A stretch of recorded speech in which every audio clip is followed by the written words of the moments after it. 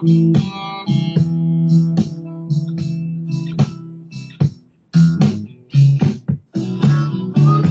the seventh hour, on the seventh day, on the seventh month, seven doctors say, I was born for good luck. ხო, გინდათ ასეთი მუსიკალური აცინებით დადგმეთ ჩემს Facebook-ზე ძალიანად ავტვირთეთ და იქ ყველაფერი არის ინფორმაცია, ყველაფერი ვიზუალური იმით. ამან კარგად შეერჩიეს ეს მონღოლი არის, ბენდი არის. All Brothers ბენდი არის, Brothers ბენდი ესეთი არის. და არის ეს Crossroad to Chicago, Chicago. ინგლისურად Chicago არის, Chicago არის. და ბლუზების ისტორია ეს ამერიკული, ის არის კულტურის ნაწილი არის.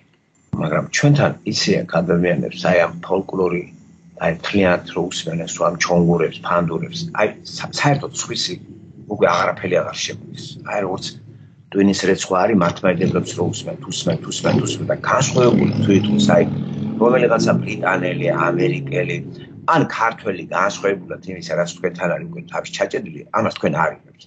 და არ შეიძლება ყველაფერს უნდა ადამიანი უნდა შერჩევით ეძებდეს. ახირებული არ უნდა იყოს რომ მაგალითად ერთი სასმელი ჟუაპი ღვინოს ხარ მიჩვეული. ჟუაპი ღვინოს და რო დაგიდე რაღაც კარგი ამას არ სვამ. ან კიდე შოტლანდიური ვისკი მოგიტანე და შენ სულ შენიშნის სვამდი. აი მას არ ასვამს. იო ჩავატარე ესეთ თა საქართველოში. კარგი ღვინო დაუდე პიროვნებას დაუდე ჟუაპი. ჟუაპი არჩია. არა ეს არ მითავ.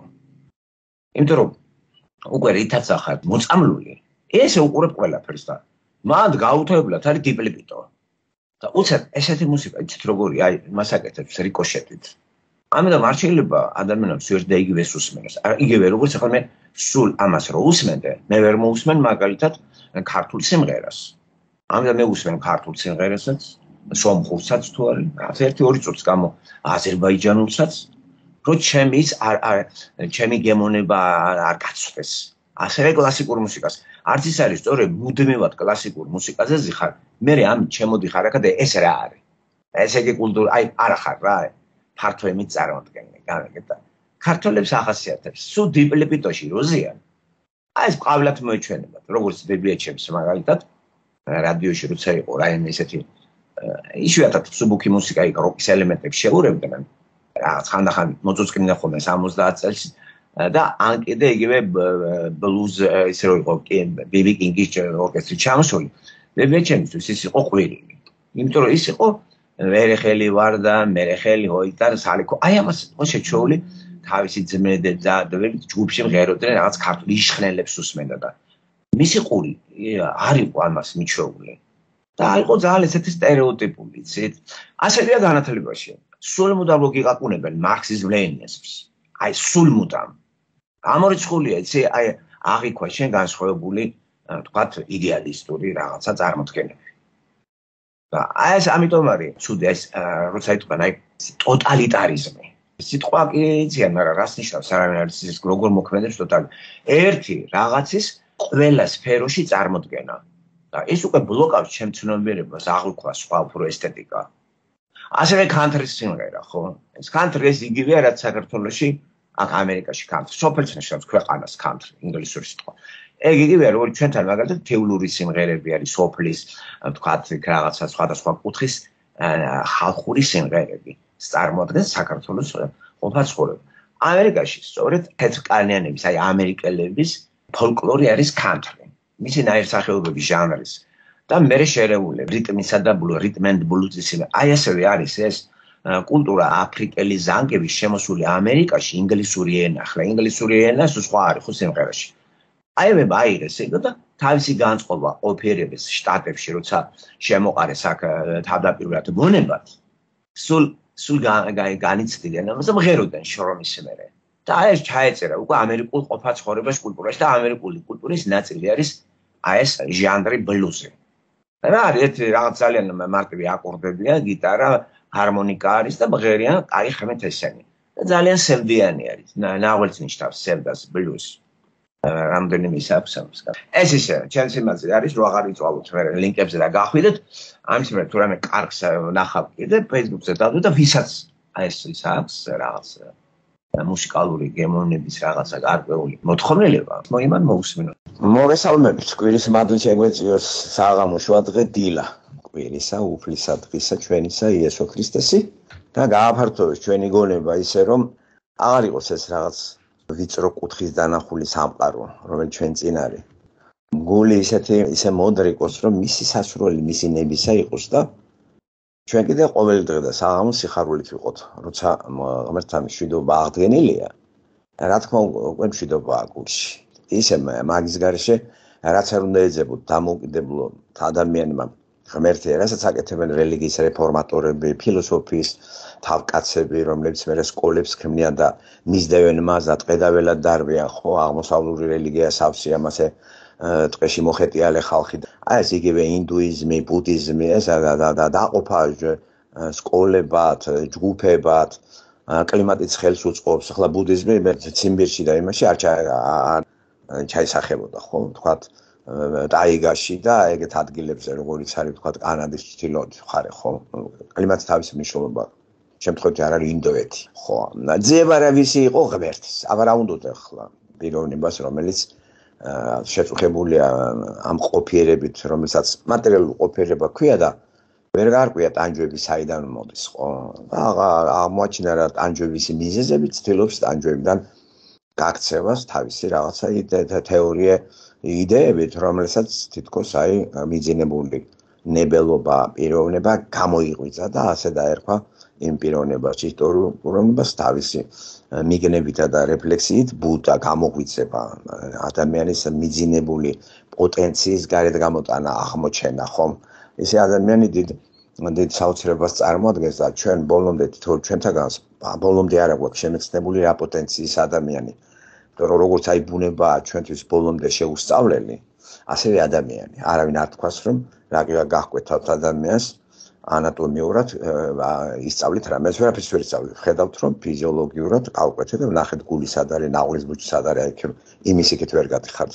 რა პოტენციალი იმალება ამაში არავინ არ იცის ღმერთის გარდა. ისე როგორც რა პოტენციას მალავს დედამიწა, ამას გზადაგზად კაცობრიობა ეძებს, ქეკავს და რო აღმოჩენს, აუ რა მოვაჩინეთ რა რა დღეში არიან, ხო? უფრო და უფრო გაოცებული არიან იმ აღმოჩენებით, რომელიც სადღაც მიღმა იყო და რომ იპოვნეს გაუხარდათ, მაგრამ ამით სრულდება ეს ყველაფერი შესწავლილია თავიდან ბოლომდე. კამენილება რომელიც აი ეს უდიდესი არის, თქვა ხილული, ამჯერ მარტო ამ galaktikaში, იგივე დედამიწა, დედამიწა გონიათ შესწავლილია ძალიან ცდებით. ვერ გავცდით ჩვენ აჩიჩქნას რა, თხარას და ძულების აღმოჩენას და რაღაცა სულელური იმებით, რაღაცა წარმოდგენებით აბრუებთ მსმენელებს. ამით იმის თქმა მინდა რომ თავად ადამიანი გაცილებით უფრო საოცრება არის ვიდრე ეს ქმნილება რომელსაც ადამიანის ადამიანის სახლს წარმოადგენს.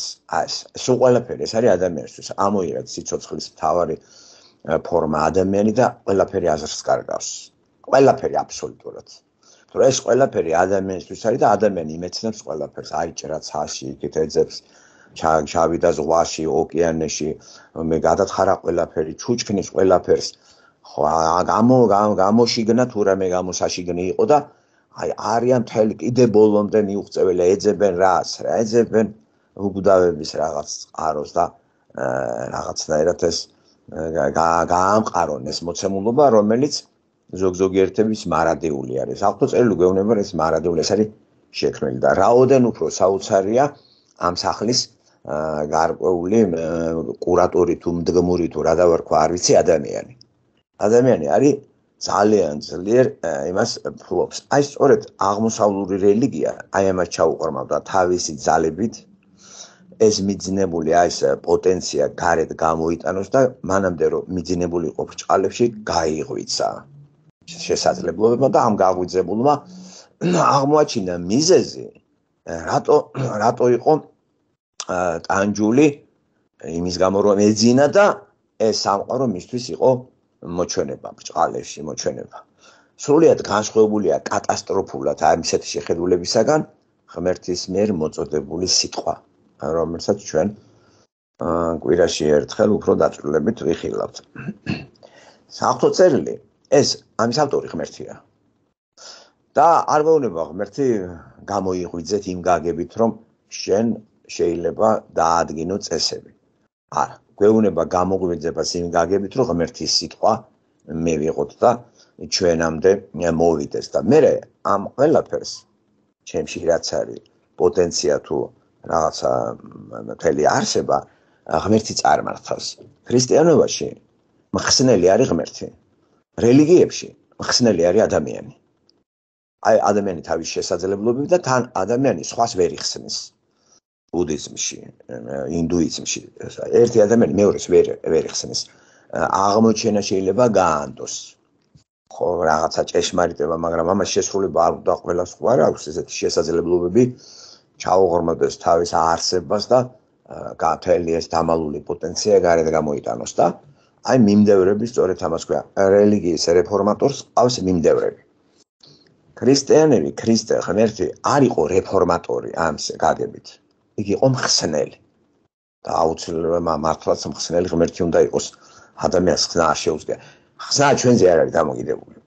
ხსნა არის ღმერთზე დამოკიდებული და როდესაც ეს ამბავი უკვე გახმაურდა თავად ღმერთმა რომ განსხეულების სახით ეს თავის მოწაფეებს გაანდო თავისი პიროვნება და ბერმერც გაიგო. შემდეგ მაგისმა მიმდევრებმა ეს კიდით კიდემდე გაიტანეს. მანამდე 600 წლით ადრე წვალობდა ადამიანი თავისი ძალებით ეძებდა ღმერთს და არც თუ ესე ტყუილად მოხიბლული იყვნენ. ისეთი სიბრძნეებით, როგორც აღმოსავლურ ინდურ რელიგიას ახასიათებს და მის რაც გაშტოებებს. აი დაწყებული ფაგავადგიტა, ეს რიგვედა, თამაპადა და მთელი ეს ინდუიზმა, ინდუიზმიდან აღებული, ინდუეთიდან წამოსული შემდეგ მისი ისტორიული რაღაც პერიპეტიების გამო სულს როღაფავს უკვე მე-5 საუკუნეში, მე-6 მე-5 საუკუნე არის. აგერ აი კაცი სახელად აა ეს ბუდას რო ეძახით თუმცა ეს ტიტულია ეს ზითხართა ზითხართა ქართულად ეცეთ ხო? სახელი ეს არის მაგის აი ძალიან ისეთი სამეფო გვარის წარმომადგენელი ტოვებს სახს და მიდის რაღაცა საჭრეტელად და პარალელები ბიბლიასთან როცა ამას ვეცნობოდი ხოლმე თავის დროზე თითქოს გაგიჩნდება ასეთი თუ ჩაუხედავ ხარიტყვი რომ ქრისტიანობა მოპარულია ბუდიზმიდან. ან ქრისტიანობა მოპარულია ან შევსებულია პლატონიდან. ბევრი ასე ბევრი დებილი ასე იცახის აი საქართველოს ვიცი პიროვნება რო დაждდება პავლე გონია ის პლატონის ფილოსოფია შემოიტანა პავლემ ახალ ხალხში გამიგეთ. ისეთი ამ მსგავსება. მათ ვერ გაუგიათ რომ მსგავსებას განაპირობებს არაერთი მაეთისგან რაღაც მოძღვრების მოპავრ არამეთის რომ ადამიანი ერთი არსება და ღმერთი არის მისი ქმნილება. ამიტომ ყველას გადმოცემით იცის როგორ როგორ შევიდა მის ცნობიერებაში ის როგორ შეიქმნა სამყარო და წარღვნის შედეგად მე ადამიანები ისევ ფართოვდებიან იზრდებიან და გაიფანტებიან და ყველას არა არავის არ აკმაყოფილებს მოცემულობა რომელიც თავსია მწუხარებით სევდით. ეკლესიაში კარგად არის ეს გადმოცემული სოლომონის პირით ღმერთი რომ მეტყველებს რომ ვერაფერში შენ სიმშვიდეში ვერ იპოვი. ვერც იმ დიდრეში და ვერაფერში.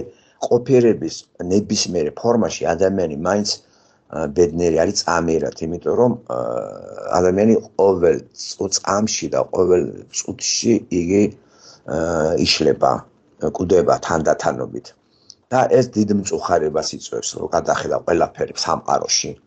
ის ცხოველებიდან დაწყებული ფრინველები და რა ვიცი, წყალში რაც არის და მცენარეების. კი, ხედავს ადამიანი განახლებასაც, მაგრამ განახლება ის პიროვნება კი არ არის, რო კვდება. ეს სხვა მოდის ისე, როგორც ადამიანში პიროვნება ერთი რო კვდება, შემოვიდა სხვა. მაგრამ ერთი შვილი რომ მოკვდა ადამიანს, მეორე შვილი თამას ვერ შეავსებს. ჩანს თითქოს რომ რა მოხდა მე რა მეორე დაიბადა მესამე დაიბადა. ასე ბუნებაში რომ ხედავთ რომ შემოდგომაზე რაღაცა კვდება გაზაფხულზე რომ განახლდება ეს ის რაც მოკვდა ის დარია უკვე. და განახლება ეს არის რაღაც გარკვეული სიმბოლო იმისა რა ელოდება შემდეგ აი სამყარო დაასრულებს თავის გამოლებას აი იმ მე მესამეცამდე რომელიც ჩვენ არ ვიცით რა და თვით პავლემას კი ან მეორე კორინთელთა მე-12 თავში პირველი 2 3 4 მუხლი მასე იწება მე განსაკუთრებით ფებრუარის მესამე მუხლიდან რომ არ ვიცი აი 14 წლის უკან იძახის პავლე შეეულით შეეულის გარეთ მესამე ცამდე და გამოუთქმელ რაღაცებს ისმოდა მაგრამ არ იცის რა და როგორ არ იცის. და აი აი ამას იძახის რომ მე ესეთი პიროვნება თუ სატრაბახო მე უნდა ვიტრაბახო მაგრამ არ ტრაბახობს ამით იცით რომ მეორე კორინთელთა წერილის პირველი 9 თავი პირველი 9 თავი რომელსაც გავეცანით მიძღვნილი არის ეკლესიაში გაბატონებული იმ ცრო რაღაცა წარმართი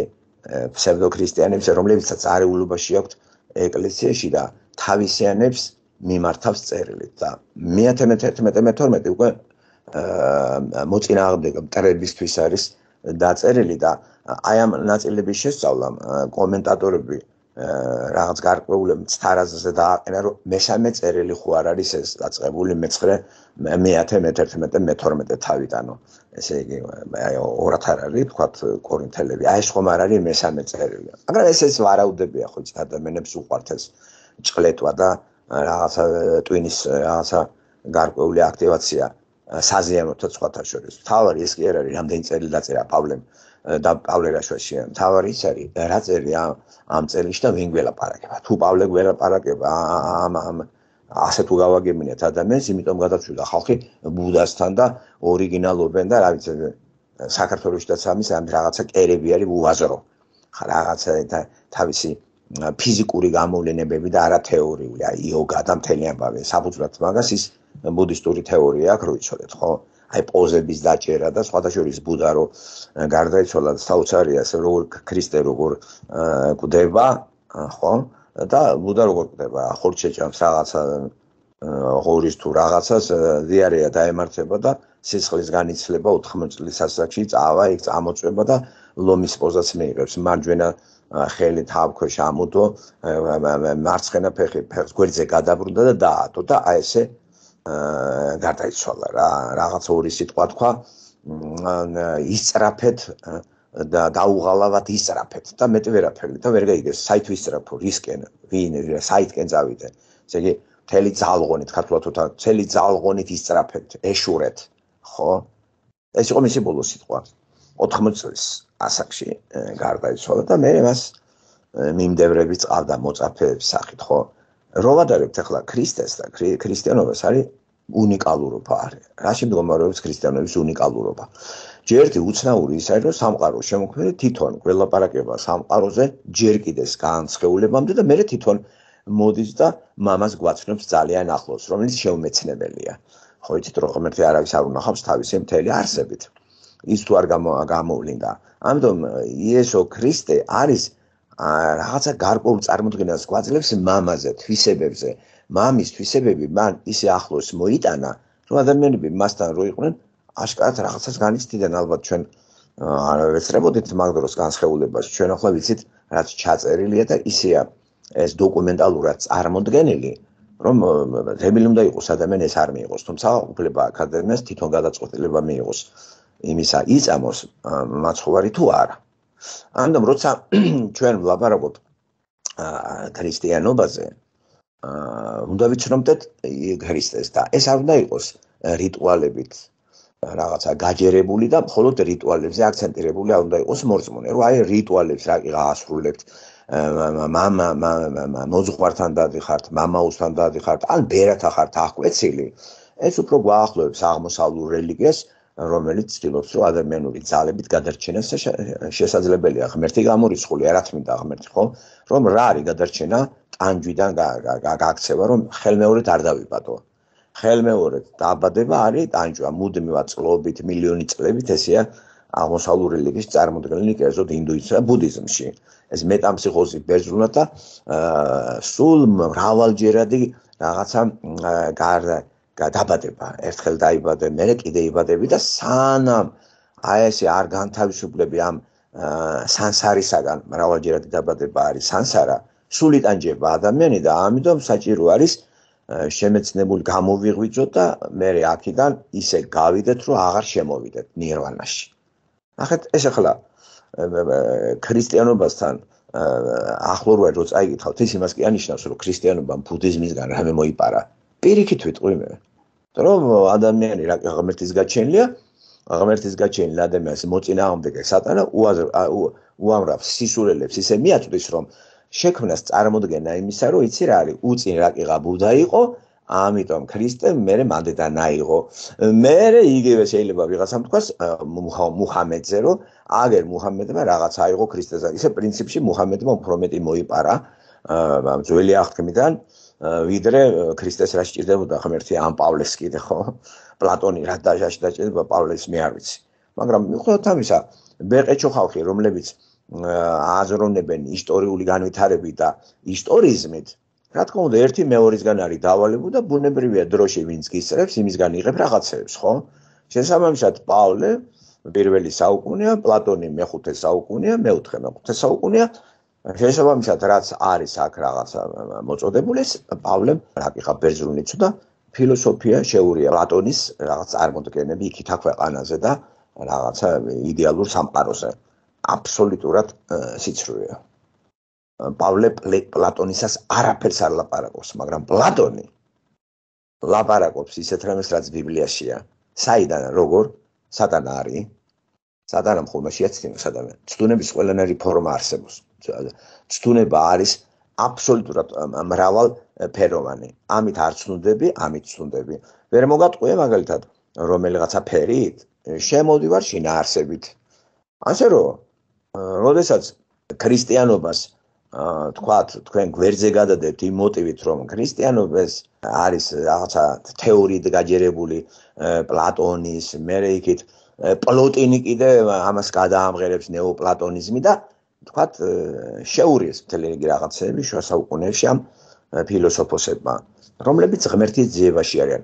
ფილოსოფოსი სოციალურად იგივე ბუდა არის რელიგიურად არა იგივე სუდა გამოღვიძებას ეწევა ფილოსოფი პლატონი ამას აკეთებდა განსაკუთრებით სოკრატე და სოკრატეს მიაჩნდა რომ ადამიანი ბნელი იმიტომ არის რომ მან არის ის რომ ცოდნის მატარებელია და ეს ცოდნა მას ჰქონდა ადრე და უნდა მოიგონოს. ესე იგი პლატონიც აღიარებს და სოკრატე მეტამფსიქოს ასე პითაგორა.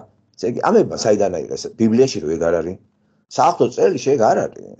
საფრთხო წელში არ არის მრავალჯერადი დაბადებები ერთხელ იბადება ადამიანი ცოდვათ ეცემა და თუ არ გამოსყიდული არ იქნა წმედ ქრისტე არ იქნა მიღებული სამუდამოდ შორდება ღმერთს. არავითარი მეორე დაბადება მესამე დაბადება მე არ არსებობს ეგეთი რამე ქრისტიანობაში ქრისტიანობა კი არის ის წერილი რომელიც ამ ამსის კი არის 1189 თავი არის ხო? 66 წიგნი არის. აი ეს არის ჩემთვის ავტორიტეტი სულის ხსნას რაც შეეხება. ამიტომ რელიგიის ისტორიაში რა თქმა უნდა ვიმოგზაურე რელიგიური გარკვეული იდეები ხომ და გავიგოთ ხო? არა ვარ ახირებული კაცი რომ ავიხირო რაღაცა როგორც ზემოთ ვილაპარაკე რომ რაღაცას ერთს აიხირებს ადამიანი და აღარ გამაგამო სხვა. არა წავიკითხე გავა გავიაზრე. არჩევანს ვაკეთებ, იმასაც ვკითხულობ. ბრძნული აზრები ადამიანის რატომაც მისაღებია, მაგრამ ამას ამის განხორციელებას რა შედეგი მოყვება, აი მაინტერესებს. ناყოფი ناყოფით იცანით ხეო, აი ესე გვეუბნება ღმერთი და ახლა პირდაპირ კი არ გავიგოთ ხე. ხე არის სიმბოლო და მართლაც ناყოფით იცნობს ხე ბოტანიკოსი რო არ იყოს, მაგალითად კარალიოკი ვაშლისგან ხე შეიძლება ვერ განასხვავოთ კარალიოკი ვაშლის ხისაგან იმან ჩავხედავ მაკას მაგრამ ناყოფით რო ჩაგბიჩავს ხომ იქნება ვაშლია თუ კარალიოკი ამიტომ ხის ხე მეტაფორა ადამიანის რომელიც აი ადამიანი რასაც გამოსცემს ناყოფს რო გამოიტანს გარეთ შე რომ მოისმენ აი ამეთ უნდა გაიგო ადამიანი რა რა ხეს წარმოადგენს ესე იგი. რა არის მასში ჩასული. ასე რომ იესო ქრისტემ ძალიან უნიკალური ის მოგცა ჩვენ ტესტი ადამიანისა ნებისმიერისა ხე ناقოფით იცნობა ისევე ხო როგორც ადამიანი შემეცნებული იქნება თავისი ლაპარაკი, თავისი აზროვნებით და თავისი ცხოვრებისებური რაღაცა პრაქტიკული მოქმედებით. ეს არის უნიკალური რა. ხო. უჭირთ ადამიანებს აზროვნებით გამოიჩნონ ადამიანი ჭკვიანია თუ სულელი. ეს ბევრს უჭირს. მაგრამ ყველა შეუძლია გამოიცნოს ადამიანი მოქმედებაში. შე თუ ვერ გამოვიცანი შენ ვინ ახარ კათედრაზე და თავი თავ დამახვი ამ შენი რაღაცა გაუთავებელი რაღაცა ინტელექტუალური აზრებით ცხოვრებაში რო განახე ახლა რო მარკეტში ერთად შევიდე იქ რაღაც მოიპარე. ე ეს რა არის? ხო ყოველდღიურ გამოვლენებაში რო დაგაკვირდე პრაქტიკაში აქ უკვე მივხვდი რომ აი ناقობი ე შენ ის არ ახარ. იქ ვერ გავიგე რას ლაპარაკობთ იმიტომ რომ არ არის ესეთი განათლებული. ხო? თუნდაც აი ავიღოთ ქრისტიანული ფსევდოქრისტიანული წარმოდგენები საქართველოში. ნებისმიერი მღვდელი აიღეთ. მღვდელი რომ ამბიონზე დგას და ლაპარაკობს და მრევლის სახლიდან მიტის მასთან ხوار ცხოვრობს ეგ. მის გამოვლენებას ხوار უყურებს. ეს მარტო ცოლმა იცის რას აკეთებს და ძალიან ბევრ ცოლს აგულზილო უნდა კონდეს თავის ქმარზე. ალბათ ეცინება რო ლაპარაკობს და სახში სხვანაირი არის. ლაპარაკობს გაბრუებს ტიპებს და სახში გაუმაძღარია, ღორია, თქვა ლაპარაკობს დიეტაზე, ლაპარაკობს თქვა ზომიერებაზე, ვარჭამო და თვითონ სკდება სახში. ცოლი ხო და ბავშვები ხო მოგდებიან სიცილით, ხო? და მრევლი ხო ამას აა ვერადევნებს თვალყურს და მრევლის ინტელექტუალური დონე ჩამორჩება თქვა ამბიონიდან რომელიმე მღვდელისა თუმცა ასეთი მღვდლებიც არ აქვს ჩვენ მაგრამ დაუშვათ თქვა გიგენას ეს ბოთეკაცი და კიდე არიან მათ ფსევდოთეოლოგები აი ეს რო აბოდიალდება ნებისმიერი ამ თემას ჩაუხედავი ადამიანი. ხო გაბრუდება და წარმოდგენა ხო წაიღებს სახში რომ ვახ რა მაგარია. მე ეს ناყოფით შემეცნებული არის? თქვენ ეს იგემეთ? მე როგორ გამოვლინდეს? ეთქვა თქვენ ინტელექტუალური დონე ჩამორჩება იმისას და ვერ გებულობთ, მაგრამ საკმარისია პრაქტიკაში მასთან მოხვდეთ, დაყოთ რამოდენიმე საათი ცხოვრების ყოფიერ ყველა ფორმაში და მიხვდებით მისი ناყოფით ეს ბოთე ვინ არის და წინააღმდეგობაში აღმოჩნდებით ამისი თქვა ქადაგება და პრაქტიკული გამოვლენა. მთლიანად ჰარმონირებდა იესო აზროვნებაში და გამოვლენებაში. ქრისტიანობა სწორედ ეს არის. თუ გაყოფილი არის ეს ყველაფერი და შენ საკათედრო, იმიტომ ლაპარაკობ, ძალიან ისეთი ღრმა ჭეშმარიტებებს, მაგრამ პრაქტიკაში ხარ ჩვეულებრივი ბოგანო. და პრაქტიკაში შენი ყოფითი მეტყველება ისეთია, როგორც მე მეწაგის და გაჩნდება რაღაც აზრი, რომ ეს კაცი ამბიონიდან რას ლაპარაკობს. და გაყვებით, გაყვეთ და მიხვდებით, რომ ის დაждდა და ორი საათით რაღაცა გადაიკითხა, გადმოიყვა, მოიტანა თქვენამდე და მოგიყვათ. და შეგექმნათ შტაბიჭრობა რომ წმინდანია. შიოლაშვილის ესეთი წარმოდგენა ხო გაქვთ, რომ ის წმინდანია. პრაქტიკული ცხოვრებაში გენახიათ ეგ, აი ვინც ეგ ნახა და გამოიტანა გარეთ გამოეკიდნენ. აი ყოველდღიურობაში გენახიათ ეს კაცი რასაკეთებს. დასწრები ხართ მის ჭამას, დასწრები ხართ მაგალითად ის სურათი რომელიც დაიდო ჯაბა იოსელიანთან რესტორანში, აი ჩემთვის ესეც საკმარისი იყო, რომ ეს კაცი ჩვეულებრივი ღორმოცელად აღვიქვი მე ყანწით ხელში და სადღერძელოები და გამსახურდიას სიკვდილი რო ამცნეს მაფიოზივით გახარებული იყო რომ მტერი მოშორებული ქა იმან ბევრი საიდუმლო იცოდა ამათ შესახებ. ხო და არქივთან მისასვლელი გაუჩნდებოდა სხვადასხვა გამსახურდიას მოკვლელობა იცით ერთი იყო გამპირებული განა იმიტომ რომ ეს დაუპალდა ესა და რა ქვია პროვინციული ფაშისტი იყო. პრეზიდენტს მისასვლელი ეკრემოდა ყველა არქივთან. ამას ყველაფერს გამოიტანდა ეგა და უნდა გენახათ რა მოხდებოდა ამიტომ მაშინებთ ადამიანებს ესეთი ხალხი და უკვე თუ ვერაფერი ვერ შეაგრებინეს მე რეკლამენ. მანამდე მიდის მოლაპარაკებები, ხო? ეთქო არ წავიდა ადამიანი. პრეზიდენტს აქვს მისასვლელი ყველაფერი, ყველაფერი. გამის უკვე მით უმეტეს როცა პრეზიდენტი აბსოლუტური ძალაუფლებას ფლობდა იმ წუთში გამსახურდია. აბსოლუტურად ყველა მაირჩია. და ახლა ეს გული გაუსკდა ყველას რომ წარმოთქვა გამსახურდია, მსია შექმნა და დაიწყო და მაგრამ რა დაიწყო? ბოლოს მიწვდებოდა სამღვდელოებას, იმიტომ რომ კოსტავმა მოუთხა ეს კაცი არ გვიდა რა, ეს ხო იცით ვინ არის რა, მაგრამ ჯერ საჭიროაო. ზვიათი ნახეთ, ეს ხო მივიდოდა ვიღაცის ყურამდე. ამიტომ გაჯერ კოსტავა რაღაც გაუგებრობაში გარდაიცვალა. მაინც გაუგებრობა ჩავთვალოთ და მე გამსახურდია მოკლეს. მორჩა, გადარჩნენ. გახარებული შიოლაშვილი რომ ვაიმე არ მომხილონ. მაგრამ ვის დაემალები ადამიანების გეშინია? დედა ეტირება ამას რო გარდაიცვლება. ამ წიგნიდან მესენჯერა და მაგას ამ ღმერთის არ წავს. აჯერა კაცო ეს არავის და იმიტომ არის აღვირასენ ცხოვრებას რო ეწევიან, იტყუებიან, ხო, მიწერ ცხოვრებას ეწევიან, ფუფუნებაში ხრჩობიან და ხალხს ათაყვანებენ. ხო და მოსახლეობის გამოთაყვანება ვიშერჩენია რომ ამათ შერჩეს. საწყალი მოსახლეობა იმდენად გამოათაყვანეს რომ მანდედანა გააქციეს ძალიან ბევრი ხალხი გადანეს მანდიდან მოდი ვთქვათ რომ პირობების შექმნა. ისეთი არის რელიგიური და პოლიტიკური რომ ადამიანს მანდ არ დაედგომება. თუ საძმაკაცო არ აყავს და თუ პრეზიდენტის ნაცავი არ არის. ისე მანდ შეერი გაგზურება სული. ხო ცნობილია რა. და დაქცინის ყველა ქალიან კაციან ბავშვიანად ყველა რა. ცოლიც კი დაქცინებს რომ ბოლო ბოლო ეგეც გაგექცევა. აი აი ეს მდგომარეობა რამ შექმნა? აი სწორედ იმან რომ ჩვენ რითი გამსხვავდება რა ქრისტიანიერი არის ქართველიერი რა რა რა რელიგია ეს? რა ჯანდაბის რელიგია გაქვთ? ხო ბუდა გულწრფელი მაინც იყო. ეს ბუდისტები გულწრფელები მაინც არიან. ხო გულწრფელები არიან ბჭყალებში იმ ტყუილში რელიგიურ სიცრუეში რომელიც სატანამ შეთავაზა მაგას მაგრამ ან გამთლიანებულები არიან ხალხო ხო ტყუილში გამთლიანებული ადამიანი და არიცის. ამიტომ ჭეშმარიტი გამოგვიწება მხოლოდ იესო ქრისტე შეუძლია. მე ვერ გამოვიღვიძებ მე მე თვითონ უნდა გამაღვიძონ. ხომ არსებობს და საღათასელი ვიღაცა უნდა მე გიპნოზირებული ვარ სატანის მიერ ცოდვა დაცემული ადამიანი და თუ იესომ ეს არ მოხსნა ჩემი ძალებით ვერ გამოვიღვიძებ ამიტომ ეს ბუდა გაუტამა აბსოლუტურად სატანური რელიგია რო იცოდეთ საწინააღმდეგო აი დიამეტრალურად განსხვავდება. იცით რა ხელა წინა ისეთი ის არის. აი გავიждები თეთრი და შავი. როცა ამას ვადარებდი რა ერთმანეთს. რაღაც რაღაცები კიდე მომიწია ამას წინათ კიდე გადახედვა რაღაცეებისა რომ დავწმუნებულიყავი კიდე და არ იყოს რაღაცა გაუგებრობა ამ საკითხთან მიმართებაში რომ ვიღასაც რომ რაღაცა კითხვას დაგისვამს დაიწყო ხლა ეს ამდაუბდა ამიტომ კიდე ერთხელ გადავხედე ამას აპრიორი აკვიატებული აზრით კი არა რომ ხლა ჩაჭერილია ჩემში ქრისტიანობა არ არა შეგნებულად მოახერხე ის რომ ცოტა ხანს გვერდზე გავწიოთ ეს მაცხოვარი და მაინტერესებს ეს ტიპი ვინ არის და რა არის. თქვენც არ მომიკვდეთ? არა, არა. ეს ადამიანია. ადამიანია საწყალი, გაუბედურებული და ცდილობს რომ ტანჯვას გაექცას. ეშინია მეორედ დაბადების კიდე და ტანჯვისა და შანსი მიეცა იმისა რომ თუ გამოიღვიძებს განათდება, დაბწყინდება და აღარ შემოვა მეორე დაბადებაში, სადაც სანსარაში არიტრიელებს წლობით საუკუნეები და მილიონი წლები რო ტრიალებს და გადავა სანსარიდან ნირვანაში.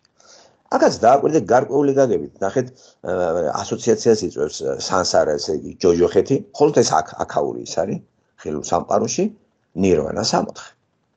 და ესეც გარკვეულ ასოციაციას წარმოშობს პლატონ პლატონის ფილოსოფიას ეს სამყარო, აი ეს სამყარო, ყალბი, იდეათა სამყარო, ზემოთ ამის გარდა მარადიული უცვლელი. ეს თვალებადი.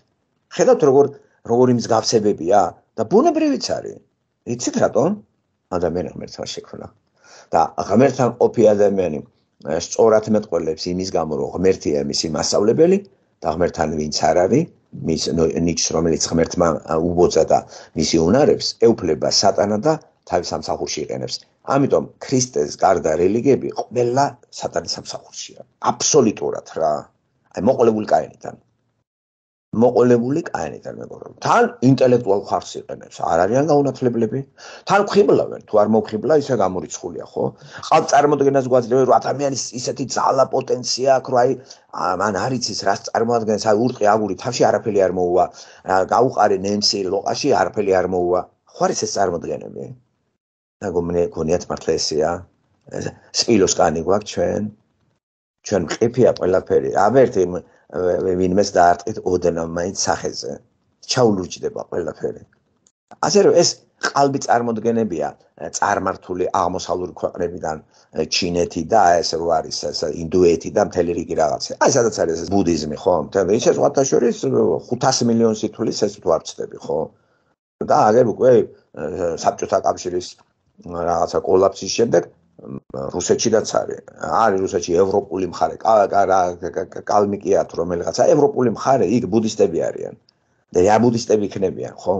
ევროპაში მხოლოდ ესენი წარმოადგენენ ევროპის კონტინენტი არ არის რუსეთი, ევრაზია. და ძირითადად აზიაზე არის გავრცელებული და თავისებური ფორმები არის ჩინეთში, იაპონიაში, სხვა სხვანაირ სახეობებით, რომ თავარი არის ადამიანს შეუძლია თავისი ძალებით გადარჩენა. სრულიად უარყოფს ქრისტიანობა. ადამიანი თავისი ძალებით ვერ გადარჩება. რაც არ უნდა, აი რაც არ უნდა კარგი ადამიანი იყო, იმიტომ რომ ბიბლიაში კარგი ადამიანი არ არსებობს, მკვდარია იგი, მკვდარი. ცოდვად დაცემული არის, აცდენილია. ესე იგი, ისე ვიყავით დამოკიდებული ღმერთზე, თოკით კი არ ვიყავით მიბმული სიტყვით და ჩემი მორჩილებით, არჩევანით. თოკით რო ყოფილიყავით მიბული ვერ გადაჭერიდა ამას სატანა იქ ღმერთს ეყოლებოდა ხელში და რას ქვია აბერთ გაბედი და გადაჭერი. არა სიტყვით. ღმერთი სიტყვა და ჩემი მორჩილება და ჩემი არჩევანი. ხედავთ? ეს დამოკიდებულება გაწყდა ღმერთის სიტყვა ესე იგი უკუდებული იქნა და სატანამ გაიჯეჯილა მას მერე უბედურება დაფიქსირდა ადამიანებში და გამოსავალს თავისი ძალებით ეძებენ. აი მას შექმნა რელიგია თავიდან, ესე იგი ადამიანი ღმერთს რო დაშერდა, რელიგიური არის. იმიტომ რომ ცხოვრება აიძულებს რელიგიური გახდეს. კავშირი გააბას რასთან? ბნელ ძალებთან და თავისი წარმოდგენები მოგვახვიოს თავზე რომ საიქიო ცხოვრებაში ეს არის. რაიც, რაიც, ყველა ქვეყანაში თავისი საიქიო წარმოდგენები აქვს. ქრისტიანობამდე საქართველოში საიქიო წარმოდგენები ქონდა მაგათაც აი წარმართული რელიგია საქართველოში არის ყოგონიათ? აა აბა როგორ თაყვანსცემდნენ არსებებს, მოვლენებს, მთელი რიგ რაღაცებს, ხო როგორც ძველ ეგვიპტეში, ბაბილონში, საქართველოშიც აი უმაღლესი მთავრობა მთარი იყო. თუ ეგვიპტეში მზე იყო და მე მონოთეიზმის გარკვეული გამოვლენა იყო ის პოლითეიზმი, რომელიც მე როგორ ჩვენ გამოსulis წიგში ვკითხულობთ, მოსე რო უპირისპირდება, ხო? და არკმარა მარტო იცი და წინსულ არ არის პოლითეიზმიდან მონოთეიზმში გადავეთ. მონოთეიზმი არის ისლამი, მონოთეიზმია იუდაიზმი, მონოთეიზმი არის ქრისტიანობა, მაგრამ სამივე ისა ერთმანეთის ის არის რაღაცა, რაღაცა შეჯერებული არიან. მონოთეიზმი არის ისლამი, არ არის პოლითეიზმი. მე სწორია. ასე რომ მონოთეიზმი ეგვიპტეშიც მე სწორია, ქმნილება რო გააღმერთე? არ არის სწორი. ამიტომ არ არის საკმარისი შეჩერება იმაზე, რომ აი პოლითეიზმი საქართველოსში აღარ არის. მაგრამ აბა კარგად დავაფიქრეთ თუ არ არის პოლიტიკის სუბიექტური ცნება შემოვიდა და თითეული ადამიანი მრავალი ღმერთის წმენის მატარებელია. ხო, მან თითქოს არის მოჩვენებითად მონოთეიზმი ერთი ღმერთის რწმენა, მაგრამ ღრმათ რო ჩაუკვირდებით, თითეული ადამიანი სხვადასხვა სხვადასხვა წარმოდგენებით სარგებლობს და მაინც აქვს ელემენტები მრავალღმერთიანობისა. აი კუთხურობისა შემდეგ და შემდეგ. რომ ავიჩილოთ ეს თავიდან საფრთხო წელის სწორი ინფორმაციას გვაძლევს თავად ღმერთზე კაცო. რამდენჯერ არის სახელი მოხსენებული ამ ციკში რომელიც აი უზარმაზარი შემცველობის არის ხო? ჯერ მარტო რამხელა მარაგია სიტყვებისა. 7000-ზე მეტი სიტყვა არის გამოყენებული ბიბლიაში და ასოები ვიგითხარით რომ 3 მილიონი 116000 და რაღაცა და რუდალმულ 3 მილიონი ეს რამხელა მოცულობაა და ღმერთის სახელი რა თავარი მოქმედი გმიროა რო შევკრიბოთ ღმერთი სადაც მოიხსენებოდა უფალი ერთად მივიღეთ რა მე 7000 ჯერ არის მოხსენებული. ცოტა ახალ რა. ცოტა აი პირობითი რიცხვები დავასახელე. ცდომილება ძალიან ცოტა არის ზუსტი რიცხვებისაც მოგახსენებ თუ გინდათ როგორც მაგალითად პერსონაჟებსაც გითხარით ხო? აი რამდენი რამხელა გალერეა არის. არ მეორე წიგნი არ არსებობს პერსონაჟების ასეთი სიმრავლით რომ წარმოგვიდგეს რომელიმე რომანიან ნაწარმოები. მიუხედავად იმისა, რომ ძალიან ისეთი ფართო ტანიერი რომანებიც ვიცით ჩვენ თათელი ოჯახის ისტორიები, ხო, თუნდაც აი ომი დამშვიდება, თუნდაც შექსპირს რამდენი თელი შემოქმედება რო ავიღოთ ერთად. აი 3227 პერსონაჟი არის. ხუმრობ 3227 ძალიან დიდი დასამახსოვრებელი 32 27 3227 პერსონაჟი. ხუმრობ ასე რომ ეს სტატისტიკური მონაცემებიც იმიტომ გვინდა რომ ეჭვი გაიფა თან კიდე არსად ესე იგი არ ხდება რაღაც აბნეულობა. ადამიანი 10 ადამიანის სახელს ვერ იმახსოვრებს ის რომ თავის თავის თანამედროვეობა წარმოაჩინოს და მით უმეტეს შეუძლია ადამიანს 3227 პერსონაჟიდან არ აებნას გზადაყვალი. მე არა მარტო ეს მაუცებს მე მაუცებ და თვით რომანში წარმოდგენილი პერსონაჟები, რომ აი ეს როგორ თავში როგორ შეეტი ადამიანს. თან კიდე სხვადასხვა ეპოქაშია და სხვადასხვა ავტორებია, რომლებიც ერთმანეთს არიჩნობენ. აქ აი ტოლსტოი წერს ერთ რომანს და გააგრძელებს, გადაიკითხავს, გადმო მე რამდენად გადაწერა, კაცმა არის ეს კიდე, რო იცოდით, ხან ცოლიც მოკლა წერა კითხვაში და ამანაც ბერჯელ წერა და ხან სათავურები შეცვალა და იყო ერთ ამბავში და ახეთ ეს პავლე ასე იტანჯება? ის ზეპირად აღწელებს ამას და კარნახობს პიროვნებას ჩაწერს და თვითონ მან დიდი გრძელი ასვევით მიაწერს რამე თუ პრობლემა აქვს მას ის სატანის ანგელოზი რომელიც ღმერთს სწხოვარ მომაშორეო, მაგრამ არა, აი მე-12 თავში არის ეს გამიგეთ. და რაღაც უცნაური რაღაცას გვიყვება პავლე და არ გაკადნიერდება, თუმცა ითხოვს ამას ის ხალხი რო იძახის რა ფსარ წარმოადგენს. მე მაინც უგუნურს უწოდებს თავის თავს იმ შემთხვევაში, როცა უხდება მაინც ვითარებიდან გამო გამომდინარე რომ აუ თქვას თავის წარმატების შესახებ. მართლაც აი მესამე ცამდე ნახეთ და ეს ამით არ ტრაბახობს.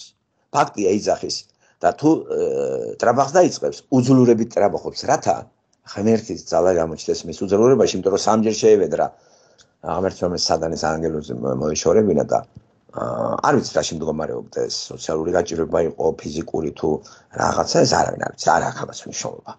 მაგრამ ღმერთმა უთხრა არა საკმარისია ეს უძლურებაშია ჩემი ძალა და აი გაახარებული იყო რა. მართლაც იცით უძლურებაში უნდა გამოჩნდეს ძალა თორე თუ შენ ძლიერი ხარ, ღმერთ ილუზიაში შეხვალო შენაკეთებ ამას. და მართლაც თუ გადახედავთ პერსონაჟი, ყველა უძლური, აი პეტრე როგორი ემოციურად მშიშარა კაცი არის, გამიგეთ? უცებ აი თან მეყევია, ხან ვითომ ღმერთთან რო არის ახლოს ხანჯალი გაიჭრო. მაგრამ როცა ღმერთი უკვე იესო ქრისტე გაიყვანეს, მარტო დარჩა შიშარა არის.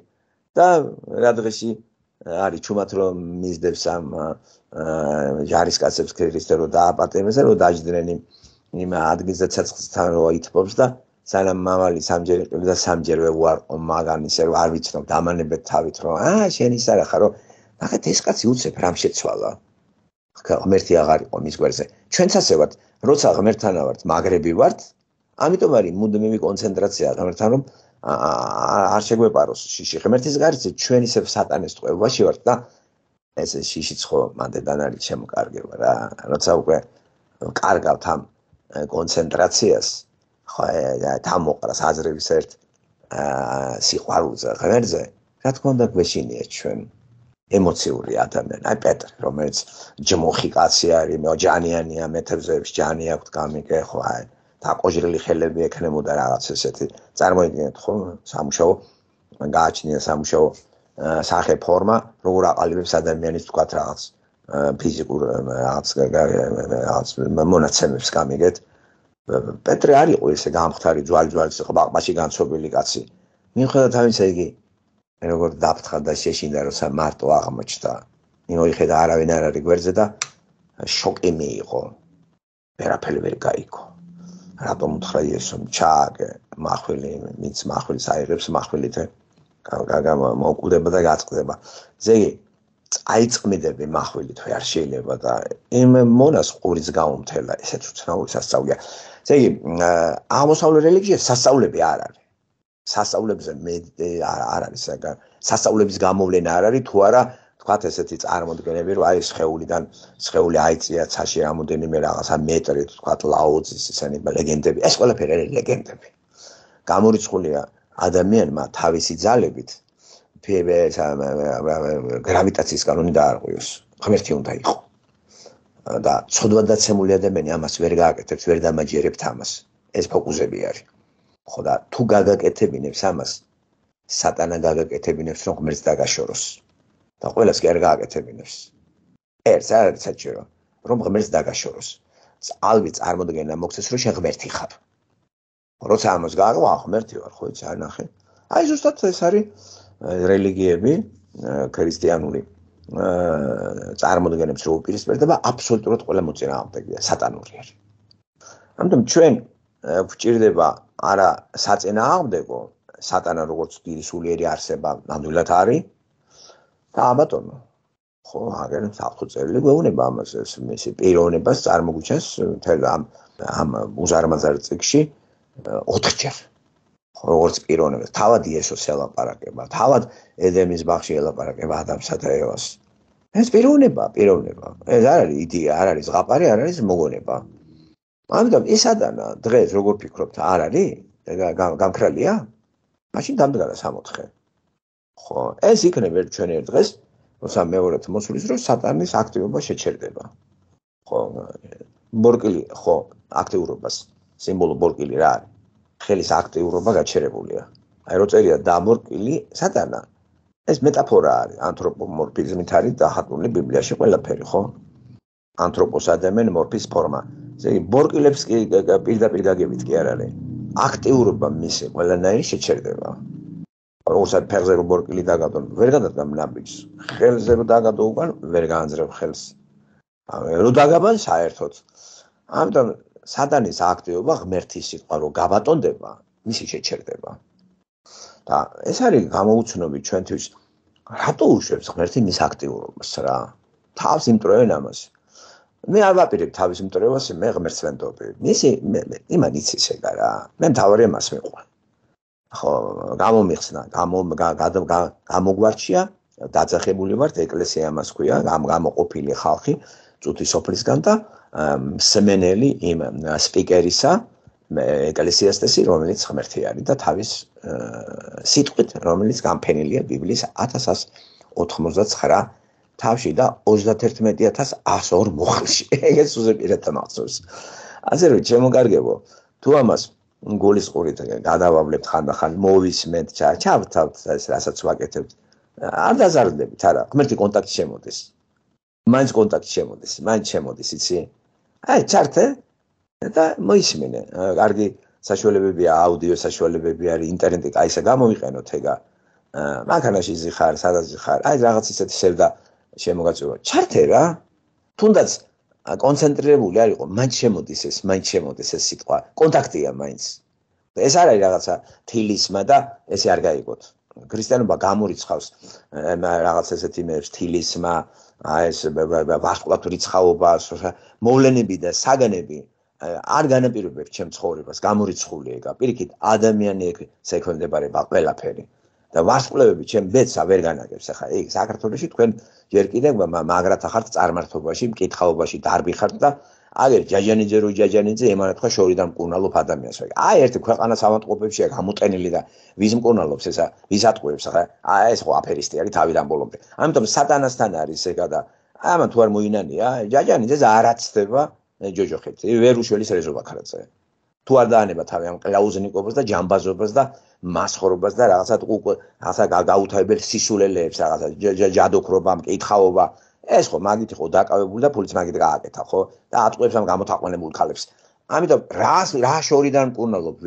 რა უნდა უმკურნალო ადამიანს? აი როგორ უნდა უმკურნალო რას ლაპარაკობთ ხალხო რას ლაპარაკობთ? ეს ნიჭია კაც და სამოტყოფებით არის გაჯეჯგილი ყველაფერი აი იმის შროც არ აქვს, თუნდაც დაინახოს როგორი გამომთაყვანებელი მღვდლები არიან, რომელთანაც ეს მიდის და ძალიანაც ეპათხალიმება თავიდან ბოლომდე, რომ უძრება ყველა მღვდელსა და აგერ იმედის ტელევიზიის მე პატრონებსაც უძრება ბოლომდე. აი, ისაც უძრები ხო იცი, უნდა ეპათხალიმოს ეგ ეს ხანეთ არ გამო.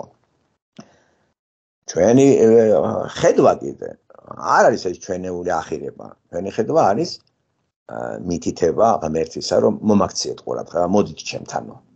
ხო და ამ საიტყვის მეშვეობით, რომელიც ჩვენ წინ არის ქართულ ენაზე, ჩვენი ზღადაგჩენია მივიდეთ მასთან, გავეცნოთ მას და სწორედ ამას ვაკეთებთ ყოველ კვირას, რა რიგით მე რამდენი მესა მე-13 მე-12 კვირა არის უკვე რომ მეორე წერილი, ასე თუ ისე რაღაც გარკვეული ეს კავშირი დავამყარეთ საფრთხო წერილთან და ფორმირებას ღმერთი მოახდენს ჩვენსაც ხოლმე წამდეს და ვჯეროდეს ამისი.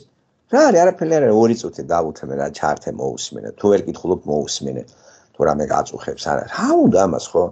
სორვილი არა გაქვს სორვილი ამიგეთ ხო და ღმერთო გაგვიღვიძეს სურვილი რომ ყველა ჩვენთაგან შენი სიტყვა გვესმოდეს და არა ამდენ სისულელეების გარემოცვაში რო ვართ. დაბლოკეს სისულელეები დაბლოკეს სულელური ინფორმაციის ნაკადი რომელიც ჩვენამდე მოდის და მომეცი უნარი რომ რამენერად ეს ისეთნაირად გადავამუშაო რომ არანაირად არ არ იყოს ეს ჩემთვის საწამლავი.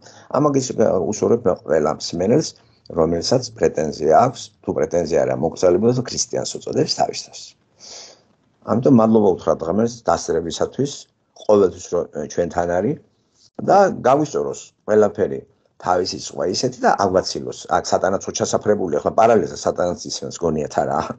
ის და გადამთისიქითებული კი არ არის. ამიტომ იცდილობს ყველანაირად რომ რაღაცნაირად ხრელი მოძებნოს და შემოძროს ეს და გააფართოოს ეს ესე იგი ერეტიზმი. ერეტიკოსობა ხო აი ეს რაღაცა. ერესი ხო განხეთქილება არის რაღაცნაირად აი ეს ეს უკვე შენ განუდექი რა ღმერთს და შემოიტანა ეს ერეტიკული რაღაც წარმოდგენა. ბიბლიაზე დაყნობით ხო? ა ძალიან კარგი მაგალითია. და კაი სამუშაო აქვს სატანას? ოფიციალურად რო უკვე აგერ ეკლესიები ოხრათ არის ყველგან იგი კათოლიციზმი და აქეთ ეს ქრისტიანობაზე ალაპარაკი სატანას არ აინტერესებს ბუდისტები იმიტომ რომ ისინი თავიანთი არის თავიანთი გოგონები არიან მუსულმანობა და ყველა ჯურის რელიგია ეს სატანი სატანის თაყვანისცემაა მაგრამ ქრისტიანობა არ არის სატანის თაყვანისცემა და აქ ცდილობს რომ ისეთი კორექტივები შეიტანოს, რომ ღმერთს თითქოს ეთაყვანები და ამ დროს სატანა არის მაგის უკან. აი ეს უნდა გამოვიცნოთ ჩვენ და განუდგეთ. განუდგეთ აი საქართველოსი თლიან სატანური თაყვანისცემაა ოფიციალურ დონეზე. სატანის წარმომადგენლები არიან მღვდლები და სარგებლობენ ქრისტეს სახელით. და რა ცხოვრება მათ ჩემზე კარგად იცი და წადით და მღვდლებთან იცხოვრეთ რა. და თქვენი აზრი შეიმუშავეთ ერთხელ და სამუდამოდ. ხო. და არ არის საჭირო სხვისი თქვენ თვითონ დააკვირდით და შეიმუშავეთ აზრი. ჯერ ერთი ყველა მოღლელი ჯლოყინებს, არაფერი არ იციან, აბსოლუტურად. აი ყველაზე ბნელი კერა საქართველოს არის სამღვდელოება. ყველაზე ბნელი. რომ იცოდეთ, ყველანაირი გაგებით. და ადაგავიწყოთ რომ სულის ხსნას კი არა, სულის დაღუპას ემსახურება და სულის დაღუპა ვის უნდა? ედენის ბაღში ვინც გააკეთა ეგ. მაგრამ მადლობა ღმერთს რომ აი ეს გამოსყი გამოსყიდულია ესა და ახლა არჩევანის წინაშე ვართ როგორც ედემის ბაღში. მაშინაც ჩვენ თავისუფალი ნება არ წაგვართ ხმერთან და ახლაც ეს მეორე შეცდომა არ დაუშვათ. ახლა ჩვენ კონკრეტულად ჩვენ თუ იქ არ ვიყავით ედემის ბაღში კონკრეტული ჩვენ და ედემში ადამში დავიბადეთ, ახლა კონკრეტული ჩვენ ხო ვართ ღმერთის წინაშე. ხო და რა განსხვავება ჩვენსა და ადამ შორის? იმანაც ხო დაარღვია. აღმოჩნდა კუდომის რეჟიმში წავიდა? ეხლა იგივეა ჩვენ შორისაც. თუ ჩვენ არ მივიღებთ იესო ქრისტეს სიცოცხლეში და რასაც მივიღებთ, აი ეს გავყვება იქი და ეს არის მეორე სიკვდილი. სამუდამოდ დავშორდებით ღმერთს და არავინ არ გაქრება არცა და არც არავინ დაიბადება მეორე. რაღაცა სისულელეს ნულაპარაკობთ. ერთხელ დავიბადეთ და ეს გრძელდება მარადისობაში. ვიბადებით ცოდავდაცემულ სამყაროში და გავდივართ მარადისობაში, ორი გზა მიდის მარადისობაში. ერთი ხსნის გზა, მეორე დაღუპვის. ერთთან სატანა არის, მეორე სტანგმერთი. მადლობა მოსმენისათვის, მადლობა ღმერთს დასწრებისათვის და ჩვენი გული კიდე მომართოს ისე რომ მისი ყველა სიტყვა შეეხოს ჩვენ გულს და ჩვენი ტრანსფორმირება მოახდინოს. ძალიან დიდი მადლობა და მოვისმინოთ ტექსტი. თავი მე-12. თუმცა არაფერს მარგებს ყვეხნა. მივალ უფლის ხილვებთან და გამოცხადებებთან. ვიცი კაცი ქრისტეში, რომელიც 14 წლის წინათ არ ვიცი შეეულში, არ ვიცი შეეულის გარეთ.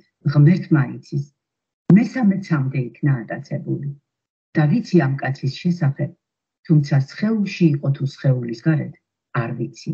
ღმერთმა იცის რომ ატაცებული იქნა სამოთხეში და ისმენდა გამოუთქმელ სიტყვებს რომელთა გამოთქმა ნებადართული არა აქვს ადამიანს.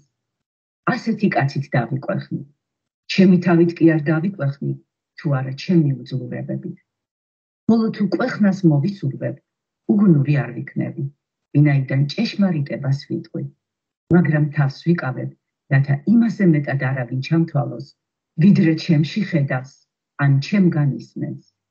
და რომ არ გაუმედიდურდე მეტის მეტი გამოცხადებებით, ეკალი მომეცა ცხეულში, სატანის ანგელოზი, რომ დამქენჯნოს, რათა არ გაუმედიდურდე.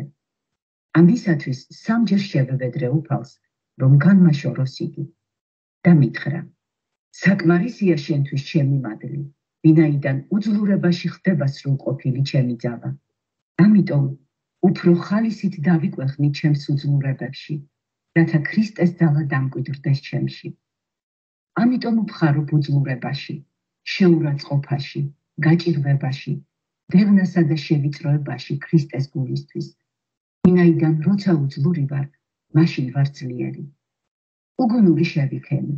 რა კი ვიყვეხნი თქვენ მაიძულეთ თქვენ გევალებოდათ ჩემი ქება ვინაიდან არაფრით ვარ ესოდენ მაღალ მოციქულებზე ნაკლები თუმცა არაფერს წარმოვადგენ მოციქულის ნიშნები ამოქმედა თქვენ შორის ყოველგვარი მოთმინებით ნიშნებით სასწაულებითა და ძალებით.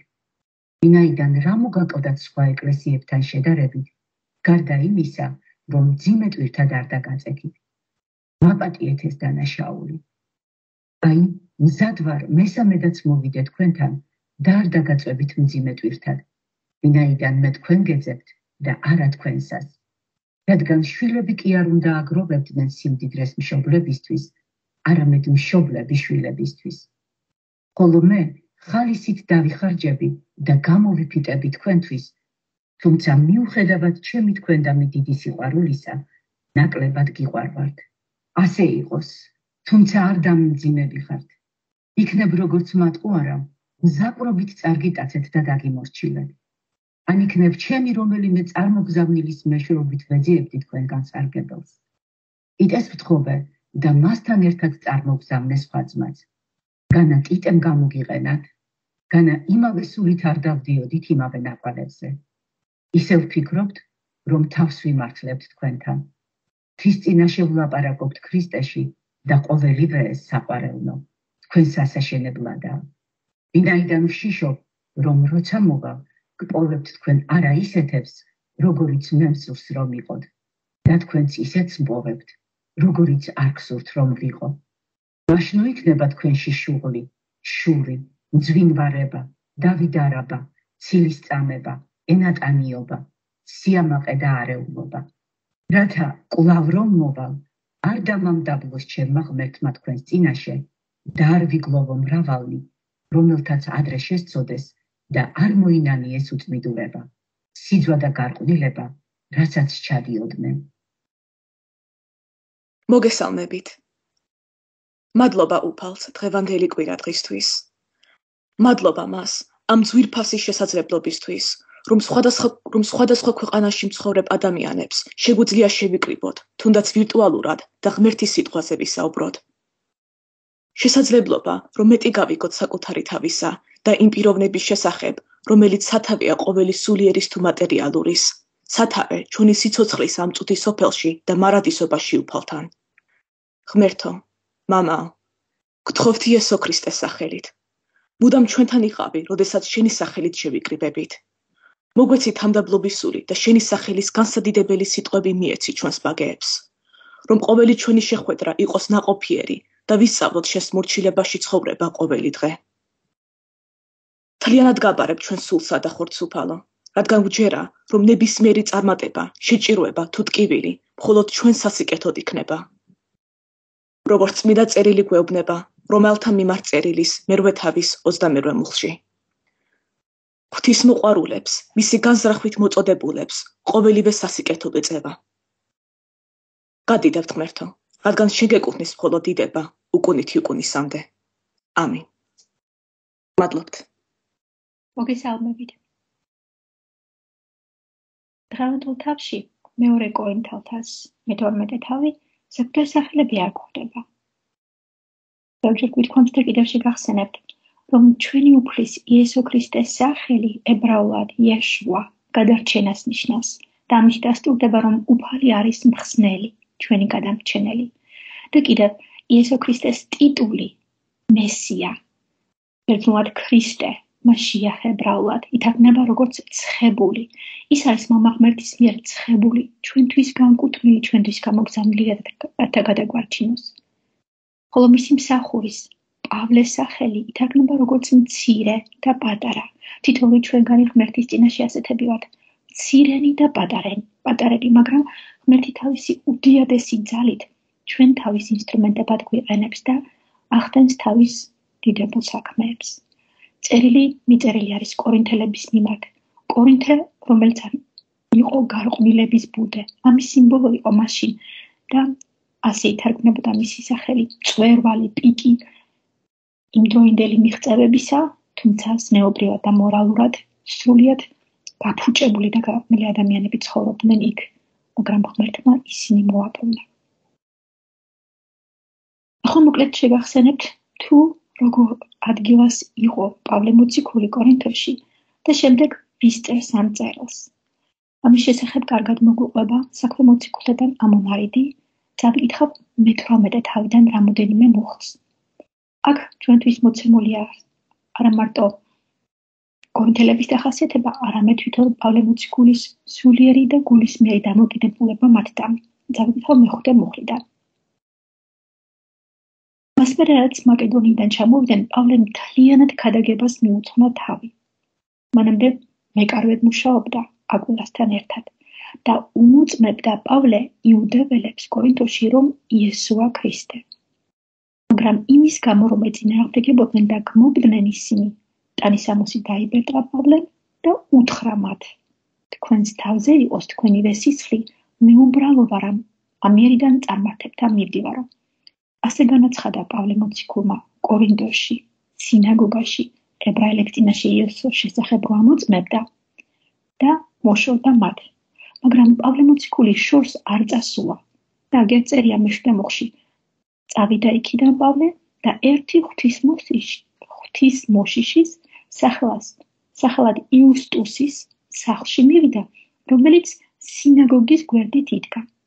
ნახეთ, სინაგოგა მიატოვა, ჩამოიბერტყა მტვერი, მაგრამ იქვე მეზობლად მდგარ სახლში შევიდა და ახლა იქ გადაგებდა ქრისტეს.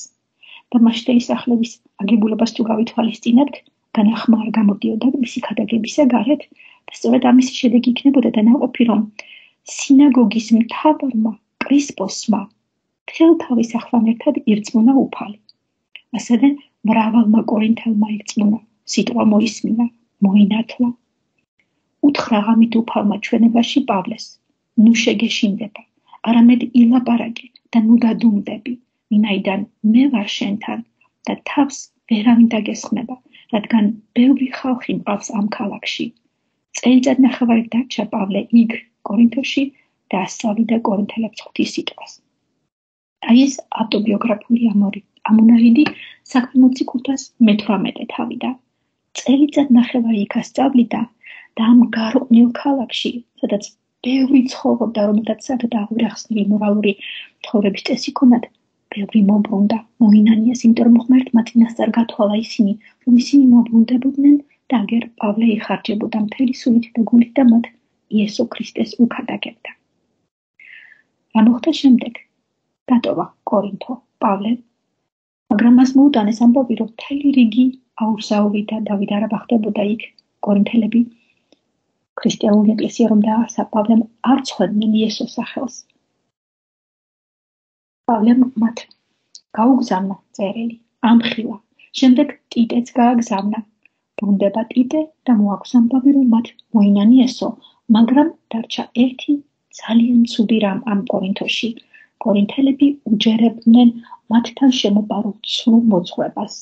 ახლა ეს იყო სამხირებელი და მეორე კორინთელთა ეძღვნება ამ მხილებას რომ არ დაუჯერონ კორინთელებმა ცრუმოწყვებას და თან თავის მამობრებ თბილ განცდებს ვის ამ წერილში. და ანდროს პავლე მოციქულს ისეთ ოქროს ხაზზე უნდა გაევლო, რომ არც თვად თავი გაემართლებინა და ეტრაბახა და დაეკადა, იტყოდნენ აგერ თავსიკებსო და თან უნდა წარმოიჩინა თავისი აპოსტოლური მოციქულის თვისებები და დაერწმუნებინა კორინთელები, რომ თვითონ ჭეშმარიტებას ამბობდა, ხოლო შემოპარული მოძღვები კი სატანურ იდეოლოგიას ავრცელებდნენ. და ამ თავის ხელმეორედ გაცნობის დროს, როდესაც პავლე მოციქული იკვეხნის თავისი სისუსტეებით, ახლა ის იძულებულია გააგებინოს მათ დაფარული რამ, რომელსაც იგი დიდი ხნის განმავლობაში მალავდა. ასე იწყება მე-12 თავი. არაფერს მარგებს ყვეხნა, მაგრამ მივალ უფლის ხილვებთან და გამოცხადებებთანო. აი ახლა პავლე მოციქული უმხელს მათ როგორ დაასვა ბეჭედი ღმერთმა პავლე მოციქულის მართლაც ღვთიურ გამოცვლას ქლიანად მის გარდასახვას სავლედან პავლემდე ხილვებითა და გამოცხადებებით. ამაზე საუბარს პავლე მოციქული ერიდებოდა. მიხოვეთ იმისა, რომ მას რამოდენიმეჯერ გამოეცხადა უფალი და პავლესთვის უფლის გამოცხადება ჩაწერილი არის ახალ აღთქმაში. მაგალითად ვიცით პირველად როდის გამოეცხადა. ეს დაწვრილებით არის აღწერილი საქმემოციკულთას მეცხრე თავში. ეს გამოცხადება ჩვენთვის ცნობილია როგორც დამასკოს გზაზე სავლეს მობრუნების ამბით. მიწაზე დაცემულ სავლეს ხმა მოესმა, რომელიც ეუბნებოდა: "სავლე, სავლე, რად მდევნინე?" გკითხა ვინ ახარ უფალო მიუგო ხმამ მე ვარ იესო შენ რომ სდევნი გაგიჭირდება წიხლ და დეზისა ეს იყო სავლესთვის შემდეგ პავლე გახდა პირველი გამოცხადება უფლისა დამასკოს გზაზე. საქმე მოციქულთას 22 თავიდან გებულობთ, რომ პავლე მოციქულს კიდევ გამოეცხადა უფალი, როდესაც ის ტაძარში ლოცულობდა. მაგერ წავიკითხავ 22 თავის მეჩვენე და მე-18 მუხლებს საქმე მოციქულთას ციგნიდან. იერუსალიმში რომ დავბრუნდი და ტაძარში ლოცულობდი, ხილვა მქონდა. მიხილე უფალი და მითხრა მან, იჩქარე, მალე გაეცალე იერუსალიმს, რადგან არ მიიღებენ შენს მოწმობას ჩემზე. მითხრა უფალმა, წადი შორს გაგზავნი წარმართებთანო. აი აგერ გამოეცხადა იერუსალიმში, ამაგრებს მას და აგზავნის საქადაგებლად. გარდა ამისა, როდესაც ერთი ადგილიდან მეორე ადგილას დაეხედებოდა პავლე მოციქულდა მათთან სახარება მიჰქონდა, გზადაგზად მერტი ამხნევებდა პავლე მოციქულს და მართულებას აძლევდა თუ სადმე წასულიყო და რომელი ადგილისგან თავი უნდა შეეკავებინა. საქმე კულტას მე-16 თავში მეცხრემში ჩაწერილია როგორ იხილა ხამით პავლემ ხილდა წარუდგა ვიღაც მაკედონელი კაცი ევედრებოდა და ამბობდა მოდი მაკედონიაში და დაგვეხმარეო ესეც ღმერთის მიერ მისთვის გამოგზავნილი ხილვა იყო გარდა ამისა 23 თავში საქმე კულტაში ჩვენ შეგვიძლია ამოვიკითხოთ თუ როგორ გამოეცხადება კიდევ პავლე მოციქულს ძალიან კრიტიკულ მომენტში ღმერთი. დავიკითხავ 23 თავის მეათე მუხლიდან. შფოთმა იმატა შეშინდა რომ მალი ათასის თავი პავლე არ გაგლიჯონო, ამიტომ ჯარისკაცებს უხდანა შესულიყვნენ, გამოერიდებინათ პავლე მათგან და ციხე-სიმაგრეში წაეყვანათ. მომდევნო ღამეს უფალი გამოეცხადა პავლეს და უთხრა: გამხნევდი, რადგან როგორც იერუსალიმში მოწმობდი ჩემზე, ისე რომშიც გმართებს დამოწმებაო. გარდა ამისა, კიდევ ჩაწერილია როგორ გამოიცხადება პავლეს უფლის ანგელოზი გაგანია ქარიშხალს. გემზე რომ იყვნენ მაშინ და ეგონათ სხვებს რომ დაიღუპებოდნენ ერთადერთი პავლე იყო ხნედ და თავისი მხნეს სხვას გადასცემდა. საქმე მოციქულთას 27 თავის 23 მუხლიდან მოგაწვით. პავლე მიმართავს გემზე მყოფებს. წუხელ იმ ღმერთის ანგელოზი გამომეცხადა, რომელსაც მე ვეკუთვნი და ვემსახურები და მითხრა: "ნუ გეშინია, პავლე, შენ კეისრის წინაშე უნდა წარსდგე და აჰა, ღმერთმა გაჩუქა ყველა, ვინც შენთან ერთად მოცურავს ხომალდით. ამიტომ გამხნევდით კაცნო, ვინაიდან მწამს ღმერთისა, რომ ისე მოხდება, როგორც მე უწყა, რომელიმე კონძულზე უნდა გავირიყოთო." აი ეს არის ჩანაწერები ბიოგრაფიული ჩვენთვის მოცემული თუ როგორ ეცხოვდებოდა პავლემს ღმერთი. მაგრამ საოცარია რომ ერთადერთი ამ თავში უფრო დიდ გამოცხადებას, უფრო მნიშვნელოვანს ამოვიკითხავთ, რომლის შესახებაც აქამდე პავლე მოციქული დუმდა და არსად არ არის ჩაწერილი. აი, პავლე მოციქული ამას ჩვენ დიდი თანდაკლობით მესამე პირში ყვება. ასეთი გრამატიკული ფორმა ებრაელებისთვის არ არის უცხო, რომ ხშირად რაბინები, როდესაც რაღაცა მნიშვნელოვანი ამბის გადმოცემა უნდათ, თავის თავის ნაცვლად მესამე პირს ხმარობდნენ. ამ შემთხვევაში პავლემოციკული იყენებს მესამე პირის, ესე იგი, თავის თავზე საუბარს განყენებულად თანდაბლობიდან გამომდინარე, რომ აქ არანაირად არ იყოს ხაზი გასმული, რომ მას მიეცა ეს სასწაულებრივი რამ. აი, რაზეა საუბარი? ვიცი კაცი ქრისტეში, რომელიც 14 წლის წინათ არ ვიცი შეეულში, არ ვიცი შეეულის გარეთ, ღმერთმა იცის, მესამე წამდე იქნა ატაცებულიო. ამას რო წაიკითხავდნენ კორინთელები, ალბათ გაუცდებოდნენ და ბევრი მიხვდებოდა, ვინც პავლეს იცნობდა, რომ ეს იყო რაღაცა საიდუმლოს მისტერიის გამშღავნება პირველად. ესე იგი 14 წელი პავლე მოციქული ამაზე არაფერს ამბობდა და აგერ ახლა ის ისე მდგომარეობაში აღმოჩნდა, როგორც თვითონ ამბობს, იძულებული ვარო. თავის შესახებ ისეთი რაღაცები დაემოწმებინა, რომლებიც დაადასტურებულა, რომ ის მართლაც ღვთის მიერ გამორჩეული პიროვნება იყო და ამას სული წმინდა მასაკეთებდა საოცარი თამდაბლობით და თან ეუბნებოდა მათ, რომ ეს არ არის სასარგებლო.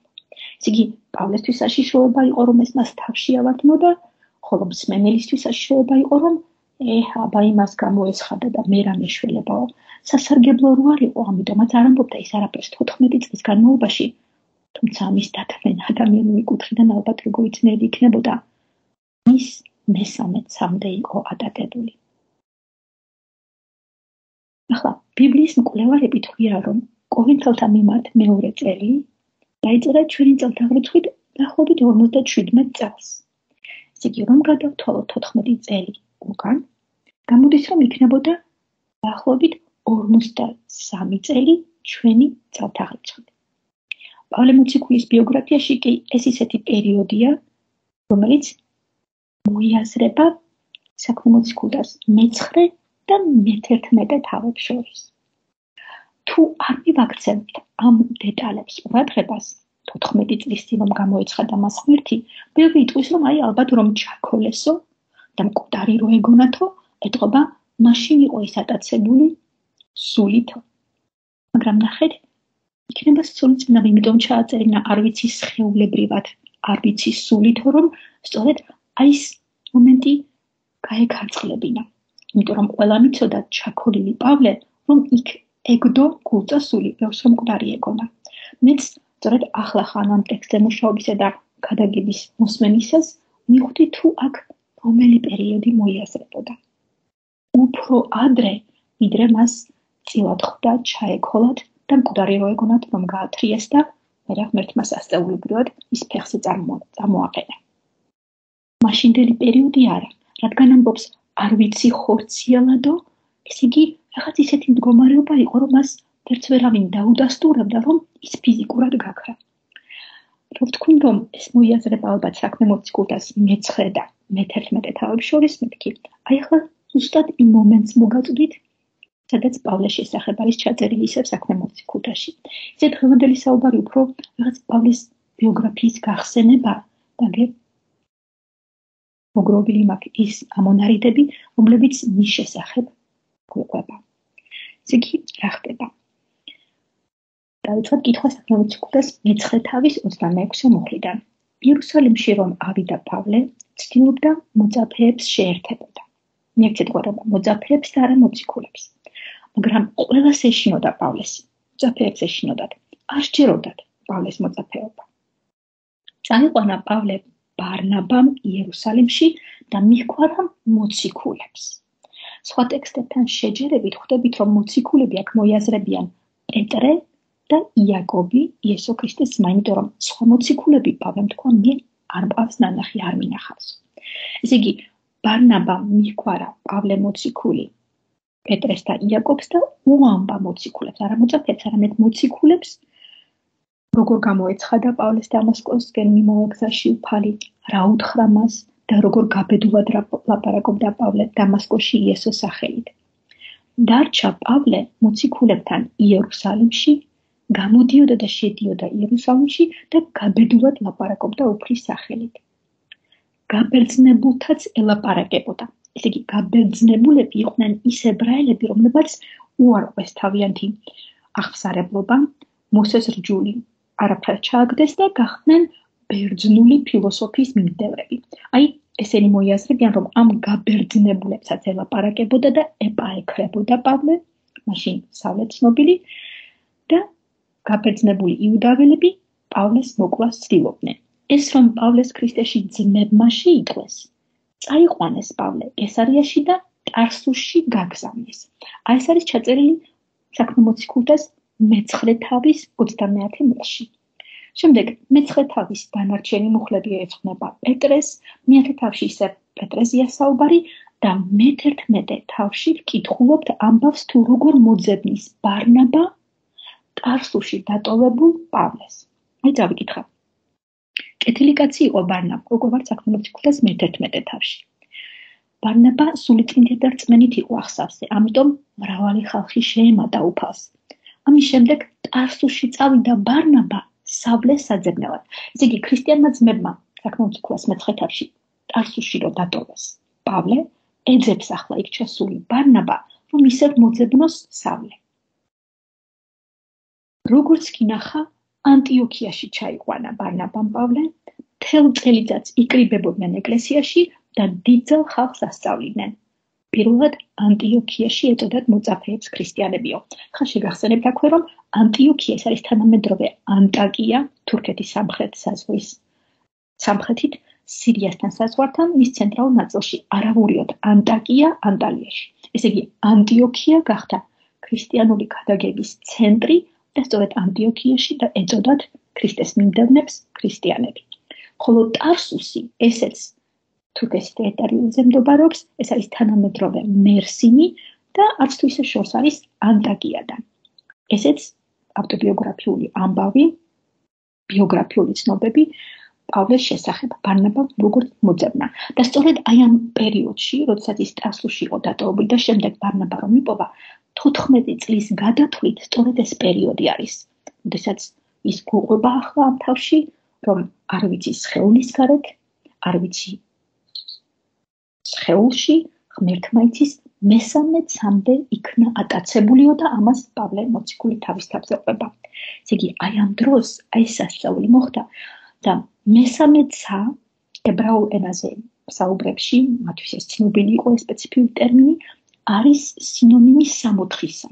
მესამე ცა არის ადგილსამყოფელი, სადაც უფალი თავისი დიდებით სუფევს სრულად. ეს არის სამოთხის ადგილი. ესე იგი, პირველიც არის დედამიწის ზედაპირზე ადამიანებისთვის, რომლებიც აიხედავენ და ღრუბლებამდე ცას დაინახავენ, მათი თვალი რასაც შეწდება, ეს არის პირველიცა. პირველ საუკუნეში წმენით ადამიანებს ჰქონდათ რომ აი ამ ღრუბლების მიღმა კიდევ იყო ისეთი ადგილი, რომელსაც ისინი შორს უჭვებდნენ ღამე რომ მოიჭედებოდათ სავარსკვლავებით, აი ეს შორს უშველებელ მანქანზე ის იყო კოსმოსი, ღმერთის მიერ სამკაულად შექმნილი სამყარო და ამას ერქვა მეორეცა. მართლაც თვითონავი რომ გასცდება ღრუბლებს და ზის ამაზის ხილები ეფინება გარემოს. აი ეს ატმოსფერო ცნობილია როგორც მეორეცა. ხოლო მესამეც არის ის რომელიც ყოველაფერ ამ კოსმოსს აღემატება და სადაც ღმერთის სუფევს მთელი თავის დიდებით.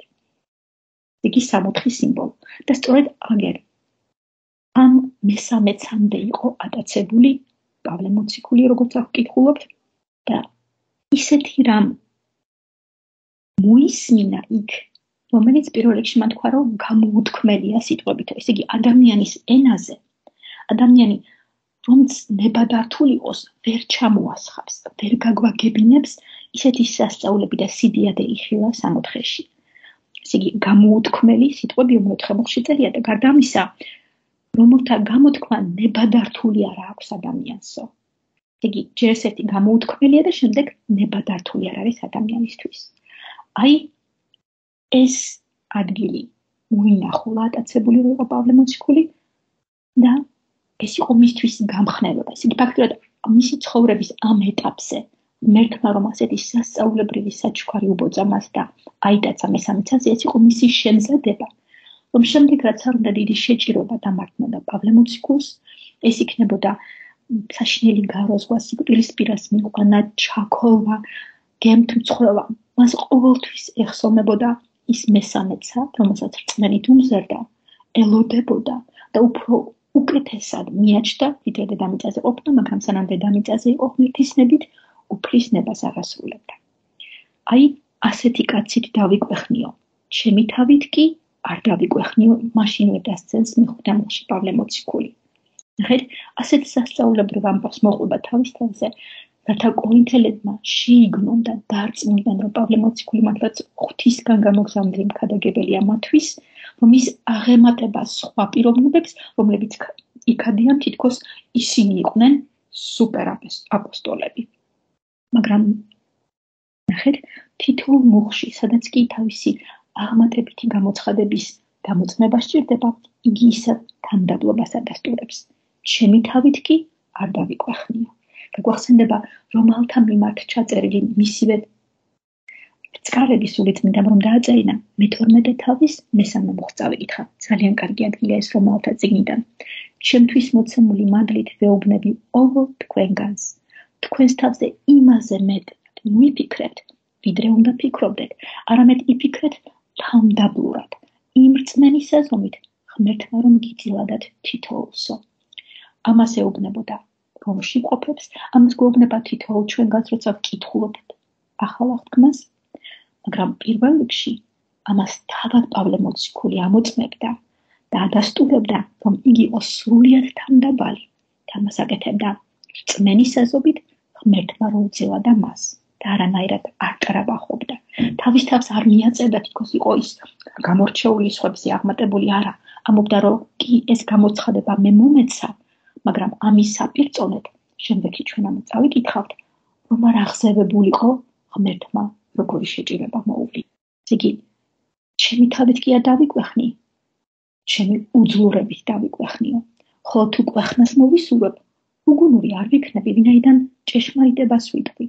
მაგრამ თავს ვიკავებ რათა იმაზე მეტად არავინ ჩამთვალოს ვიდრე ჩემში ხედავს ან ჩემგან ისმენს ისე ამ ფრაზისთვის არ მქონდა ადრე ყურადღება მიქცეული მაგრამ როგორი კარგი აზრია ჩადებული აი მიქცეთ ყურადღება. ჩემზე უფრო მეტად არის ფიქრო ვიდრე ჩემში ხედავს. ესე იგი ერთია როცა ადამიანი რაღაცას საუბრობს თქვა შაბათობით პავლე მოციქული მიდის სინაგოგაში და ქრისტეზე ელაპარაკება ხსნელზე მესიაზე მაგრამ როგორია იგი ყოველდღიურ ცხოვრებაში? ამას დაინახავდნენ პიროვნებები, რომელსაც ეკრებოდა საშუალება პავლე მოციქული ახილად ორშაბათს, სამშაბათს, ოთხშაბათს, ეს იგი ჩემში ხედავთ, ან ჩემგან ისმენთ. ჩემგან ისმენთ ეს მოიაზრებს ყოველდღიური ჩვეულებრივი ამბავი, ყოველდღიური ურთიერთობა. როდესაც ციტატები კი არ მოკავს ბიბლიიდან, არამედ როგორ როგორი ხარ ცხოვრებაში. ამიტომ აი ეს აზრია ჩადებული მეექვსე მუხლის ბოლოს. თავს ვიკავებ, რათა იმაზე მეტად არავინ ჩამთვალოს, ვიდრე ჩემში ხედავს, ან ჩემგან ისმენს. ესეც თამდაბლობის ზომიერები დათქმევინა მან.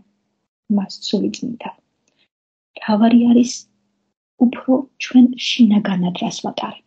თორე შეიძლება ბაგეებით ქრისტიანები ვიყოთ, მაგრამ პრაქტიკაში ათეისტები და ეს სავალალო მდგომარეობა იქნებოდა ჩვენთვის. მეშნე მუხლიდან დაწყებული უკვე საუბრის თემა ამ თავისა ხდება ტანჯვა. უორენ უისპის თქმით, ადამიანის ტანჯვის საიდუმლოს თუ რატომ იტანჯება ადამიანი, ბოლომდე ამ წუთისოფლში ჩვენ ვერ ამოვხსნითო. უორენ უისპი ქრისტიანი კაცი იყო, მას ბევრი კვლევა აქვს მოწოდებული ჩვენთვის ბიბლიაზე და ამ წყაროთი ხშირად ვსაუბრობ ხოლმე. მან ასეთი ფორმულირებები მოგცა.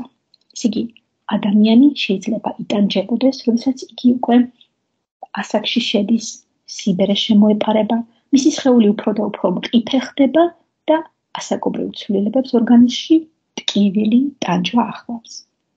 შემდეგ ადამიანს აქვს თავისი ახლო წრე, ოჯახის წევრები ან მეგობრები და ვინც მას ძალზე მეტად უყვარს და ეძვირფასება, მათგან შეიძლება მან დიდი ტკივილი მიიღოს. ესეც ხომ ერთგვარი ტანჯვა. ესე რა ფორმის ტანჯვაც არ უნდა ავიყოს, ავიღოთ დედამიწაზე. სადღაც მოვიჩხიკათ და სოდვას შევეჩეხებით. თუნდაც ეს სიბერე ხომ მით არის გამოწვეული, რომ ადამიანის ენტროპია შეეპარო ორგანიზმში სოდვა არის ჩადებული.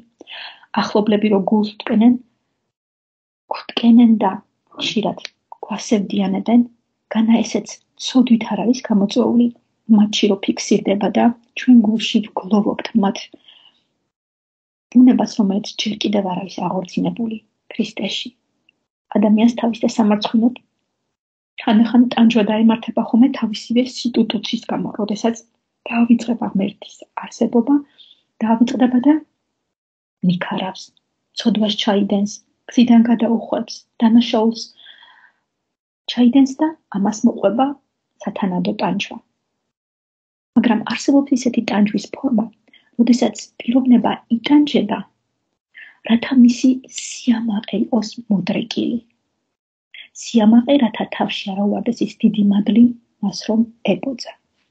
ისე ტანჯვის მაგალითები ეს იქნება სიბორ, სიბერე თუ ახლობლების მიერ იმყენებული ტანჯვა, თუ თავისივე ცოდვა ჩადენილი, ბიბლიაში არის ჩვენთვის მოწოდებული. კლასიკური მაგალითია მაგალ შემიძლია შეგახსენოთ დავითის ტანჯვა. დავითმა დიდი დანაშაული ჩაიდინა.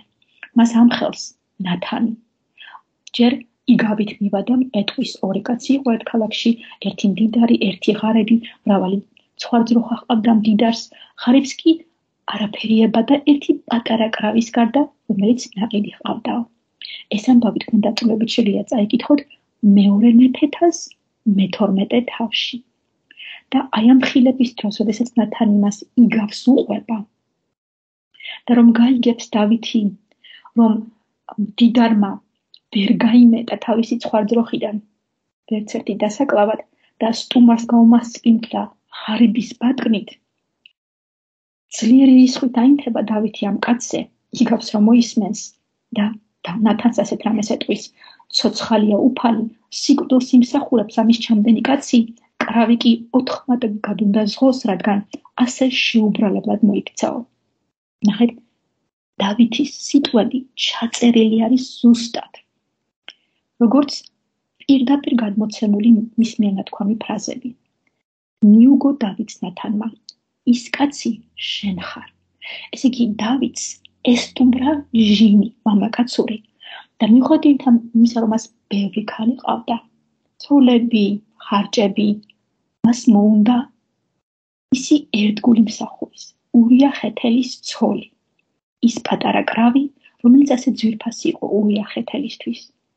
აი ამ ხელს ნათანი და ეუბნება ის კაცი შენ ხარო ასე ამბობს უფალი ისრაელის ღმერთი მე გცხე ისრაელის მეფედ და მე გიხსენი საულის ხელიდან შენი ბატონის სახლი მოგეცი და შენი ბატონის ცოლები მოგიწვინე ისრაელისა და იუდას სახლები მოგეცი და თუ გეცოტავა ამდენივეს და კვლავ ამდენივეს დაგიმატებდი რატომ მოიძულე უფლის სიტყვა და რად ჩაიდინე ბოროტება უფლის თვალში მახულით მოკალი ურიახეთელი და ცოლა დაისვი მისი ცოლი.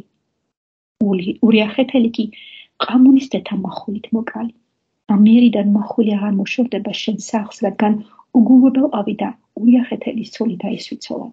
ნახე, რამოდენიმეჯერ გაუმეორებს თავის ამ დანაშაულს. მათთან წინასწარმეტყველი დავითს. ასე ამბობს უფალი, აჰა, შენივე სახლიდან მოგივლენ უბედურებას. ავიყვან შენ ცოლებს, შენს თვალ წინ და მილცა მათ შენს მოძმეს. ზისით დაწובה ის შენს ცოლებთან. შენ ფარულად გააკეთე, მე კი ზისით გავაკეთებ ამას მთელი ისრაელის თვალწინ. ასე მკაცრად ამხელს ნათან ნასწარმეტყველი დავითს. და დავითი იმის დავითია ისეც ღმერთის დიდი წყალობა მის გულში მადლად ბოძებული რომ მოისმინა თუ არა. შინაგანში მოხდა დავითის გარდატეხა მან მოინანია. მიხოთ იმისა როგერ მეფია. ამდენი ძალის მქონე ხელმწიფების მქონე მის წინაშე არის უბრალო კაცი ნათანი თავს დაინდაბლებს ხდება რწმენი დღებულობს რომ ის ღვთისკაცია და იტყვის. შევწოდე უფალს. უთხრა ნათალმა. უფალმა მოგიტევა ცოდვა. არ მოკვდები მაგრამ აი რაც მოსდებს ნათანის სიტყვებს ამიტომ მოვიყვანე ეს ადგილი ამ თათთან დაკავშირებით. რადგან ამ საქმით გმობის საბაბი მიეცი უფლის მტრებს, ზე რომელიც შეგეძინა მოკვდება. ნახეთ. დავითმა მოინანია მიეტევა, მაგრამ დავითმა კიდევ ბევრი ტანჯვა განიცადა. ეს ტანჯვა იყო ის, რომელიც სამართლიანად მას უნდა ეზღო. განა მან თავისივე პირით თქვა, ოთხმალგად უნდა ზღოსო. დაგერ თითქოს თავის თავზე ლაპარაკობდაო ძალიან ბევრი ტანჯვა იწუნია დავითმა და ასე თუ ჩამოვთვლით ძირითად ტანჯვებს რომელიც მან იწუნია თავისივე სიტუტუციის გამო თავისი დიდი ცოდვის გამო რომელიც არის ჯერ რომ მოინდომა ახლობლისა მე რომ მოაკლებინა ყველი იყო. ამონოთა מחულით მოაკლებინა ერთგული ურიახეთელი და მისი ცოლი ცოლად დაისვა. პირველი ამ ცოლის ვირსალია რომ არის ებრაულ რუსულად და ქართულად ბეჩებაყი. ბეჩებაყის ძემოკვდა და ამ ბავშვის გარდაცვალება დაწულებით არის მოცემული მეორე მეფეთა წიგნის მე-12 თავში, როდესაც ის გლოვობს, გახსოვთ ალბათ ის ადგილი, სანამ ბავშვი ავად არის. ხოლო გარდაიცვლება, შემდეგ რომ ის სულად გამოიცვლება, შეიძლება თვითონ წაიკითხო, მაგრამ ახლა რატომ მოვიყვან ეს ადგილი? შემდეგ ქალიშვილი, ლამაზი, ქალწული თამარი გაუბედურდება პავლემოც დავით მეფეს. პავლემოციკულზე ეს თავიდან გამახსენდა. დარჩა თამარი თავისი ძმის აბესალომის სახში განმარტოებით, ესე იგი ეს ქალწული ფსიქიკურად იმდენად იყო ტრავმირებული ძმამ რომ გააუპატიურა, რომელიც მისი ძმა იყო მამით, თუმცა დედით განსხვავებულები იყვნენ, რომ ბოლომდე ასე განმარტოებით დარჩა. ეს მეორე უბედურება. შემდეგ ვინც გააუპატიურა პირმს პირმშო დავითისა ამნონი აბესალომის მსახურებმა მოკლეს აბესალომის ბრძანებით. აბესალომმა თითქოს დაიხუია თითქოს თამარის გაბახებას შურსწიობდა. მაგრამ სინამდვილეში მას ჩაფიქრებული ჰქონდა, რომ პირმშო მოეშორებინა, რომ თვითონ პრეტენზია ქონოდა დავითის სამეფოზე. შემდეგ ეს მესამე უბედურება ამნონის პირმშოს მოკლა ძმის მიერ. შემდეგ აბესალომი მამას აუჯანყდება და ამ ჯანყის და შებრძოლების დროს თმებით მუხის ხშირ ტოტებში დაკიდებული განგმირული იქნება თავის საკუთარი მამიდაშვილის მიერ იუაბ ცერუიესის მიერ თუმცა დავით ბრძანება ჰქონდა გაცემული დაზოგეთ ყმაწვილი აბესალომიო ამით შემოფარგლები ესეც დავითის ბიოგრაფია რომ გავხსენე ესე იგი ტანჯვა იმიტომ რომ თვითონ დანაშაული ჩაიდინა. თუმცა მიეტევა დავითს როცა აღიარა შერცოდა უფალსო ღმერთმა აპატია მაგრამ ის რაც მისმა საქციელმა გამოიწვია მას წუთისოფელში პასუხი უნდა ეგო, იმიტომ რომ ისე გავიხსენები მადგილს, თავისი საქციელით გმობის საბაბი მისცა ღმერთის მტრებს. ესე იგი დავითი ხომ იყო ცნობილი როგორც ღმერთის მეფსაუნე და ასეთი კაცი ასეთ დიდ ცოდვებს ჩადის. რა ერთ ცოდვას კი არა, ბევრ ცოდვებს ჩადის. და საბაბი მისცა უფლის მტრებს რომ ეგინებინათ. მან ეს ტანჯვა დაითმინა. ებრალთა მიმართ წელში ასეთი რამ წერია წავითხა მე-12 თავის მესამე მუხლიდან დაუკვირდით მას ვინც ესოდენი სიძულვილი დაითმინა ცოდვილთაგან რათა თქვენ არ გატეხილიყავით სულ დაძაბუნებულნი ჯერ კიდევ არ შეწინააღმდეგებიხართ ცოდვას სისხლამდე საბრძოლველად და დაგვიწყებიათ შეგონების სიტყვა თქვენ და მიმომართული რომელიც როგორც შვილებისა შვილო უფლის განწრთნას ნუგურებელყოფ და უფლის მხილებებს მოწაუყურებო რადგან ვინც უყვარს იმას წრთნის უფალი სცემს ყოველ შვილს ვისაც ღებულობს წრთნას გაუძელით რადგან როგორც შვილებს ისე გეკცევათ ღმერთი რომელ შვილს არ წრთნის мама ეს ჩაწერილი ებრაელთა მართ მე-12 თავის დასაწყისში ესე იგი თუ ღმერთის შვილები ვართ, თუ ცოდვას ჩავიდენთ, თუ რამ შეგვეშლება, იმიტომ რომ ჩვენ დამნაშავები ვართ, რა დავითზე უკეთესები ვართ, ღმერთი დაგვჭირს, იმიტომ რომ ეს იქნება წოთნა, ეს იქნება ჩვენთვის გამოგზავნილი ტანჯვა, რომელიც უნდა დავითინოთ, იმიტომ რომ ღირსები ვართ და ამ დროს უნდა მოხდეს ჩვენი გამოწოთნა, გამობეცმება და ჩვენი შინაგანის მოbrunება ღმერთისკენ. აი ტანჯვის ერთ-ერთი სახე დამსახურებული ადამიანის ცოდვილობის, მისი პირადი სიტუაციის გამო. ხოლო იობის ციგნი, მთელი ეს ციგნი არის მაგალითი იმისა, რომ იობს არ ჩაუდენია ესეთი დანაშაულები, როგორც დავითმა ჩაიდინა. მაგრამ იობისთვის ეს ტანჯვა, რაც მან დაითმინა, ეს საშინელი ტანჯვა, რომელიც იყო ჯერ ოჯახის წევრების საყვარელი შვილების დაღუპვა, მე ყველაფერი მას რომ წაერთვა სიმდიდრე, სრულიად გაბანკროტდა, გაგოტდა, გაღარიბდა. და მას კიდე დაემატა რომ ის მას ჯანმრთელობაც წაერთვა, მის ტყავს და სხეულს რომ შეეხო. აი ამდენი ტანჯვები თავს დაატყდა იობს, რათა ამ ტანჯვით ის ღმერთს უფრო მიახლოვებოდა. ამიტომ თავდება იობის წიგნი 42 თავში ესეთი ძალიან მნიშვნელოვანი იობის მიანათქვამის სიტყვებით.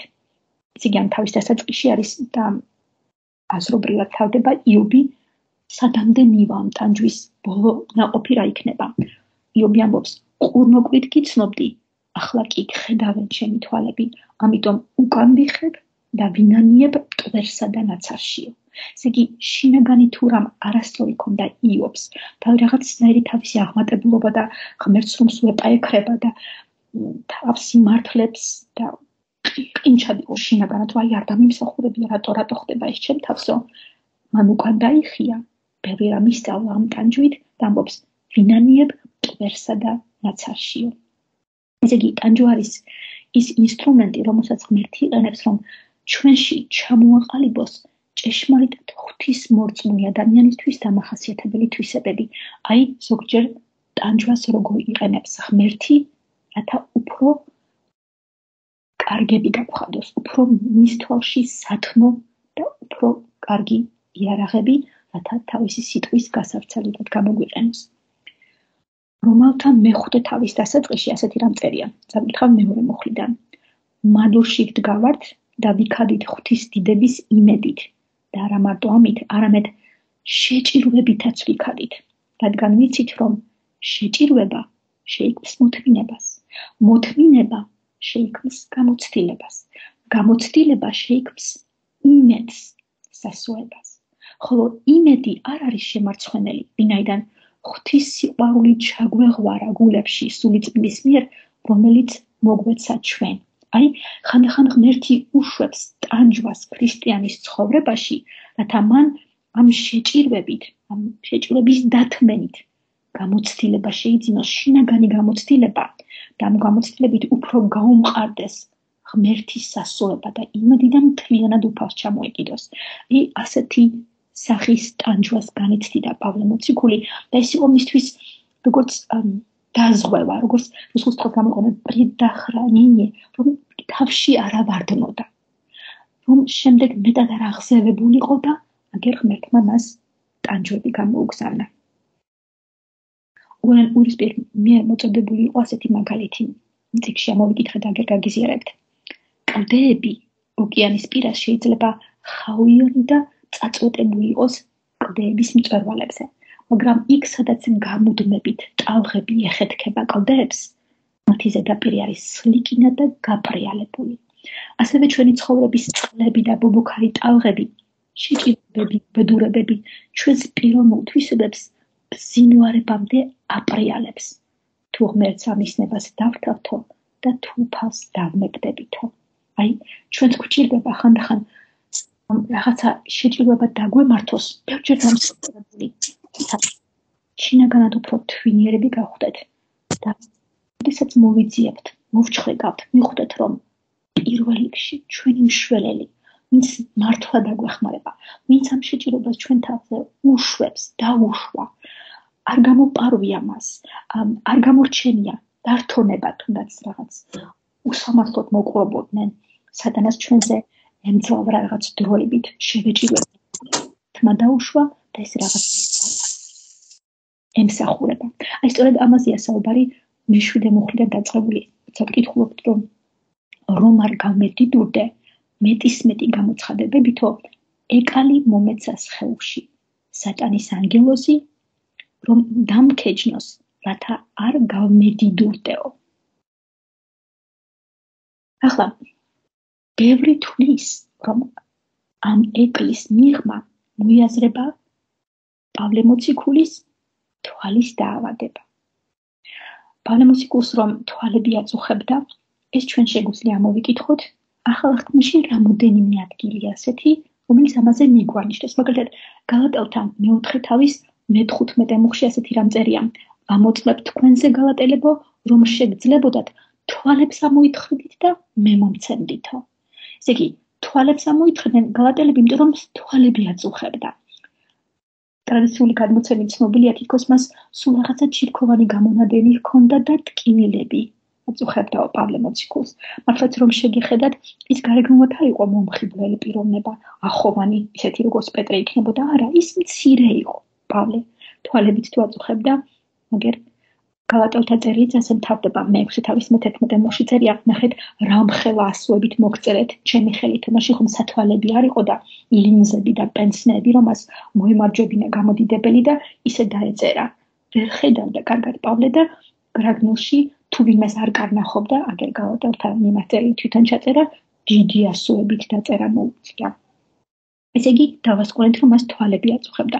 თან თუ გავიხსენებთ იმ ფაქტს მისი ბიოგრაფიიდან ისევ მივაკითხავს ახმოციკულას მეცხრე თავს წამოდგა სავლე მიწიდან და თვალები გახელილი ჰქონდა, მაგრამ ვერაფერს ვერ ხედავ. ესე იგი, უფალს რო შეხვდა პირველი თვალებს ეტაგა. ესე იგი, მისი მიწიერი თვალები, რასაც მანამდე ხედავდა და მისთვის რაც უფრო ფასეული იყო ფარისეულობის დროს, ეს უნდა ღმერთს დაებრმავებინა. მართლაც რომ დაბრმავდა საქართველოს მეცხრე თავის მე რომ მოხში წერია ხელი მოხკიდესო პავლეს და ისე შეიყვანეს დამასკოშიო. სამი დღე ვერაფერს ვერ ხედავდაო. ღმერთმა თვალის ჩინი კი დაუბრუნა მაგრამ ამ ბევრი ხეტიერის გამო უდაბნოში ხშირად უწევდა მას ყოფნა. უდაბნოში კი მაშინ რა პერიოდში ესეთი ქარები რომ იყო? ხოშაკი ქარები როდესაც ქვიშის პატარა ნაწილაკები მოაქვს საშინაო ქარს, ქარბუქს თვალის დაავადება იმ პერიოდში პირველ საუკუნეში ძალიან გავრცელებული იყო, ბევრი ბრმავდებოდა. პატარა ნამცეცები თვალებს უეტაკებოდა და იქ ეს ბაქტერიები, ეს რაღაც სპინსიბინძურე რჩებოდა უწყლობის პერიოდში, პირობებში შემდეგ თვალები უზიანდებოდა. მაგრამ ამაზე არ არის საუბარი. ახლა მივაქციოთ ყურადღება უფრო სხვა მომენტს და გავარჩიოთ უფრო დაწვრილებით მეშვიდე მუხლი. ეკალი რომ წერია. თვლიან ბიბლიის კვლევარები რომ ეს ლამაზად განმოთარგმნილი ლიტერატურული სიტყვა გამოყენებული არის ნაცნობაში მაგრამ დედანში ბერძნულში ეს სიტყვა ითარგმნება არა როგორც ვარდის რაღაც პატარა წვეტიანი ეკალი არამედ როგორც ხის წამახვილებული ფიცარი ჯოხი აი თუნდაც პალო. აი ასეთი წვეტიანი ჯოხი იქნა მიცემული პავლეს სხეულისთვის რომ დატანჯულიყო. პალო ის სიტყვა სიტყვა გამოყენებული რომელსაც ნიტაში არჭობენ რომ მას მე რამე დაამაგო მაგალითად ხვიარა სცენარე ერთ-ერთი თარგმანია კიდევ ეკალი კი არა შუბი. შუბი ხო რაღაც წაწვეტებული გრძელი ნივთია. უერენ უირსპის ასეთი რამ აქვს ჩაწერილი თავის გარჩევაში ამ ადგილს რო ეხება რომ სასიკვდილო სასჯელის ერთ-ერთი საზარელი ფორმა პირველ საუკუნეში იყო ადამიანების წამება ტალოზე ჩამოცმით. ესე იგი, ეს არის ისეთი საშინელი ტანჯვა, როდესაც ნელ-ნელა კვდება ადამიანი, მას რომ ტალოს გაურჭობენ. ესე იგი, როდესაც ეს ეკალი, ანუ პალო არის ნახსენები მეშვიდე მუხში, პირველი ასოციაციად სმენელს ასეთი პალოთი ტანჯვა, ესე იგი, ნელ-ნელა ტანჯვა რომ მოიაზრება ეს გაახსენდებოდა. ის ვინც ემხრობა იმ მოსაზრებას, რომ აქ თვალების დაავადება არ უნდა იგულისხმობოდესო, მათ მიერ მოწოდებულ დებულებებსაც გავეცანი და რაც შინაგანად უფრო ამას ვემხრობი და ახლა მას მოგაწვით. ხო, რომ ჩაუკვირდეთ მეშვიდე მუხს. აქ წერია სატანის ანგელოზი. ჩვენ ვთქვით რომ დაცემული ანგელოზები სატანას რომ მიემხნენ, ისინი კიდე ცნობილია დემონების სახელებით. ესე იგი, ღმერთი უშვებდა რომ სატანის ანგელოს ანუ დემონს მიენიჭებინა ესე იგი ტანჯვა პავლე მოციქულისთვის. ეს არის პიროვნება ეს არ არის რაღაცა ნივთი ან დაავადებაო თulis მაგარტული რომელსაც უსმენდი და მან ასეთი რა მოგვაწოდა რომ მთელი ეს წერილი მეორე კორინთელთა წერილი ძირითადად ეხმიანება იმ უშველებელ პრობლემას რომელიც კორინთელებს ჰქონდათ და ეს იყო პრობლემა რომ მათ სრულ მოძღვრები დაუშვეს თავიანთ რიგებში და სრულ მოძღვრებს აქ ალბათ ერთზე მეტი იქნებოდა მოქონდათ სატანური აღსარებლობა. ესე იგი აღიარებდნენ ვითომ ქრისტეს მაგრამ მათი ქრისტე არ იყო ჭეშმარიტი ქრისტე მათ მიერ დამახინჯებული შემოჩერჩებული ან თვითონ რომ ქრისტეს ეძახდნენ ეს იყო სინამდვილეში იმის მცდელობა რომ ჭეშმარიტი სახარება პავლემ რომად მიაწოდა ეს გაებათილებინათ და მათი რწმენა მთლიანად დამსხვრეულიყო. და ეს იყო უფრო მეტი ტანჯვა პავლესთვის, როდესაც გაიგებდა, რომ მისი შვილები გზიდან გადასცნენ. და ამ ცრუ მოძღვართა შორის იქნებოდა ერთი პიროვნება, ან კიდევ რამოდენიმე, რომლებიც აი ამ სატანის ანგელოსის დემონით იქნებოდნენ შეპყრობილნი და ამ არაწმინდა სულით ისაუბრებდნენ ცრუ მოძღვრებაზე. და რომ წერია შემდეგ მუხში რომ ილოცა პავლე სამჯერი როცა რომ ღმერთს ასწავლი მოეხდინა და თუნდაც მოეკვდინებინა ეს ცრუ მოძღვები რომ მოეშორებინა ეს ცრუ აღსარებლობა თავისი სულიერი შვილების წიაღიდან ღმერთმა უთხრა არა მე ამას ვუშვებ რომ ასე მოხდესო ესე იგი მთელი ეს უბედურებები კორინთოს ეკლესიაში რო ხდებოდა ჯერ რაც კონტაქტის პირველ წერილში არის ჩაწერილი სექსუალური ცოდვები, თავიანთი გაუმაძღრობა, რო შეიკრებოდნენ თან მთელი რიგი რაღაცები ღმერთმა, თუნდაც იმიტომაც დაუშვა, რომ პავლეს შინაგანი სულიერი ტანჯვა მიყენებოდა, რათა მას აღზევებული წარმოდგენა თავის თავზე არ ქონოდა და არ გაყოყოჩებულიყო იმის გამო, რომ ის მესამეცამდე იყო ატაცებული. ფიქრობენ, რომ სატანის ანგელოზის მიღმა პიროვნება დემონით შეპყრობილი ადამიანი უნდა მოიაზრებოდეს, რომელიც რომლის საქმიანობამაც უფრო მეტი ტკივილი გამოიწვია პავლეში, ვიდრე თუნდაც მისი თვალის დაავადება იქნებოდა. და ეს ღმერთმა დაუშვა, რათა მიიღო როგორც კენჯნა, დამკენჯნოსო, რათა არ გამედიდოდეო. კიდე აქ წერია ეკალის ხეულში, მაგრამ უფრო სწორი თარგმანი იქნებოდა ეკალის ხეულის თვის.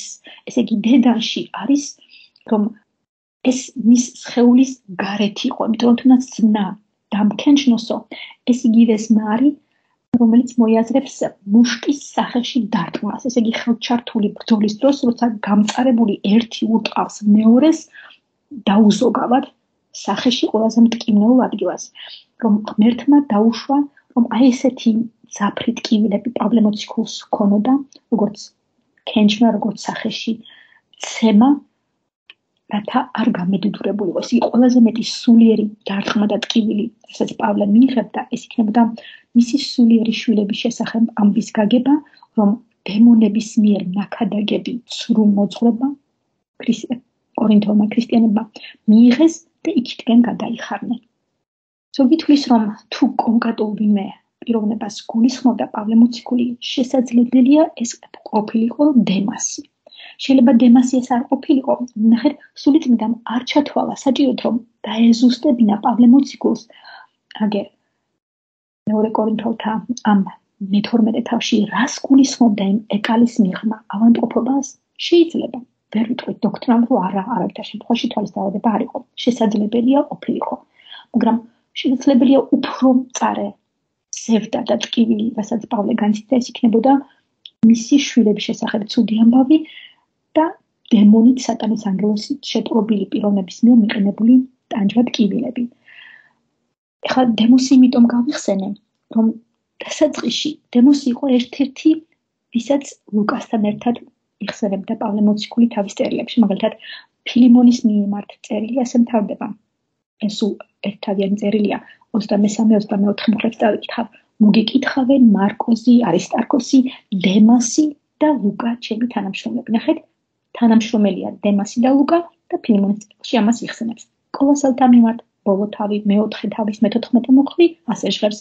მოგიკითხავენ საყვარელი მკურნალი ლუკა და დემასი. თქოს ეს ლუკა მკურნალი და დემასი განუყოფელები არიან თითქოს ეგეთი შთაბეჭდილება დაგვრჩება სულ მას ახლან, ახლავან და ემსახურებიან.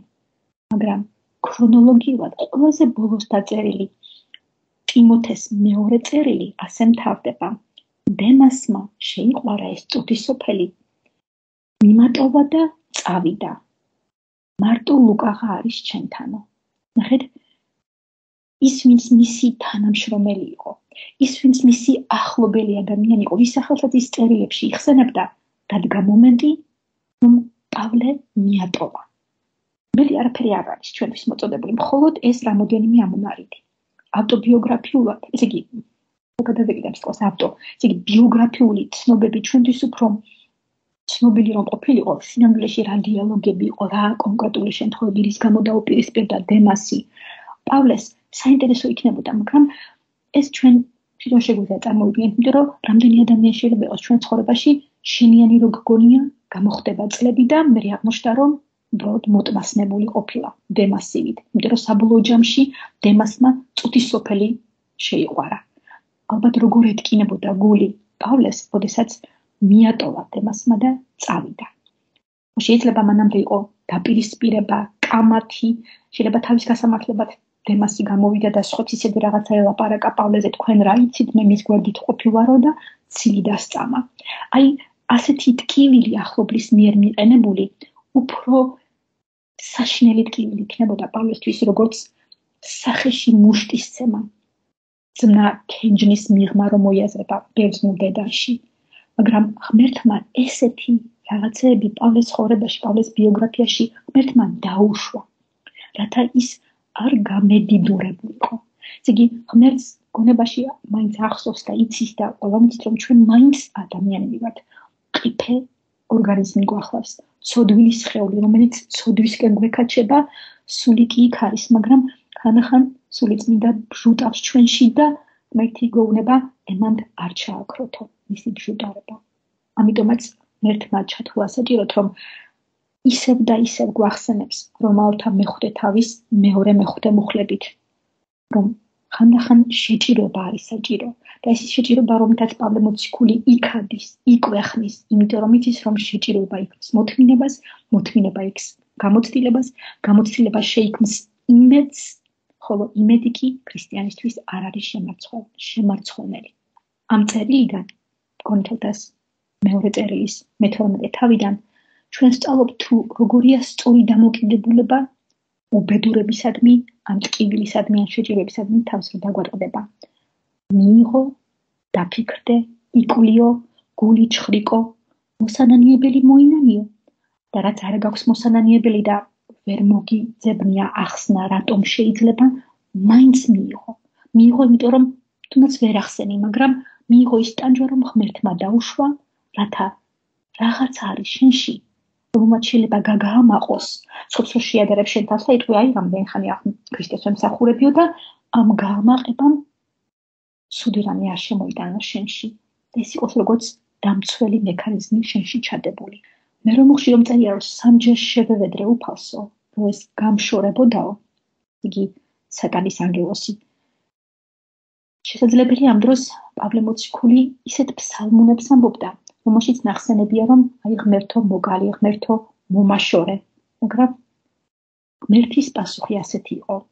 საკმარისია შენთვის ჩემი მადლი ვინაიდან უძლურებაში ხდება სრულყოფილი ჩემი ძალაო მეცხრე დასაწყისში ზნა მითხრა ბერძნულად ისეთი ფორმა არის გამოყენებული რომელიც მოიაზრებს ერთხელ და საბოლოოდ მითხრაო ესე იგი გადაწყვეტილება იყო შეუვალი რომ ამას ერთი აღარ გადასთქვამდა.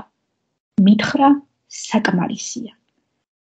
პალემოციკურს ნებადართული არ ქონდა ჩვენთვის მოეთხოვ თუ რაიხილა მესამე ცაზე. ღმერთთან რომ იყო, მაგრამ ის გვიზიარებს თუ რა უთხრა ღმერთმა, როცა ის დედამიწაზე იტანჯებოდა. აი, მეცხრე მოხში ჩვენთვის გაჟღერებულია ის ღვთიური წინადადება პავლეს რომ ეთქვა, მაგრამ თითოეული ჩვენგანისთვის რომ გამხნევება, როცა ჩვენ დავიტანჯებით. რომ მივიღოთ ეს ღმერთისგან და ესეთი რამ აღიაროთ რომ უძლურებაში ხდება სრულყოფილი ღვთის ძალა ადამიანი როდესაც ბოლომდე ფარხმას დაყრის ღმერთის წინაშე და აღიარებს თავის უსუსურობას ერთი მაშინ უფრო დიდი ძალით შემოდის უფრო მეტ მადლს გადმოაფქვევს მასზე და ისეთი ღვთაებრივი სულიერი ძალით აღჭურვავს რომ შემდეგ ის რო დაუფიქრდება თვითონაც გაუცებულია და აღიარებს და დაამოწმებს რომ ეს მართლა მან კი არ გააკეთა ეს ღმერთმა გააკეთა.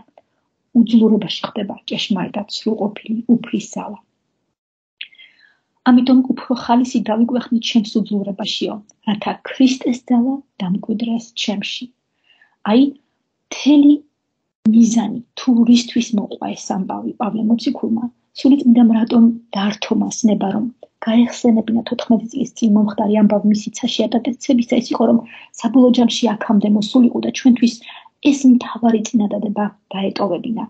თითოეული ჩვენგანი უნდა ვესწრაფოთ რომ ქრისტეს ძალა დამკვიდრდეს ჩვენში და თუ ჩვენ ადამიანები ვამბობთ რომ ძლიერები ვართ ვერ შემოვა ის ჩვენთან ჩვენ რომ მთლიანად განვიძარცვებით ადამიანური იმედებით მაშინ ღმერთი გაასუფთავებს ჩვენ შინაგანს და თავისი ძალით, ქრისტეს ძალით სამკვიდრებელს დაიდებს სავანეს ჩვენ შინაგანში.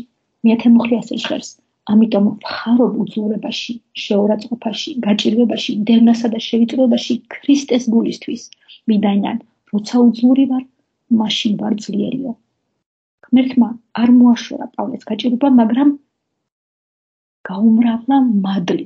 ესე იგი პავლე ეხვეწება ემუდარება სამჯერ სთხოვა. მომაშორეო შეჭირება, ჭირი, ტკივილი, თვალის დაავადება იყო თუ დემონებით შეყრობილი ის ცრუმქადაგებლები მის საყვარელ შვილებს რომ წაეპოტინენ, ესე იგი ისინი არ მოაშორა, ღმერთმა ეს დაუშვა, მაგრამ მადლი მადლზე მისცა. როგორც იოანეს პირველი თავის მე-16 მოხში კითხულობთ, მისი სისავსიდან, ესე იგი უფლის სისავსიდან მივიღეთ ყველა მადლი მადლის წილ მადლი მადლის წილ ჩემთვის გაუგებარი იყო და უფრო მივაკითხავდი რუსულს და ინგლისურს და ცხრებოდი და ახლა შევეცდები მე გადმოვთარგმნო იქ რაც წავიკითხე ესე იგი მადლი მადლის წილ ნიშნავს მივიღეთ ერთი მადლი რომელსაც მოსდევს მეორე მადლი მას კიდევ სხვა მადლი მოსდევს და ასე უსასრულოდ одно благословение за другим რუსულში ასეთია და ინგლისურში ეს იგი მადლს კიდე მადლი მოყვება ეს არის სულიერი საჩუქრები რომელსაც ქრისტიანი ღებულობს ღმერთისგან. შესაძ თლიანად ღმერთს ჩამოიკიდება და აღიარებს, რომ ის თვითონ უსუსურია. მადლი, მადლის წინ სისავსიდან მივიღეთ და ის ისეთი წყაროა, რომელიც არ ამოიწურება. მეორე კორინთელთა მეცხრე თავის მერვე მუხში ადრე წავიკითხეთ, რომ ღმერთ ძალუც გაგამდიდროთ ყოველგვარი მადლითო, რათა თქვენ ყველაფერში მუდამ ყოველიდეს საკმარისად მქონენი დიდარნი იყოთ ყოველ კეთილ საქმეში. ესე იგი, ღვთისთვის სათნო საქმის აღსასრულებლად ღმერთს უამრავი მადლი აქვს. ამოუწურავი. და ჩვენ მიგვესვლება იქამდე. უენ ურისპის ფორმულირებით ძალა, რომელმაც იცის, რომ ძლიერია, სინამდვილეში არის სუსტი და პირიქით, სისუსტე, რომელიც აცნობიერებს, რომ სუსტია, ძალას ფლობს. ღმერთმა არ მისცა პავლეს ახსნა განმარტება თუ რატომ არ მოაშორებდა მას ეკალს ან პავლოს შეულისთვის. არამედ ამის ნაცვლად მისცა დაპირება, მისცა აღთქმა, რომ თავად ის იქნებოდა მისი შემწე. იობი რომ იტანჯებოდა, მან არ იცოდა რა დიალოგი შედგა ღმერთსა და სატანას შორის. წიგნის ბოლოში ღმერთი არაუხსნის იობს თუ რა მოხდა. ეს ჩვენ კითხველებმა ვიცით მხოლოდ. ღმერთს არ სჭირდება თავის მართლება. ამის ნაცვლად ღმერთმა უფრო მეტად აკურთხა იობი, ვიდრე ის მანამდე იყო. მე-11 მოხში კითხულობთ: უგუნური შევიქენი, რაკები გვახნი, თქვენ მაიმძულეთ. თქვენ გევალებოდათ ჩემი ქება, ვინაიდან არაფრით ვარ, ესოდან მაღალ მოციქულებზე ნაკლები, თუმცა არაფერს წარმოვადგენო. მოციქულის ნიშნები ამოქმედა თქვენ შორის ყოველგვარი მოთმინებით, ნიშნებით, სასწაულებით და ძალებით. ნახეთ, მე-12 მოხში პავლე მოციქულს დასჭირდა მათთვის შეეხსენებინა, რომ რატომ თვით მათ უფრო მოციქულებად და მივიწყებთ მე? იმიტომ რომ ის ცრუმოცხრები მათ რომ იყვნენ შემოპარული და მოციქულობას ჩემოვობდნენ, ვერ მოახდენენ იმ სასწაულებს, რომ ის ახსნების უნარიც პავლე მოციქულს ღმერთისგან მიეცა. მოციქულებად ჩაითვლებიან მხოლოდ ის ადამიანები, რომლებიც თავად იესოს მიერ ინდივიდებად იყვნენ არჩეული და შემდეგ ღმერთმა მათით დიდი სასწაულები მოახდინა. ბიბლიიდან ჩვენ მხოლოდ და მხოლოდ 14 პიროვნებას ვიცნობთ, რომლებიც იესო ქრისტეს მოციქულებად არიან წოდებული. ესენი იყვნენ 12 მოციქული ახალ ახთმა შემწერია, ერთ-ერთი იყო იუდა, რომელიც მოციქული იყო, მაგრამ უღალატა და ჯოჯოხეთში წავიდა. მატათია ჩაენაცვლა იუდას, ეს მე-13, ხოლო შემდეგ მოციქულებს მიემატა პავლე. იგი, პირადად იესო გამოიცხადა პავლეს, როგორც პირადად იესომ მოიჩია ის 12 მოციქული და პირდაპირ იესოსგან ისწავლეს და იესოსგან მიიღეს ის სასწაულების მოხდების უნარი. პავლე ახსენებს მათ მე-12 მუხში, რომ ის ნიშნები, სასწაულები და ძალნი, რომელიც მოციქულებისთვის იყო დამახასიათებელი, მან კორინთელთა შორის გამოავლინა, დემონსტრირება მოახდინა. ეს მათ უნდა გახსენებოდა და დაძმობილიყვნენ, რომ პავლე იყო მოციქული და არა ის სრუმოწყრები. მე თამდა მოხში სარკასტულად წერია რომ თუ ის არის ჩემი დანაშაული, რომ ძიმე ტვირთად არ დაგაწექითო, თუ ეს არის დანაშაული, მაპატიე თუ ასე ამბობს. ესეც პავლეს სარკაზმი. აჰა, მზად ვარ მესამედაც მოვიდე თქვენთან და არ დაგაწვევით მძიმე ტვირთად, ვინაიდან მე თქვენ გეძებთ და არა თქვენსას. მე 14 მოხდა ხვდებით რომ პავლეს აბრალებდნენ თითქოს ის ამ მოძღვრებაში და ქადაგებისას მხოლოდ მათ მატერიალურს შესნატროდა. შენატროდა თითქოს მათგან მხოლოდ ფულის აკრეფა ეწადა და მატერიალური მოგებისთვის იყო ამ საქმიანობაში. არანაირად. პავლე უბნება მე თქვენი მატერიალური რამ კი არ გჭირდება. თქვენ გეძებთ. თქვენ მინდა რომ მოგუნდეთ. თქვენ ახართ ჩემი სულიერი შვილები და იმასვე სწრაფი რუდის გამოისახება თქვენში იესო. მე-15 მუხში ძალიან დიდი სევდით არის ეს სიტყვები ჩაწერილი. თუმცა რაც უფრო მეტად მიყვარხართ, ნაკლებად გიყვარვართო. ასე იყოს. დასწელს მე-16 მუხში პავლე მოციქული ნაკლებად გიყვართ ეგრე იყოს თუმცა მე ხომ არ მიმარსულდა რომ თქვენ რამეთი დამემძიმებინებით დაემძიმებინა. ესე იგი პავლე მოციქული არანაირად არ ამძიმებდა კორინთელებს. და ისე იქცეოდა თითქოს აი მე ხო თქვენგან არაფერს არ ვიღებ გასამჯელოს და სამაგიო თითქოს სხვა ვინმე გაეგზავნოს. ეტყობა ამასაც აბრალებდნენ მას. და გაახსენებს რა ტიტე რომ გამოგიგზანეს, გამოგიგზავნეთ ისარგებლა ტიტემ რამეთი, რადგან ჩემი გამოგზავნილი იყო. გამოგიყენათ ტიტემ რამეთი? განატიტეც იმავე სულით არ დადიოდა? იმავე ნაკვალებზე მომაკვალზეც მე დავდიოდიო. ესეც არის შეხსენება ბიოგრაფიიდან. პალმოციკული როგორ იყო მათ შორის წელწად ნახევრად ცხოვრობდა კორინთელებთან და ქადაგებდა ქრისტეს. ამას შეახსენებს და ამას ამოწმებს. ისე ფიქრობთ, რომ თავს ვიმართლებ თქვენთან, წავიკითხავთ მე-19 მუხში. ისე იგი თელი ეს წერილი ჩაწერილი, მათთვის ესეთი სითბოთი გადმოხვილი.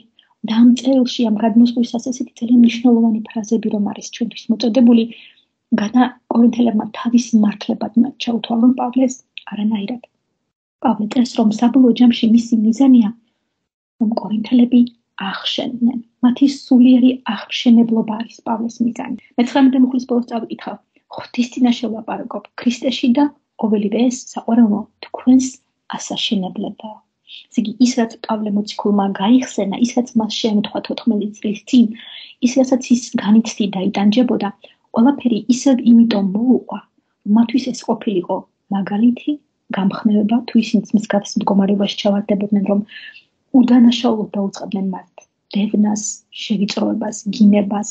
გახსენებოდათ პავლე მოციქული და გახსენებოდათ ყველაზე კარგი მაგალითი, რომელსაც პავლე მოციქული შესრულობდა. ეს იყო იესოს მაგალითი, რომელიც სრულიად უდანაშაულოდ ჯვარზე იყო იქნა გაკრული, რათა მამა ღმერთის მიერ მიცემული მისია არ ესრულებინა. პავლეც აგერ არის მათ შორის როგორც დაუღალავი სახური, რომელიც ღვთის სიყვარულით თავის მისიას სახარების გავრცელებისა აწვდის მათ. ბოლო მუხლებში მე-20 და 21 მუხლებში ჩვენთვის მოწოდებული არის ჩამონათვალი იმ საშნელი ცოდვებისა, რომელიც ახასიათებთ ადამიანთა გაერთიანებას, რომელსაც უნდა ერიდონ კონთელები.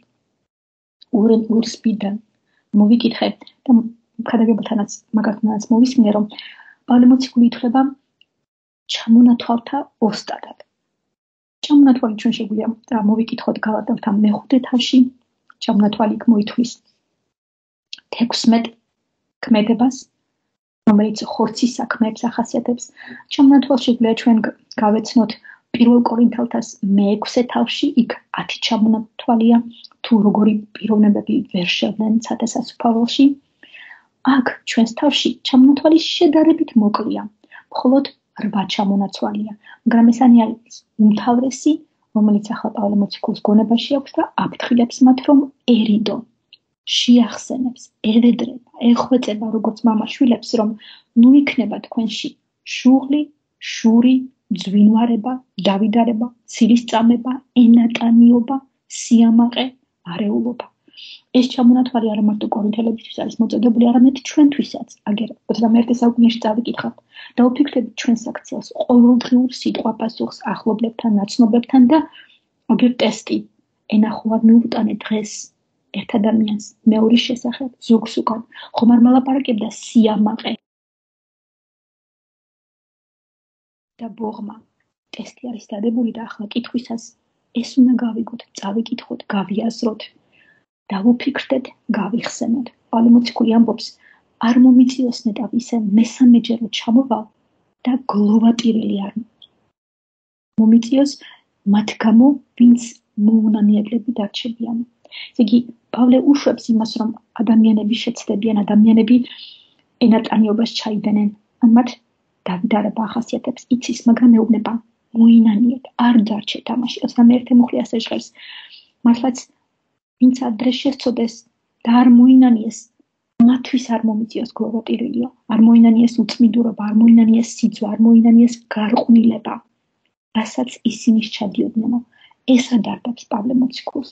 გაავტორთა მე-19 გაავტორთა მე-5 თავის მე-19 მუხლიდან დაწყებული ჩამონათვალი რომ გავიხსენე, არ შემიძლია არ წავიკითხო, იმიტომ რომ ეს ხორცის საქმეებს ეხება და სწორედ ასეთი საქმეების ჩამდენი არიან ღვთის კაცს რომ ასერდიანებენ.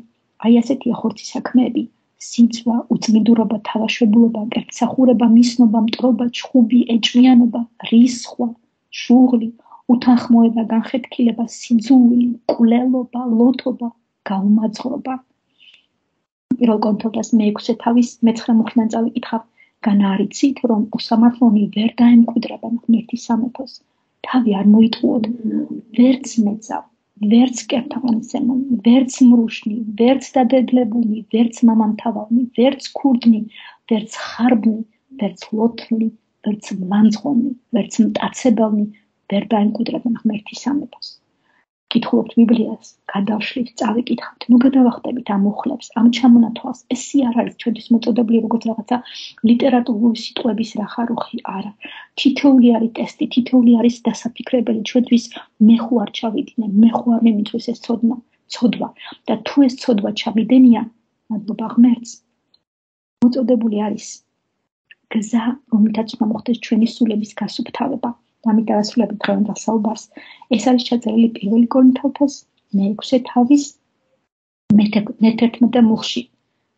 ასეთი იყო ზოგიერთი თქვენგანი უწინ. ესე იგი ვიყავით მლანძღველები, ამაყნი, ქურდები, ხარბნი, კაცებელნი და სხვა ჩამონათვალი. ესე იგი ასეთები იყავითო ზოგიერთი, მაგრამ განიბანეთ, მაგრამ წმინდა გახდით, მაგრამ გამართლდით. ჩვენი უფლის იესო ქრისტეს სახელით და ჩვენი ღვთის სულით. მერტმა ინებოს რომ ჩვენ ცოდვილი ადამიანები ხშირად ასეთი გაამაყებულები სულიად უსაბაბოდ მერტმა მადლით აგვავსოს და განგვბანოს წმინდა გაგხვადოს და გაგვამართლოს. ამას ვერეთლებ უფალს ქრისტეს სახელით. მადლობა მისთვის. მადლობა ნატალია. მართლა საინტერესოა პავლეს ბიოგრაფია. ისტორია, რომელიც არის აღწერილი ამ თავში, რადგან მისი ცხოვრება უფრო მეტად უფრო მეტ ინფორმაციას გვაძლევს ღმერთზე, თუ როგორ ურთიერთობს ღმერთი მორწმუნესთან. და მეცხრე მოხლე ასაინტერესოა. და მითხრა, საკმარისია შენთვის ჩემი მადლი, ვინაიდან უძლურებაში ხდება სრულყოფილი ჩემი ძალა. ამიტომ უფრო ხალისით დავიკვეხნი ჩემ უძლურებაში, რათა ქრისტეს ძალა დამკვიდრდეს ჩემში. ადამიანურ დრო ვიმშელოთ, როცა ადამიანი ხდება მორწმუნე, წამს ყოველძლიერ ღმერთის, მით უმეტეს მორწმუნეს ეწოდება ღმერთის შვილი, შეიძლება ადამიანი ელოდებოდეს ამის შემდეგ განსაკუთრებულ კეთილდღეობას. და არიან ასეთი მიმდევრებიც და ასე ჯერათ მათ, რომ წარმატება და კეთილდღეობა აუცილებლად მოსდევს ქრისტიანობას, როცა შენ მიიღებ ღმერთს. და მაგალითად არის ამერიკაში ძალიან მეგა ჩერჩები, არის ერთ პიროვნება, რომელიც რომელსაც ქვია ჯოუსტინი, რომელიც ამას ხადაგებს, შენ თუ ხარ ქრისტიანი, უნდა იყოს ცხოვრებაში წარმატებული და კეთილდღეობაში უნდა ცხოვრობდე. წარმოიდგინეთ, ყოველ დღეს, ყოველ კვირას მას ესწრება დაახლოებით 20 თუ 30000 კაცი. მე არ გამოვრიცხავ, რომ ქრისტიანი იყოს წარმატებული ეკონომიურად, ბიზნესში, კარიერაში იყოს წარმატებული, მაგრამ როცა ჩვენ შემოგვაქვს კრიტერიუმად, რომ თუ ხარ ქრისტიანი შენ, თუ შენ ყოველდღიურ ღმერთის გწამს და მისი შვილი ხარ, აუცილებლად უნდა წარმატებული იყო და კეთილდღეობაში უნდა ცხოვრდე, რა თქმა უნდა ეს რამოდენობა ბიბლიური სწავლებას და ამ მოხს დამთავრებს, რომელსაც ჩვენ ვსწავლოთ პავლეს ისტორია სხვა თუ არაფერი. ოდესაც ჩვენ არასწორად მივაწვდით ქრისტიანობას, მართლა უკვე ჩვენ ვაწვდით არასწორ ხედვას სამყაროზე, ადამიანზე და მართლა ეს უკვე არის რელიგია, რომელსაც შეიძლება ჩვენც უწოდეთ ოპიუმი, რომელსაც მარქსმა უწოდა.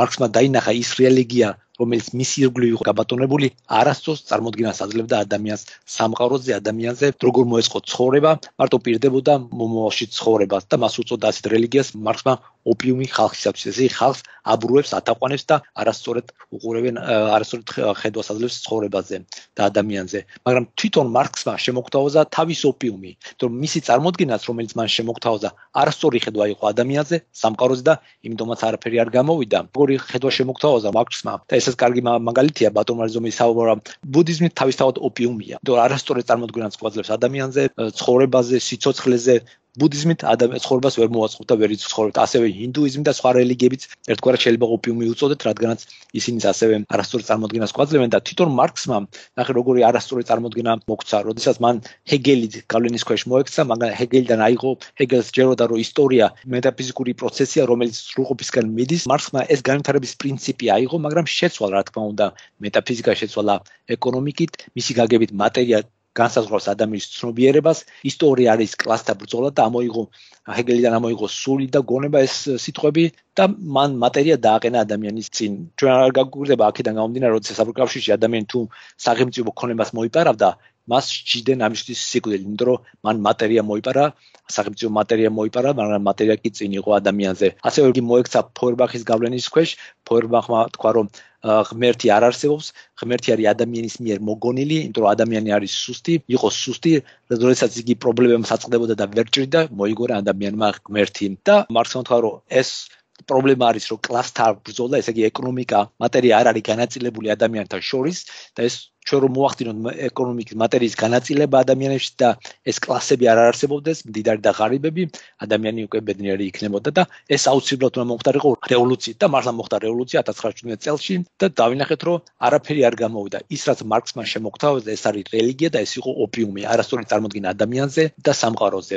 რა თქმა უნდა ღმერთზე, მაგრამ სანამ დედამიწა არსებობს, ყოველთვის იქნება ჩაგრული და ჩაგრელი, ასე ყოველთვის იქნება დიდარი და ღარიბი. ბიბლია მას გვეუბნება და გოშინი საუბრობდა ბატონეზე, რომ საქართველოსი უკვე ახალი ფორმა დიდრების და ღარიბების, ბატონის დაყმის ახალი ფორმა. თუ ადრე იყო გვარიშვილობით, რაღაცა გვარი იყო ბატონის ბატონიშვილების გვარი, მეორე იყო ყმისრგვალი და მათ შორის იყო კიდე ჩატეხილი, როგორც ილია ჭავჭავაძე იძახდა. ეხლაც არის ესეთი შემოვიდა ესეთი ტენდენცია, ბატონყმული ტენდენცია, მაგრამ არა გვარიშვილობით, არამედ უკვე ეკონომიური თვალსაზრისით ეს ვინც მაგალითად ნათესავი რომელიც არის მდიდარი ღარიბ ნათესავს უყურებს როგორც გლეხს ყმას თვითონ არის როგორც ბატონი და მათში უკვე ურთიერთობა აღარ არის. მდიდარი ნათესავი გაურბის ღარიბ ნათესავს და ზებიდან უყურებს და ღარიბი ნათესავიც უკვე აღარ ეკარება, იმიტომ რომ ზებიდან უყურებს ის ტენდენცია. მე არ ვიცი რომ ყველა ესია, მაგრამ ესეთი რაღაცა დაიწყო, ესე იგი ბატონყმობა სხვანაირი ფორმით აღდგას საქართველოში. ქრისტიანობა არ არის ოპიუმი, იმიტომ რომ ქრისტიანობა გვაძლევს სწორ წარმოდგენას სამყაროზე, ადამიანზე, როგორ და როგორ ვიცხოვროთ ამ დედამიწაზე. საინტერესოა, მაგალითად ერთ მაგალითს მოვიყვან, როდესაც ღმერთმა გადაასახლა იძაველი ხალხი ბაბილონში. ღმერთი ესეთ რამეს ეუნება და და ღმერთმა იცის რომ ეს ხალხი ბაბილონში იქნება მარტო 70 წელი და 70 წლის შემდეგ მათ დააბრუნებს. მიუხედავად იმისა რომ ისინი იქნებიან 70 წელი ბაბილონში და გადასახლებულები იყვნენ და ბაბილონელებმა მოვიდნენ და დაუნგრიეს მთელი ქვეყანა დაუწეს ტაძარი გადაასახლეს სულად მოეპყრნენ რა თქმა უნდა. მაინც ეუნება ღმერთი როდესაც ჩახვალ ბაბილონში იზრუნეთ იმ ქვეყნისათვის დამკვიდრით და გაძლიერდით. ნახე როგორ პრაქტიკულად უყურებს ღმერთი ცხოვრებას და გაუცდები. ჩავიდნენ მართლა იუდაველი ხალხი ბაბილონში, მართლა იქ დამკვიდრდნენ, მართლა კეთილდღეობაზე ზრუნავდნენ ბაბილონაზე, ბაბილონის ქვეყანაზე და მართლაც კარგად ააწყვეს ცხოვრება. იმდენად კარგად ააწყვეს, რომ ზოგიერთი 80 წლის შემდეგ, როდესაც ისინი დაბრუნდნენ, ზოგიერთი აღარ დაბრუნდა და დარჩა ბაბილონში. და საინტერესოა თვითონაც პავლეს ნახე როგორ კარგ არჩევას აძლევს მონებს რომში რომში მონას არაფერი უფლება არ ქონდა და ეს დრამეს ეუნება პავლეში მონებს და ჩაგრულ კლას რომ დაემორჩილე ბატონებს მაგრამ თუ შეგიძლია განთავისუფლეთ და ხარ გვეუბნება რომ დაემორჩილეთ და სულ მონა იყავით მაგრამ თუ შეგიძლიათ განთავისუფლეთ იმ გარემო შეეუნება თითქმის წარმოუდგენელია განთავისუფლება მაგრამ თუ შეგიძლიათ უნდა განთავისუფლეთ. ამიტომ რომ ეს ორი მაგალითი იმდენ მოვიყვანე რომ ქრისტიანობა არის ძალიან პრაქტიკული და სწორი ხედვა სამყაროზე. თუ ადამიანი შეუძლია გაუმჯობესოს მდგომარეობა რატომაც არა უნდა გაიუმჯობესოს მდგომარეობა. იყო ქრისტიანი არ ნიშნავს რომ იყო გვემაში ან შავებშია რომ არა. სახე პავლეს ცხოვრება როგორი იყო? პავლე ასე როგორ აღწერს თავის ცხოვრებას ამუხლებში ამიტომ ხარობ უძულვერებაში შეუროცხყოფაში გაჭირვებაში დევნა ხანასა და შევიწროებაში ქრისტეს გულისათვის. მინდენა როცა უძლური ვარ მაშინ ვარ ძლიერი. პავლე როგორც ცხოვრები ცხოვრობდა მაგრამ მას ყოველთვის ჰქონდა მიზეზი რომ ეხარა რადგან იგი სწორედ ხედავდა სამყაროს. პავლე მიცოდა ის რაც ხდებოდა მის ცხოვრებაში ემსახურებოდა მის განწმენდას და ღმერთის განდიდებას და ბევრი კი როცა კითხულობს როგორ ღმერთმა შეიძულა ესავი და რატომ შეიყვარა იაკობი და ბევრს რაღაცა არ მოსწონს ეს როცა წერია მე შევიძულე ესავი. და პოლოშერი ესეთი კითხვა სვავს. როცა ღმერთი ძახის მე შევიძულე ესავი. რაში გამომჟღავდა ღმერთის სიძულვილი ესავის მიმართ? საინტერესოა. და მოდი ნახო. მართლა ზოგადად გადავხედავთ რაში გამომჟღავდა ღმერთის სიძულვილი ესავის მიმართ? გაგვიკვირდება ღმერთმა ესავი დალოსა, აკურთხა. ესა ეკონომიკურად ძალიან გამდიდრდა, ყავდა ბევრი შვილი, გაძლიერდა, მას არაფერი არ აკელდა. როცა იაკობ შეხვდა, გვახსოვს რომ ესა მოთხრა რომ მე ძალიან კარგად ვცხოვრობ, ჩვენ ტერმინოლოგიით რო ვთქვა. ძალიან მდიდარ მდიდარი ვარ, არაფერი არ მაკლია, შვილებს ყავს, ძოლებს და ასე შემდეგ. ღმერთმა აკურთხა, მაგრამ საოცარია რომ ღმერთმა არაცოდეს არ ამხილა ესავი თავის ცოდვაში. არასოდეს არ გაწრთნა ესავი. და საინტერესო როდესაც ღმერთი იძახის რომ მე იაკობის შევიყვარე იაკობის ცხოვრებას რო გადავხედავ დავინახავთ რომ ღმერთი ყოველთვის ამხელდა იაკობს. არაფერი არ შეარჩინა იაკობს. ერთი შეცდომაც კი არ შეარჩინა ყველაფერზე მისდევდა იაკობს. იაკობი იყო მატყუარა ცპიერი. ღმერთმა იმ დონემდე მიიყვანა სანამ იაკობმა არ აღიარა რომ იგი არის ცპიერი და მატყუარა როგორც კი მოხდა მასში ეს მეტანოია შემოbrunება ღმერთმა მას ისრაელი უწოდა. რაში გამომჟღავდა ღმერთის სიძულვილი ესავის მიმართ იმაში რომ ღმერთმა არ ამხილა ის მიუშვა თავის ნებაზე და თან ყველაფერი მისცა.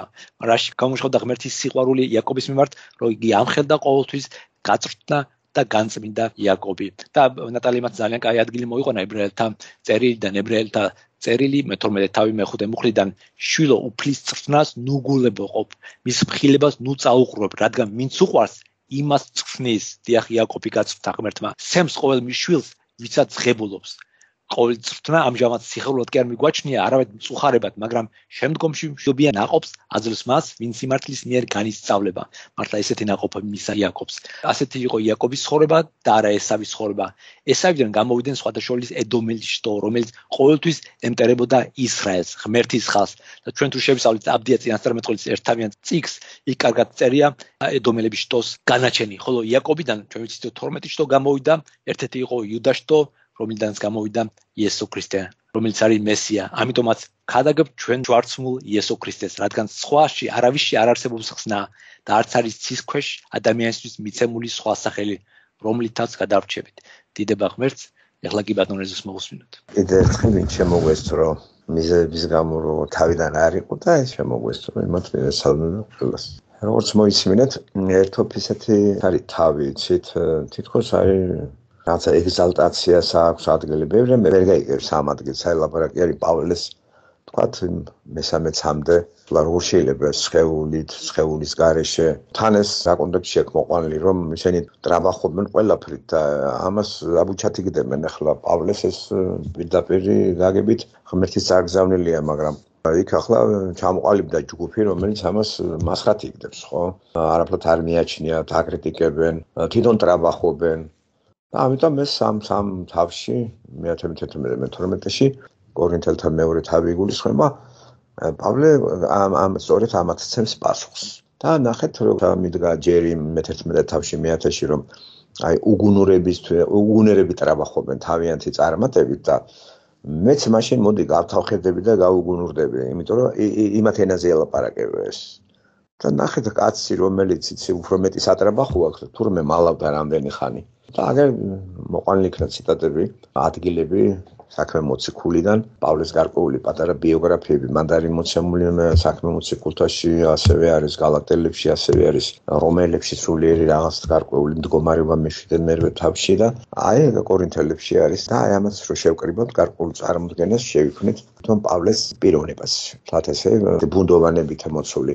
თავარი მაინც პავლეს დამოკიდებული ვარი ღმერთთან. იმ ღმერთთან რომელიც განკაცებული იყო, თავის დროს მას ყურადღება არ მიუქცევია იმ დროს 20 წელს იყო, როცა ხებოდა ის ამბები. ეს არის სადღაც ახალი წელთაღრიცხვით დაბადებული 10 წელს, 10 წელი და 34 წელს არის როცა უკვე ეს ამ საათში არის უკვე ღმერთს რო ხვდება და სულეთ ახალგაზრდაა რა.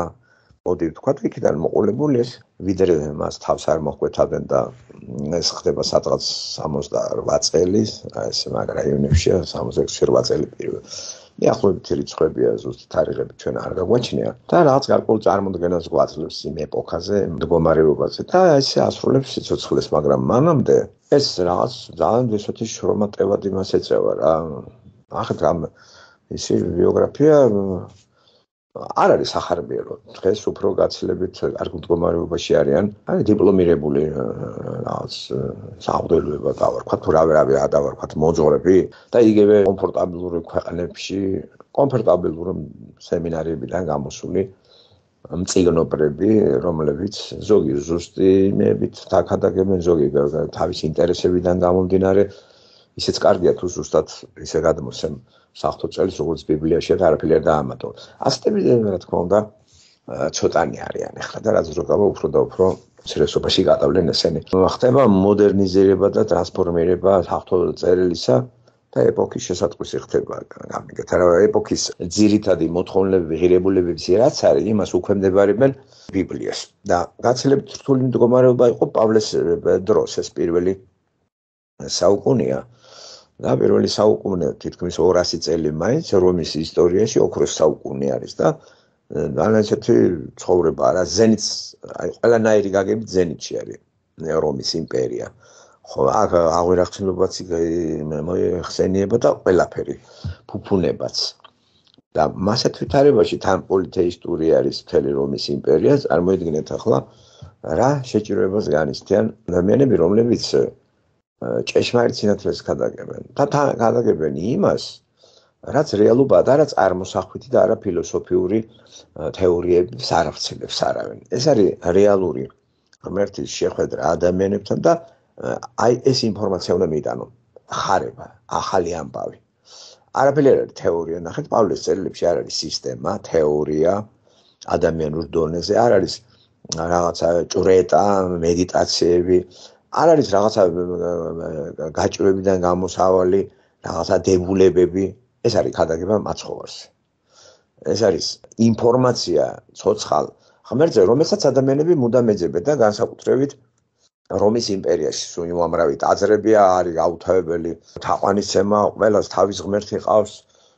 ხო და აი ასეთ სიტუაციებში ახლა როცა ესეთი ხმა ისმის რომ ღმერთი ესტუმრა სამყაროს მე აწამეს ჯვარზე გააკრეს და ამაღლდა და ამაღლებული და განდებული ღმერთი ხვდება იესო პავლეს.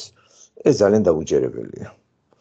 და ბერს რაღაც საგონებელში აგდებდა როდესაც პავლე რომელიც ადრე დაძებდა ქრისტიანებს უცებ ამათ წერეში ხვდება და ბევრისთვის ეს რაღაცა ცოტა ეჭვის გამომწვევი რაღაცა მოვლენა არის სანამ არ დარწმუნდებიან რომ ეს მართლაც მართლაც ქრისტეს მოციქული არის და და არც თუ ტყუილად ნახეთ ახალი აღთქმაში უამრავი წერილები თითქმის 27 წიგანი არის ახალი აღთქმისა და 14 სამტური პავლე არის ღმერთმა ასე ენება მხოლოდ მთელი ეს ტანჯვის ტანჯვით მოპოვებული არის მისი ცხოვრება არ არის სახარბიელო მას არ აქვს ცხოვრება.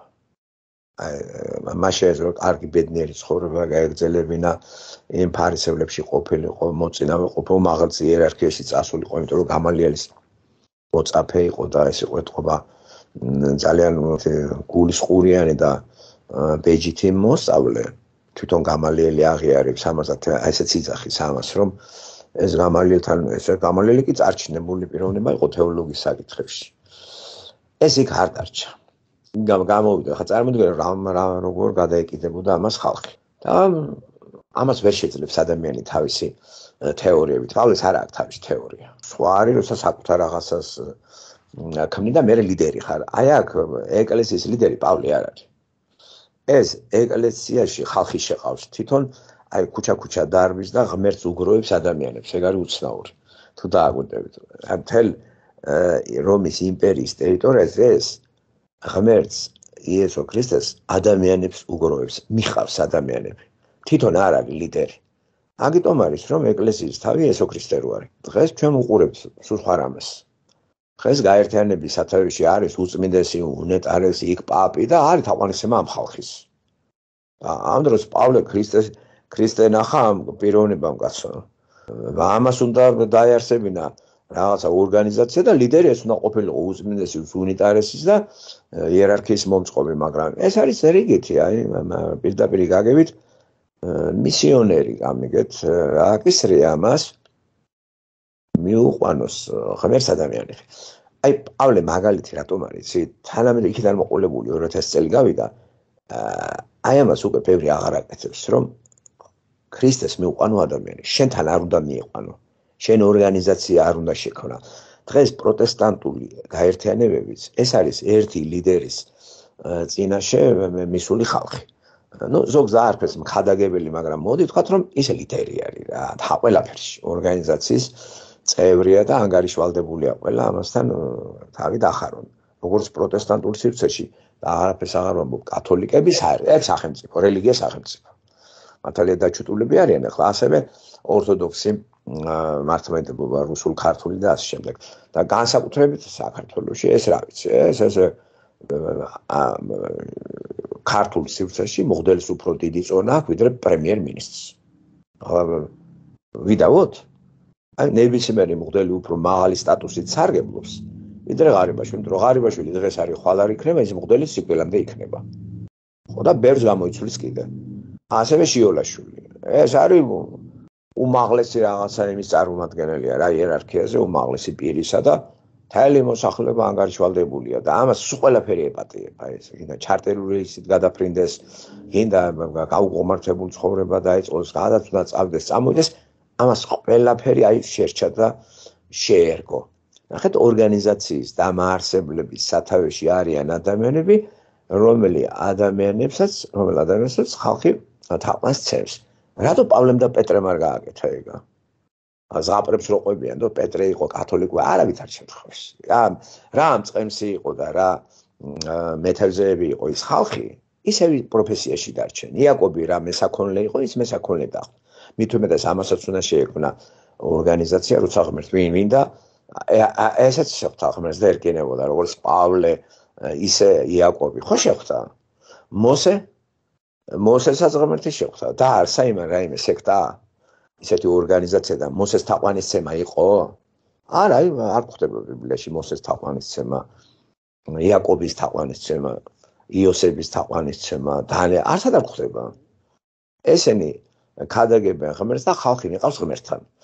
და ასევე ეკლესიის დანიშნულება ეს არის, ხო? იმ ეკლესიის სათავეში თუ ღმერთი არ იქნა, ადამიანი ლიდერად არ გამოგვადგება ჩვენ. ფარისევლებიც მაგას აკეთებენ, ხო? ფარისევლების გარკვეული ამ სექტის წარმომადგენელი იყო, რომელიც თითქმის თელიერის რაღაც გარკვეული ლიდერი იყო, ფარშევლები. ამის წევრი იყო პავლე. და ნახეთ, მაგი მაგას შორდება. და განა აქცევს რწმენას რაღაც გარკვეულ ინდივიდუალურ ორგანიზაციად, რომლის სათავეში თვითონ იქნება. არამედ ქრისტესთან მიყავს ხალხი. და როცა ცდილობენ რომ აქციონ ორგანიზაციათ მე პავლესი ვარ, მე პეტრესი ვარ და მე ასე ის ის კატეგორიულად ემიჯნება ამას. აი ეს არის უნიკალური მაგალითი. და დღევანდელი სიტუაციას რო შევადარებთ ახლა საიდან დაიწყო ეს ყველაფერი და რა მოხდა, სად გაჩერდა, რა რაგან ვითარდა. მართალია თანამედროვე ცხოვრება უფრო კომფორტაბელურა ვიდრე პავლეს დროს სამყარო. პავლეს დროს სამყაროში ცხოვრება ესეთი კომფორტაბელური არ იყო დღეს რო არის ხომ? თითქმის ყველა ქვეყნები გამონაკლისების გარდა მაინც არის ძალიან ისეთი ცხოვრება გაიოლებული ცხოვრება მოდი ვთქვათ და რაც უფრო ესეთი კომფორტაბელური გახდა? ცხოვრება ღმერთი უფრო და უფრო დავიწყებულია ან მოდი ვთქვათ ღმერთი არის რაღაცა გადაკეთებული შელამაზებული თუ გერებათ მომორგებული იმ ეპოქის ღირებულებაზე, რომელიც წამყვანი არის დედამიწაზე. ესე მოარგეს ამ ღირებულებას, აი, ყველაფერში მორალში, ყველაფერში და ეს ხო რისი მაუწყებელია. ესე რატომღაც მართლა ესია, იცი, კომფორტი რატო უნდა უშილდეს ადამიანს ხელს რწმენაში, აი, მაგაზე რო ვიფიქროთ, აი, გადასარევია პირიქით არ უნდა იყოს, არა რა ხელ შეგიშლის ახლა? ქონება რო გაქვს იმდრე გაქვს რომ ღმერთი იწამო ნორმალურად. რა თქმა შეგიშლის ეს ხელს მე ვერ გავიგე. და რაც უფრო ადამიანი კომფორტში გავა ის სოლომონი ამის კაი მაგალითია ნელელა რო გავიდა გავიდა გავიდა და ო ჩვენა ჟურგი ღმერთს ერთად მე რა თქმა უნდა მოbrunდა და მოინანია მაგრამ ისრაელერიც კომფორტში რო გავიდა უკვე მე თვით კმაყოფილებას და თვით ტკბობას მიეცა. და ძველი აღთქმის წინასწარმეტყველები ამაში აგონებენ ისაია ირემია და შემდეგ ყურად არავინ არ იყო მანდა მაინც უნდა ძირს დაეპარტყე რომ ღმერთი იხსნა კაცს, ღმერთი ახსენო. რა რა ეს ფენომენი რა არის ასეთი? სანამ გაჭირებული ადამიანი რაღაცა ღმერთს უხმობს, ანუ საწოლს მიეჯაჭვება. მანდა მაინც უნდა საწოლს იყო მიჯაჭვული რომ ღმერთი გაგახსენდეს. რა გიშლიდა ხელს მაგამდე? ხო. აქ მოყვანილი იყო ეს გადაგების ის ადგილი როცა წერია ბიბლიაში რომ მე შევიძულე ესავი და შევიყვარე იაკობი და გარკვეული ინტერპრეტაცია მოგცა მაგან. ხო აი პოლომოშერია თუ სხვა აი ცითარი მე ფიქრობ ესეთი ადგილების ინტერპრეტაცია სწორი არ არის. ჩვენ ხო არ ვიცით რა და როგორ. იმიტომ რომ ინტერპრეტაცია მაინც ჩაკეტილია და ის ფორმულის სახეს იღებს და ამას აღერებს იგი იმ ინტერპრეტაციით თუ მიუდგებით ესე იგი კარგ ცხოვრება რო ქონდა ესავს ამიტომ ღმერთმა ვარი უთხრა, ესე იგი არის ხოროს კაცმა და კარგად? არა, არა, მანდ ადამიანური ლექსიკონით არის სიძული, ღმერთს სიძულული არ ახასიათებს. ღმერთს არავინ არ ეძე, არ ცულს. თუ იგი სიძულის ატარებს, აბსოლუტური სიყვარული არ არის. თუ ღმერთი აბსოლუტური სიყვარულის მატარებელია, მაშინ სიძულვილი არავის მიმართ არ უნდა ქონდეს. აქ არის ადამიანური, აი ადამიანური ტერმინებით, ანთროპო ფორმებით არის გადმოცემული ბიბლია და ხშირად აი აქ არის ინტერპრეტაციების ხროვა. მაგრამ განმარტავს მე ბოლომდე ამას რა არის? აი განმარტავს მე რას ნიშნავს შეიძლება შენ გაიგე? ესე იგი იაკობი იმიტომ მიიღო რომ სულ მუდამ გაჭირვებაში აგდებდა და სულ მუდამ გაჭირვებაში რო იყო იაკობი, ამიტომ ამხელდა ამაში თუ რა რა არის არ მესმის ეს და ესავი წუთი სოფლის იმაში რასაკეთებს არ ქურდობს, არ ყაჩაღობს, შრომობს ვირივით.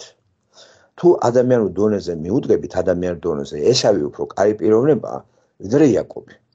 ამიტომ კაი პიროვნებას რატო უნდა რატო უნდა მოიძულო კაი პიროვნება? აი ოჯახის კაცია. კაზინოში არ დარბის. კოჭება ბებურთ არ თამაშობს. დილიდან საღამომდე ეს მესაქონლია მაგარი მეჯოგი არის და მამის საყვარელი შვილი არის. იმიტომ რომ ოჯახის ბურჯია, როგორც სიტყვია. აი სოციალური გაგებით ეს საპრეზიდენტო კაცია. იაკობი არაფრის მაქნისი არ არის ბრწყალებში. დედიკოს ხალხაში იზრდება. ხვდებით? მაგრამ მიუხედავად ამისა, იაკობი უფრო მზაკვარი არის თვითონ სახელის გვეუბნება, ვიდრე ესავე. ხო, და ურთიერთობაში ამან ბევრი ყალთაბანდობა ჩაიდინა, მას ატყუებს, გამოძალვას ახდენს რაღაცებს და მამას ატყუებს და უცნაურია ეს შეიყვარა და ის მოიძულა ამ ტერმინებით. მოდი ვთქვა რომ ღმერთს არავინ აბძულს. არა. უბრალოდ საქმე იმაშია რომ აღთქმა დადებული ვისთანაც არის ღმერთი იმას არ ეშვება. ესე იგი აღთქმა დადებულია იაკობთან და ეს ვიგინდა არ არის. აღთქმა ისებთან არ დაუტია. არ არის აღთქმა მაგასთან დადებული. აღთქმას დიდი მნიშვნელობა აქვს. ეხლა აღთქმა რო არ არის დადებული, ეგ არნიშნავს იმას, რომ ისავი დაიწყებული არის. თვითონ ბუნება ადამიანის ასეთი ისი, იგი თავის თავზე აყარებს იმას და ესავი არის ადამიანი, რომელსაც ღმერთი არ ჭირდება. არ მინდა რა ღმერთი რა, კარგად თავარდა. დღესაც ეგრე არ არის. ბიძინას ეხლა ღმერთი უნდა. აი უნდა ლევან ბერძენიშვილის ღმერთი. კარგად არის მოწყობილია ინტელექტი აქვს, მაგრამ არის. ამიტომ რა მოიძულა ლევან ბერძენიშვილი ღმერთმა და შეიყვარა თქვენმელიმე ჩვენთაგანი? არა, ჩვენ მეტ ყურადღებას ვაქცევთ, იმიტომ რომ ჩვენც რა თქმა უნდა, როგორც ადამიანი უარგისები ვართ, მაგრამ ჩვენ მაინც აღთქმის შვილები რო ვართ, იაკობის სპირიტულ აბარაკობ. აი, ღმერთი არ მოგვეშვება. არ ეშვება ღმერთი, იმიტომ რომ აღთქმა ვისთანაც დადებული აქვს, იმას არ ეშვება. ისრაელთან ხო და აღთქმა უპირობო აღთქმა არის დადებული. აი ეს განაპირობებს ამას, თორე ისრაელი არ იმსახურებს დღეს არანაირი სიყვარულს. ღმერთი კი 100%-იანი სიყვარული არის. ასე რომ კიდევ მეორე ღმერთი არავის არ მოიძულებს, არჩევას თვითონ აკეთებს ადამიანი, არც კაენი მოუძულებია იმ მიუხედავად იმისა, რომ მოკლა ღვთისნიერი ადამიანი თავის ძმა, არ მოუძულებია მას ეს შასიმისცა. თვითონ ესავე არის მასეთი უტვინო, ხო, იგი მორწმუნე არ არის იმ გაგებით. აღთქმაც დადებული არ არის. და დიდი მნიშვნელობა აქვს. აღთქმა თუ არ არის დადებული, აი აღთქმა დადებული რო არის ადამიანთა რაც არ უნდა მე დაგშორდე, მაინც ყურით მომათრევ. და იმის ნება მაინც შესრულდება. ესე იგი, ისეთ მდგომარეობაში ჩაგაგდებ, რომ მომაკითხავ. შემერკინებ, მართლა ჩააგდო ისეთ მდგომარეობაში აღთქმის შვილი იაკობი, რომ იმის გამო რომ ესავს არ მოეკლა, გაიქცა. ხო და ესავე კიდე ფუფუნებაშია კომფორტ დღევა ესავე მაგონებს დღევანდელ ედომის დღევანდელ აი კომფორტაბლურ სამყაროს ამერიკას და ესავები აი ესეთი რწმენა აქვს. ესავე ქონდა რწმენა ეს არისო ათეისტი. ათეიზმი მაგ დროს არ არის შესაბამისად როგორც კაინი არ არის ათეისტი ესავეც არ არის ათეისტი ამიტომ არც კაინი და არც ესავე მოძულებული ღმერთს არ აყავს ა ე ამათ ე ამათ არ უნდა ღმერთი მე ასე შევატრიალებდი ესავმა მოიძულა ღმერთი. იაკობმა კი შეიყვარა. განაღმერთმა შეიყვარა იაკობი და მოიძულა ესავი. იაკობმა შეიყვარა ღმერთი და ესავმა მოიძულა. მე ასე შევატრიალებდი ამას, რომ უფრო ნათელი აზრები შევიტანოთ ვიდრე ვოშერის იმან მეც გადავიკითხე ისენი და ცოტა დაუკვირვებელი ადამიანისთვის ცოტა ის არის დადგება საკითხის ათეისტს გასუხსნით. აა, რატო არ შეუქმნე პირობები ისეთი რომ მოგეყვანა ესავი? ესე იგი რა არის კომფორტის გამო რაღაცა ამიტომ ის კარგად არის და მდიდარია და ყველაფერი და გაჭირებაში ეგეთ ჩაგიგდო თუ გინდა რომ შენთან მოვიდეს ვინმე გაჭირებაში ჩავაგდოთ გაჭირება ჩაგეგდო მე ესავე გაჭირებაში წაგერთმია ყველაფერი და მოვიდოდა შენთან ესე იგი თუ გაჭირებაში ჩავაგდებთ ადამიანს ღმერთთან მივა რაღაცა ესეც აბსურდია ძალიან ბევრი ჩავარდნა გაჭირებაში მაგრამ ღმერთს სულ აგინებდა რატო ჩამაგდე მაგდღეშიო? გამონაკლისი მარტო იობი არის. ასე რომ ესეც არ არის, ესეთი ფორმულირება იცით სწორი რატომ არ არის? შენ რა იცი ღმერთი რასაკეთებს? ამიტომ ეგ ადგილი პირადად მე ჩემთვის გაუგებარია.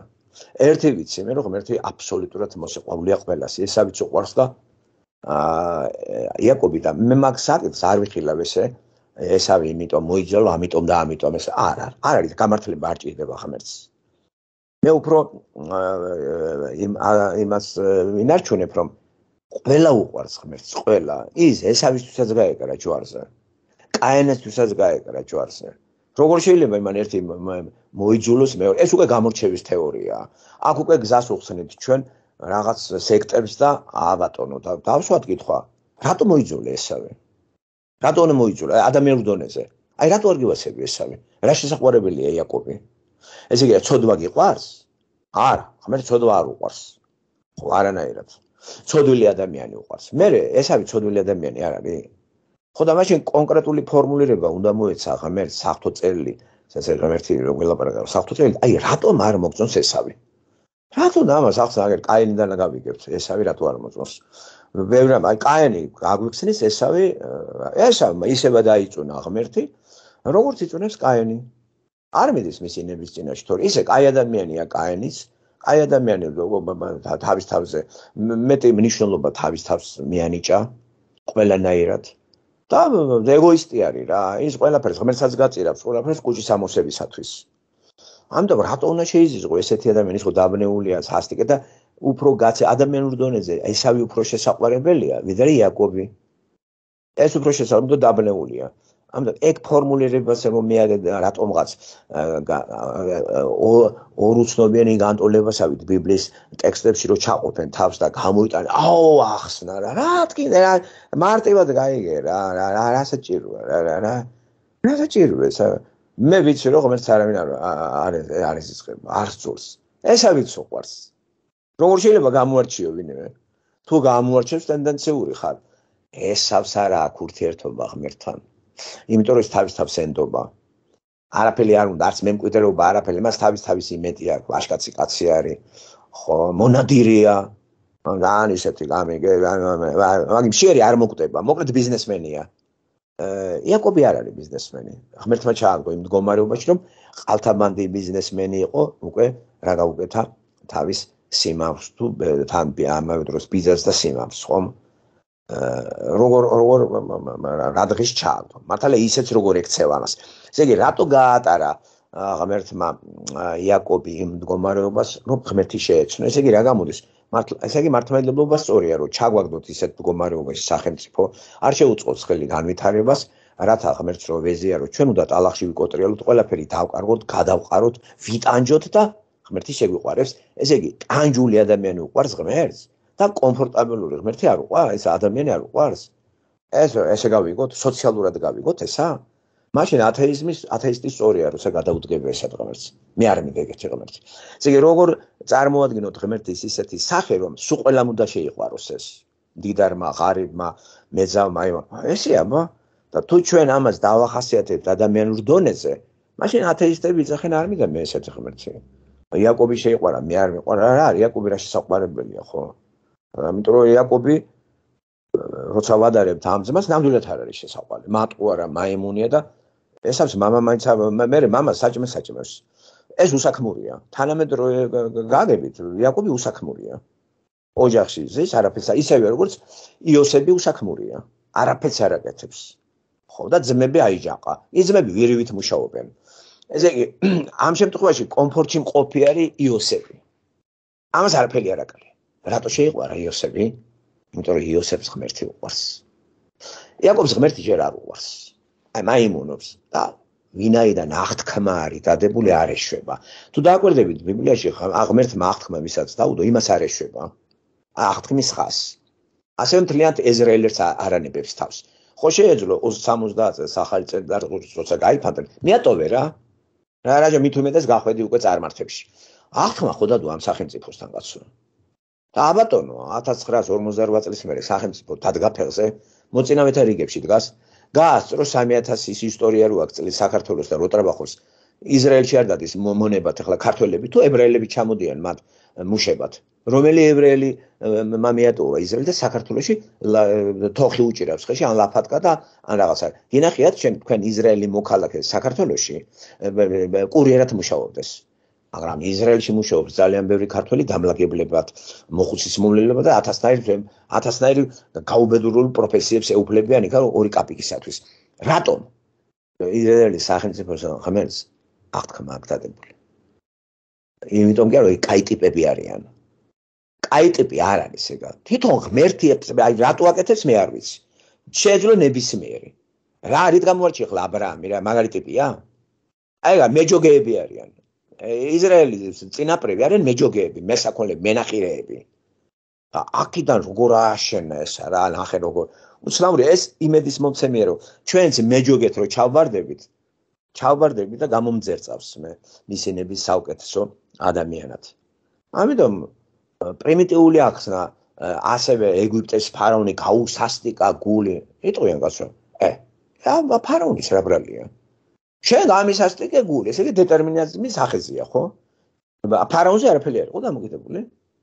გაუსასტიკა გული ეს ხომ კიდევ იმეორებ ანთროპომორფიზმი არის გამოყენებული ეს ხერხია ასეთი. და ადამიანური თვისებები ღმერთზე გადადის ისე სხვანაირად ვერ ახსერთ ამას. ამიტომ არის აქ უნდა ცოტა ეს გავხსნათ ფრჩხილები და ღმერთი აპრიორი უნდა წარმოიდგინოთ ჯერ თუ ღმერთის თვისებებს არ გავახასიათებთ რომ ეს არის აბსოლუტური სიყვარული, აბსოლუტური სამართლიანობა, აბსოლუტური, აი აბსოლუტური სიკეთის განსახიერება. ყველგან არსებული. აი ეს თვისებები აუცილებელია. ამასწავლოს სისტემატური თეოლოგია. მე აქედან ავაგებთ სიუჟეტი რო არის ყოფით იმას შემოსულ ღმერთ თორე. ღმერთს ახლა ახლა ისე ისე ისენი რა თუნდა ახლა ის ხელი აქვს, ფეხი აქვს თუ რა აქვს გამაგებინეთ ხო? არავინ არის ეს ღმერთი როგორია? ვინმე სუნახია? გამოვლინე ის გამოვლინდება ჩვენი გონების შესატყვისად. თეოფანია რო ქვია. ამიტომ ფარაონს თუ გული გაუსასტიკა ღმერთმა, ფარაონი არაფერში არ არის. არა, იმან გაუსასტიკა გული. მე ესავე მოუძულებია და ამიტომ მომიძულე აღარ მინდა შეთაყოფნა. ახლა მე რო გითხრათ რომ მოგიძულეთ თითოეულ თქვენთან, ჩემთან საქმეს დაიჭერთ. და თუ მე მიყვარს ყველა და არ გამოვარჩევ ერთ მეორისაგან დამოკიდებული უკვე იმაზე რომ ვისთან მე აღთქმა დავდე.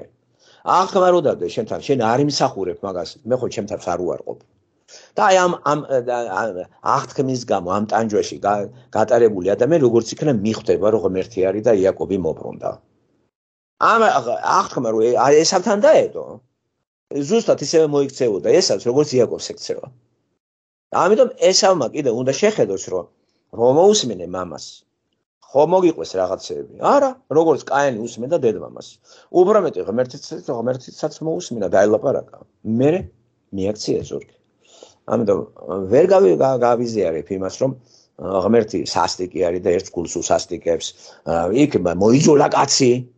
რა მაშინ რა ხაბრალია მომი რა შემიძულე? როცა შემიძულე მეც აღარ მინდა შეთაყოფნა ღმერთი არის იძულილი არის აბსოლუტური სიყვარული არ მეთახმება ვინმე? არ დამეთახმება არავინ აბსოლუტური სიყვარული არის.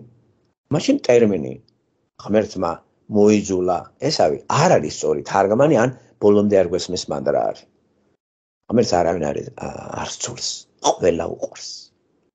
აი ისე შეიყვარა სამყარო, ნახეთ, სამწუთი სოფელი. ხოლოჩობილი ზე ნახეთ გამოუშვა იმისაც რომ ყველა მისი მორწმუნე გადარჩეს და თუ იწამებდა ესავი გადარჩებოდა და ახლა ამ ცხოვრებაში ესავი არ ქურდობს, არ ყაჩაღობს, არავის არ ატყუებს, ვირივით მუშაობს, მონადირეობს და მამის საყვარელი შვილია. რატო ხდებით ასაკოვან კაცს რაღაცა იმედად შვილი ყავს და იაკობი ზარმაცია, აფერისტია, ცვიერია, მაიმუნია, მაგრამ გახსოვთ ა ブラ ამი, ისააკი, იაკობი აღთქმის შვილები. და ყველა აღთქმა დადებული შვილები არ იმსახურებენ კარგ ბეიბე არც ერთი არ არის კაი ტიპი აბრაამიც კი. მაშინ რატო არ ეშვება ამას? ღმერთი, იმიტომ რომ აღთქმა დადო, თავის თავს არ უარყოფს. ჩვენ ნუ მივაწერთ აბრაამს და იმას მაგარი ტიპები არიან. მე კი, მე და მე რამ ვითარებაში აღთქმა დადებული რო ვისთანაც აღთქმა დადო, იმას ეცხადება. ცნაურია, ხო? და როგეცხადება იაკობს, ეს არის პრობლემა არის. რატო არ ელაპარაკები ამას? და მიიღე. რო ეცხადება აბერს სიტყვაზე მიზახი და ადამიანს ადაევას რატო არ უჯერებ მაგას? ყველას ხო არ გამოეცხადება დღესაც. ვინმე გვეცხადება აგერ წერია წერილი. აგერ არის წერილი. ხო და მაგით გველაპარაკება თან გველაპარაკება ადამიანი და მოძულებული ვყავარ მე.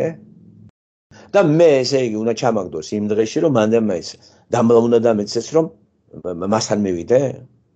ეს იმას ნიშნავს რომ აღთქმა აქვს ჩემთან დადებული და ახალი აღთქმა ამას აღარ ითვალისწინებს ახალი აღთქმა არის გადარჩენილი ხარ გამოსყიდებული ხარ და დაბადებული ხარ. ეს არის მორჩა.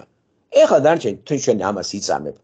უკვე აღარ ჩაგაყენებს იმ მდგომარეობაში მან და ტანჯვა წამებით მიხვიდე ღმერთთან. რაც საკეთებს მართლმადებლობა აღარ არის ამის საჭიროება. გიცხოვრე რა. მოვედი იმიტომ რომ ცხოვრება ჭარბად სიცოცხლე კონდეს და მე მე ჩემს მე ვიყო ცენტრში შენი ცხოვრების არ შეიძლება. მორჩა აღთქმა დაიდო ახალი ეს იმას ნიშნავს ხარ ახალი ადამიანი. და ახალი ადამიანი რატო უნდა ჩამაგდო იმ დღეში? ახლა როცა წამს რომ მანდ მაინც აი რო ჩავარდები რაღაც გაუბედური მდგო ოი მე ღმერთი ყოფილა. ეს უკვე რა არის აღთქმიშულები ვართ? ხომ ახალი აღთქმიშულები უკვე მადლით ვართ გადარჩენილები და აბსოლუტური სიყვარული ვრცელდება ჩვენზე ყველა უყვარვართ და ყველა ეკლესიის წევრი გადარჩენილი არის. და გარეთ ესავი შვილები ახლა მოძულებული კი არ აყავს. ისინი ისინი დღესაც არიღებენ ქრისტეს. დღესაც ძალიან ბევრი ესავის მიმდევრები იესო ქრისტეს არიღებს გამომსყიდველად, იმიტომ რომ ისინი კაი ტიპები არიან. ხო, რო ჩავარდებიან რაღაცა ცუდ მდგომარეობაში, ღმერთი მაინც არ მიატოვებს, მაგრამ მობრუნდებიან, გაუბრაზდებიან. რა რატო მომეკეთს ესე რატო წამართვი მთელი რიგი რაღაცები რა კარგი ადგილია ბიბლიაში იობი ახეთ იობი არის უმდიდრესი ადამიანი. ამავე დროს არის მართალი კაცი. ზე ღმერთის მოყვარულია. ესე იგი ღმერთს უყვარს ეს ადამიანი. თავისი მდიდრის გამო კი არა. მისი დამოკიდებულება იობის ღმერთთან არის გულწრფელი. ხო და ახლა ეშმაკი ეუნება იცი რაო? მოდი ახლა გააღატაკე ეს და მაშინ თუ დარჩება შენი ერთგულიო აბატონო გააღატაკა ყველანაირი გაგებით. დარჩა ერთგული. სიმდიდრე არაფერი შეში არ არის და თუ ეს მართლა სიმდიდრის გამოიწამებდა ღმერთს და გააღატაკდებოდა მართალია დაგმობდა ღმერთს. ან კიდე რატომ არის მაგალითად მან იობი მდიდარი და არა იობი ღარიბი მორწმუნე მაშინ რა გამოცხადა უნდა ჩაუტაროს სატანამ? აი გააღატაკებული არის ადამიანი. რა გამოცხადა უნდა ჩაუტარო? აი როგორ? არაფერი არ აქვს. მაგრამ წმენა აქვს როგორც ლაზარეს. ლაზარე ვიცით ახალ აღთქმაში არაფერი არ აქვს და ღმერთის წმენა აქვს და ამ რწმენით მისი ناقობი არის იცით სად ხო? მოხდა აბრაამის წიაღში ამიტომ ესეთი ადგილები ბიბლიაში საჭოჭმანო ერთი შეხედვით საჭოჭმანო ადგილებში რომ შედიან ინტელექტუალური ძალით მე პირადად არ ვეთანხმები შენ რა იცი ახლა ღმერთი როგორია ვირას ვიცი. შენ თავარია შენ დამოკიდებულება როგორია ღმერთ ახლა ესავთან რა დამოკიდებულება ქონდა ღმერთს? და ან ესავს რა ქონდა იმასთან? ეს ხომ არ წერია არ წერია ეს ნამდვილად არ წერია და რაღაცა გაგებას მივახცებთ იმ შემთხვევაში თუ სათავედან დავიწყებთ აი კაენი აბელიდან და შეჯამების თვალსაზრისით საუბრის შეჯამების თვალსაზრისით არანაირად არ მივიღებ რომ ღმერთმა ერთი შეიძულა და მეორე შეიყვარა. ღმერთს ყველა უყვარს ჩვენ არ გვაქვს სხვადასხვა დამოკიდებულება ღმერთთან, სხვადასხვანაირი. ჩვენი სოციალური მდგომარეობიდან გამომდინარე, ჩვენი რაღაცებიდან, რაღაც აი რაღაც ინტელექტუალური დონიდან გამომდინარე. თორე ღმერთი არ ღალატობს თავის თავს. ხო, დადო ახალი აღთქმა, ახალი აღთქმა. ძველი აღთქმა გააუქმა, იმიტომ რომ შეასრულა.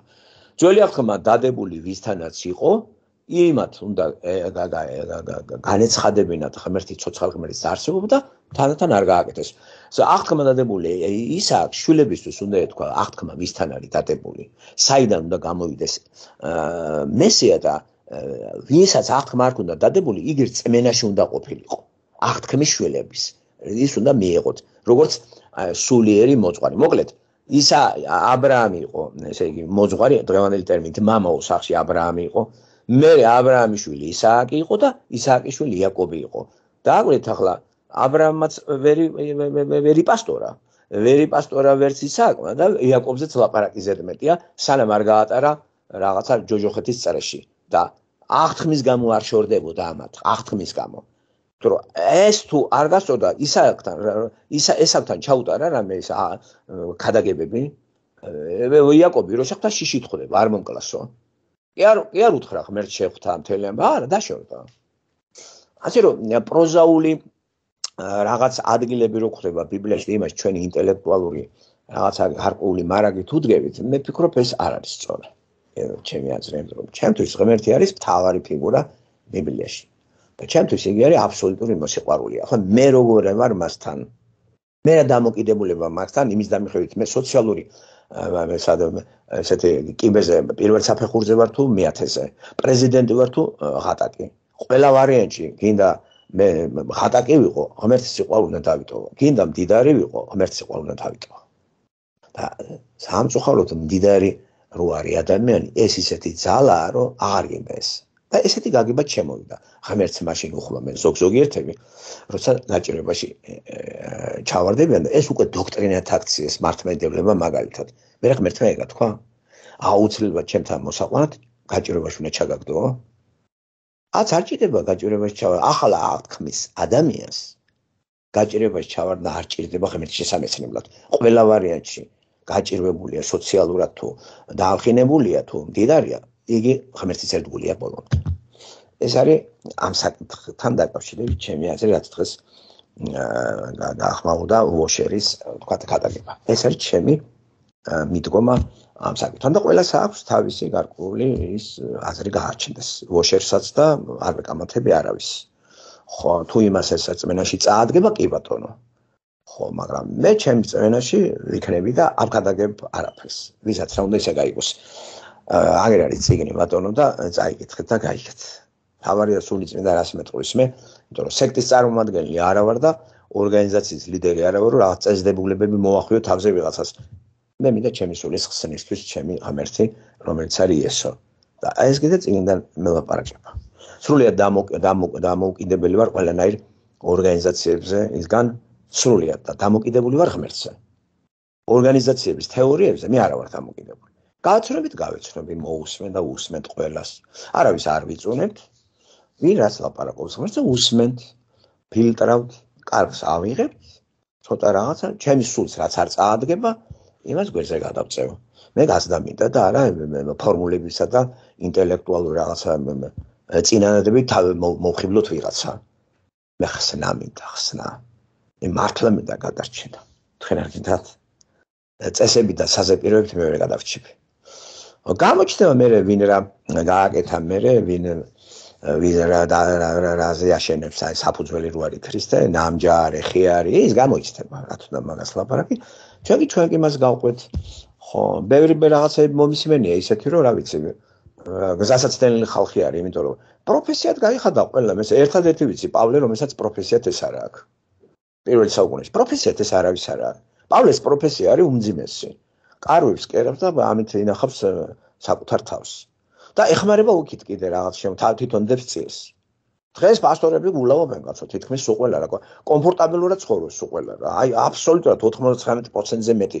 მე ვისაც თვალყურს ვატევებ. 8 მილიარდს ვერ გადავწუდები და იმას. ველაპარაკები რა. იცით როგორ არიან? ესენი თვლიან რომ ვინაიდან ესენი კარგად არიან, მოწმუნეები არიან. ხო, გამოიცდებიან. გამოიცდება და როცა გამოცდა დაიწყება, ჩვენ ამას აღარ გვეუბნებიან. როცა ერთმევათ ყველაფერი. ხო, როცა გამოცდის დრო დადგა, მაგის იმასაც ესე ეგონა და როცა უკვე დაუსვეს აა დიაგნოზი რომ თავის ტვინში ქონდა კიბო. აა სულ ყველაფერი დაავიწყდა. გადაბრუნდა კედელთან, მას მერე იგი გახდა სხვანაირი ქრისტიანი. დახურა ეკლესიაც, გამოვიდა რადიოში დაჯდა, იმიტომ რომ პირობა მისცა ღმერთს რომ ეთყობა მე აი აი სულ შენთან ვიქნები. 25 წელიწადი გავხამძლევა ღმერთმა სიცოცხლე და მოასწრო მთელი ბიბლიური ლექციები, რომელიც ეკლესიაში აღარ დადგა. ხალხს თავი დაანება. ამათონო. მანამდე სანამ კიბო ის მარ მიიყვანა მაგამდე გამოცდა ხო გავუკეთა. მე მე მიხდა გამოცდა როგორი გამოცდა იყო, ცი? მაშინ მიხდა რომ წმენა არ ქონდა. იყო ინტელექტუალური რა სემინარია დამთავრებული, ლიბერალური სემინარია დამთავრებული. დადიოდა, მოგზაურობდა, გადაგებდა, კითხულობდა და მაგარი ტიპი იყო. არაფერი არ აწუხებდა. და დაავადდა. აუცნაურია, ხო? აი ხა სასიკეთოდ იქცა ამისთვის ეს შემოწმდა, შემოწმდა ეს. შემოწმდა მოტრიალდა. იობს არ ჭირდებოდა მოტრიალება, თუმცა სმენით უსმენდა, მაგრამ ახლა დავინახეო. ამდენ როცა დოქტრინად ასეთ ადგილებს ამოიღებენ და აი ეს ტანჯვით უნდა გახვიდეს 64-ში, მართმედებლობა ამას აკეთებს, რო იცოდეთ. დააღრემილები დადიან, იტანჯებიან, ზოგი იშოლტავს თავს, აი პირველ შუა საუკუნეებში ესე იყო, ტყეში გადიოდნენ, ზოგი ბოძე იყო 20 წელებით. ამას აქვს თავს ღმერთი არ გადამრიო. მოვიდა და ცხოვრება აგ დედამიწაზე მოაწყეთ, რა ცხოვრება ერთმანეთს დაეხმარეთ და დროებითი ცხოვრებაში ერთმანეთს არ გაუჭirdეს, არამედ დაეხმარეთ ერთმანეთს, არ შეიძლება? აეხმარეთ ეს სიმდიდრე ჩაგაბარეთ და ყველას გაუნაწილეთ ეს სიმდიდრე დედამიწა იგულისხმება. დედამიწაში არის ყველაფერი სიმდიდრე. ყველაფერი არის დედამიწიდან. ამას განაწილებას არა აქვს, სწორი განაწილება რო არ არის, სიღატაკეც მაგიტომ არის და ამიტომ ღატაკ ქვეყნებს რო არ აძლევ არაფერს ღმერთი შეთავაზე შენებური გაგებით, რო იცი რა არის ღატაკი ხარ გადარჩები. მდიდარი ოჯახი ჯოჯოხეთში წავა და იცის მდიდარმა რომ ჯოჯოხეთში და სიმდიდრეში ზიარს გლიალებს. რა კარგად არის რა გამარტივებული ყველაფერი. რომ პირველი საუკუნის ქრისტიანების მემშურდა. პავლე ჩემთვის არის უნიკალური ადამიანი. ხო, ეს არის ადამიანი, რომელსაც ორგანიზაცია არ დაუარსებია. არა და შეეძლო. არა, ეს ტყე-ტყე, ქუჩა-ქუჩა დადის, ადრე თანამედროვე ტერმინებით. და ამისთვის ის აი ყველანაირად გალანძღულია. გალანძღული კიდე დაანისია ნათქვამი, სუბუქად. ხუთჯერ გაშულდეს, კაცო. ეს არის 195 დარტყმა. და დარტყმა ეს იმას კი არ უტყავდნენ ბამბუქს რაღაცა ბამბას და გუბკას. იცით ერთი შოლტავდნენ, აღწერილი არის ეს აი ბოლოები რომ ესენი ქონდა ლურცმები თუ რაღაც რკინი და სულ ტყავი გძრებოდა სისხლის მდინარეები. მე არ ვიცი თუ ეს სასწაული არ არის, როგორ უნდა გაუძლოს ადამიანმა ამას. ვინაიდან ეს ღმერთის მსახური იყო, დროზე ადრე ამას ვერ გაიხმობდა. და სასწაულიც ხდება, პარსაცოცხლებ და პიროვნება. ამიტომ ამას ქონდა უნარები სასწაულის კეთებისა და საკუთარი თავის განკურნება არ შეეძლო. ხო? ღმერთს თხოვდა, მაგრამ თვითონ ამას შეეძლო ადამიანის განკურნება. ხათ ეპტიხის მდგომარეობა იცით რა ხდება, როგორ გადავარდა და პავლემ ახეთ თქვა რომ სული ამასთან არის. ადგა და გააგზელეს ჩამ. ხუმრობთ ახლა იქიდან ჩამოვარდნილი კაცი და 50 სანტიმეტრიან გერზა იქცა. თუმცა მანდ შეიძლება კაცი მოგდეს რა დაარტყავ. რაღაცა ფანჯრიდან გადავარდა ხო შეიძლება დაახლოებით იყოს 5-6 მეტრი მაგრამ ყველა წყდარი ეგონა. ხო. ასე რომ ახალ აღთქმაში არის ადგილები გარდაცვლილი ადამიანის მოbrunებისა ამას იესოც აკეთებდა და მე მისი მოციქულებსაც ეს შეეძლოთ რომ დაესაბუთებინათ რომ ისინი არ იყვნენ შარლატანები. მაგრამ თავარი ეს კი არ არის. თავარი არის ცოცხალი ღმერთის რწმენის მიღება წმენით მიღება ადამიანის და ადამიანის დაბადება გულის განახლება. ქრისტეში ყველა ახალი ადამიანია.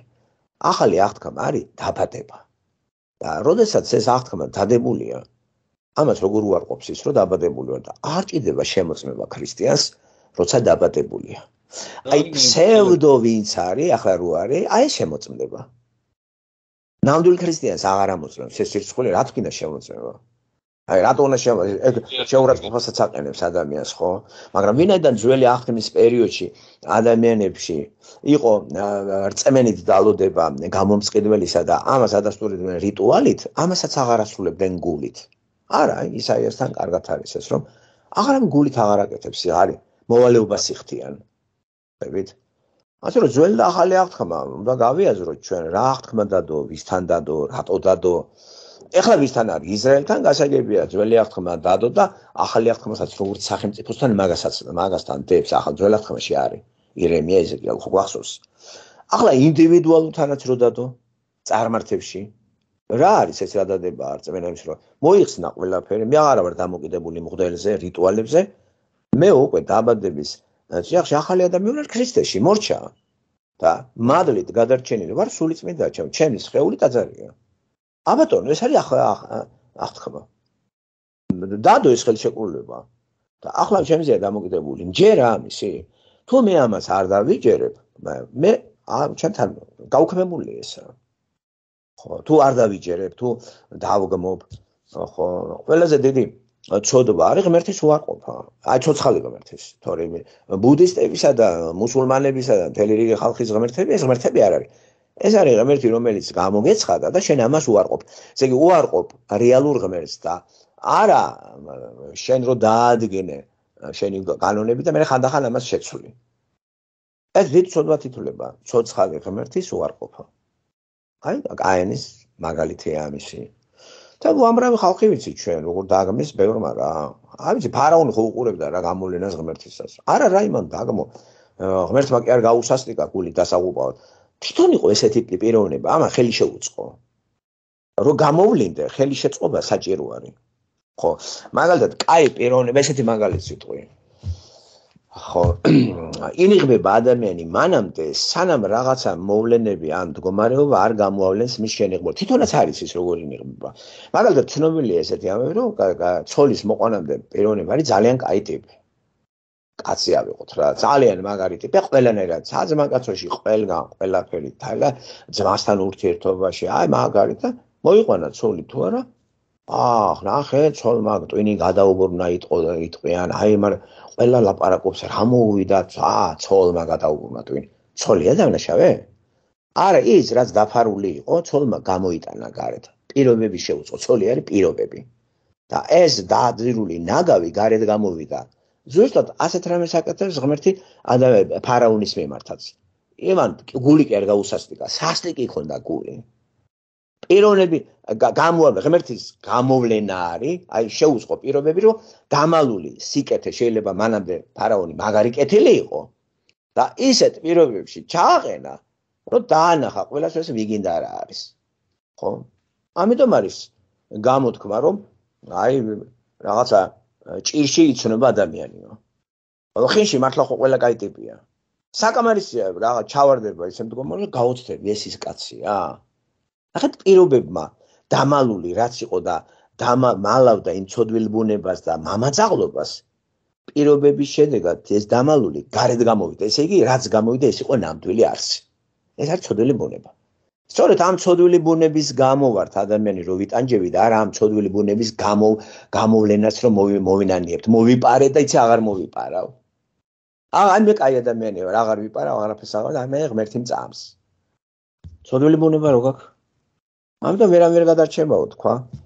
მაცხოვარმა რისთვის მოვიდა იესო ქრისტე? ის მორალის დასაბუძნებლად ის მოვიდა როგორც ადამიანში იბადება ადამიანი და ადამიანში დაბადებული სიკვდილისთვის არის განწერული ქრისტეში დაბადებული სიცოცხლეში შედის. ესე იგი ღმერთთან ახლება კავშირი სიკვდილი არის ღმერთს დაშორება. სიცოცხლე არის ღმერთთან დაბრუნება. იესო ეს გააკეთა. ეგ არის სიყვარულის თავი ეგ არის სიცოცხლის თავი და ახლა რა ხდება ოფიციალურ რაღაცა ბიუროკრატიული რელიგიებში, კომფორტაბლურ სამყაროში. ახლა ყველა მაგარი ქრისტიანი არის. შიოლაშვილი მოკლედ არც ერთ ქრისტიანს არ ღირსებია პირველი 300 წელი რაც ესენი აკეთებენ და პირდაპირ ცხოვრობენ. აი აი შიოლაშვილიდან დაწყებული ყველა. აი ეს როგორ უნდა შევამოწმოთ? თქვენ ხო გჯერათ რომ ეგენი ქრისტიანები არიან? ხო შემოწმდება ეს. აა და არ არც ისმეთ ხო? არ ვიცით ესენი ვინ არიან. ვერთი კი ვიცი ესენი ქრისტიანები არ არიან. ამას ბიბლიიდან ხვდები. ესენი უარყოფენ ბიბლიურ ღმერთს. ადგენენ თავის თავიანთ წესებს, თავიანთ რიტუალებს. აა შე შერწყმული საქართველოს კულტურულ ისტორიულ რაღაცა მდგომარეობასთან, გმირებთან და კაცო შე შეურიე ღმერთს ის უნდა და ეროვნულობა, ქართული ენა ქართველობა, ქრისტე ქართველე ხო, კიდობანი მანდ იქნება, მეორეთ მოსვლა მანდ იერუსალიმიდან წმინდა მიწამანდარი პირველი სინოდი მანდარი. ამას არ იძახიან. თუ მეშლება. ლეგენდები არ არის საქართველოსში. ეთქარით რომ ამ ინტერნეტმა ის გააკეთო, ყველა დებილი გამოფინა გარეთ. ნახეთ რა რეებს ბოდავენ. მოძებნეთ ხალხო რა რა ეს ბოდები ხო შეგნებულად არის. ან იმისათვის რომ დაკლიკო და ესეთი რეიტინგი ქონდეს. ათასნაირი სისულელეებით, ინტრიგანული სისულელეებით ითრევენ ადამიანს და ათაყვანებენ. ხო, ასეთი რამე ქვეყანას დაუპავს ხალხო. ეს ქვეყანა ქრისტე არ მიღებული ქვეყანა, რელიგიური ქვეყანა, რელიგიური. ესავია საქართველოს. ესავი რელიგიური პიროვნება არის. სატანასთან არის. ასე იყო კაენი. ასე რომ ქრისტეს სახელით ეხლა რო ხარ რაღაც საზღარ რელიგიაში და საგანიშნო უფრო მაგარ რისხოს დავიტეხავთ. უფრო მაგარ რისხოს ვიდრე ესავი დაიტეხავ და პირიქით გამდიდდა, გაძლიერდა, უამრავი საქონელი ყავს და შიშით იაკობი რო უძღვნის რაღაცებს არ მინდა არაფერი და დაშორდნენ ერთმანეთს. ბოლოთა შეხვდა რამათი მამის გარდაცვალებასთან იყო მე საერთოდ აღარ უნახიათ ერთმანეთი და ესავის მოდგმა მტრულად იყო განწყობილი აღქმიშვილებთან ესე იგი სატანის იარაღი იყო ესავი სატანის იარაღი ადამიანი ყოველთვის ებრძვის ქრისტე აღთქმის შვილებს, რომ ქრისტე არ გამოვიდეს, მაგრამ არაფერი გამოვიდა. ეხლა იბრძოლოს რამდენიც უნდა. გამოხსნა დამთავრდა. ახლა შენზეა დამოკიდებული. მანამდე თუ გამოხსნა არ ჩატარდებოდა, ჩემზე აღარ იყო დავეღუპებოდი. მოხდე, აღსრულდა. იესომ დაამთავრა. ეხლა ჩემზეა დამოკიდებული, ავირჩევ ქრისტეს გადარჩენება, არა და ისევ რჩები იმ იმ უბედურებაში, რაც э, კაინიდან მოყოლებული არის. ისე იმ მდგომარეობაში არა ვარ ხო აი აი კონკრეტულად ეხლა ჩვენ ზუსტად იმ მდგომარეობაში ვართ როგორცაც იყო ადამი ის იყო ედემის ბაღში და კომფორტი იყო დღესაც პლანეტა ძალიან კომფორტაბელურია, რამე გაკლიათ? დაასაცმელი გაქვთ, ასმელი გაქვთ, საჭმელი გაქვთ, უფრო მეტი გინდათ, რამე გაკლიათ? დღეში არავინ არ ცხოვრობს, არ წყალი რო არ აქვს და შეშებს შეხავს და გაუბედურებულია. უფრო მაგარ მაღალ ცხოვრებას მივედით ჩვენ საზღავა გარეთ რო გავდივართ. ახლა არავის არაფერი არ აკლია, დაშმოთკილი დადის ხალხი გადახედით საქართველოს. ტიტული და ფოთლებით არავინ არ მინახია მან და. შეფოთლილი არავინ არ დადის. აღარ იციან რა გააკეთონ, რესტორნები გაჭედილია. ხო და და ანსაცმეში ყველა იბრიქება სურათებს დამიდებენ. არიქა კურთხეული ხალხია გადახედეთ სურათებს და ყველაფერი თქვენთვის ცნობილია. ნახეთ რა კომფორტი არის. ხებით კომფორტაბელურ გარემოში ვცხოვრობთ ჩემო კარგებო. აი გახლა ძველი ხალხი კარგით რა ასე რომ ესავით კომფორტში იყო. აგარ კომფორტში იყო ესავი არაფერი არ აკლდა ხო და იყო იქ ხალხი მაგარ კომფორტში იყო.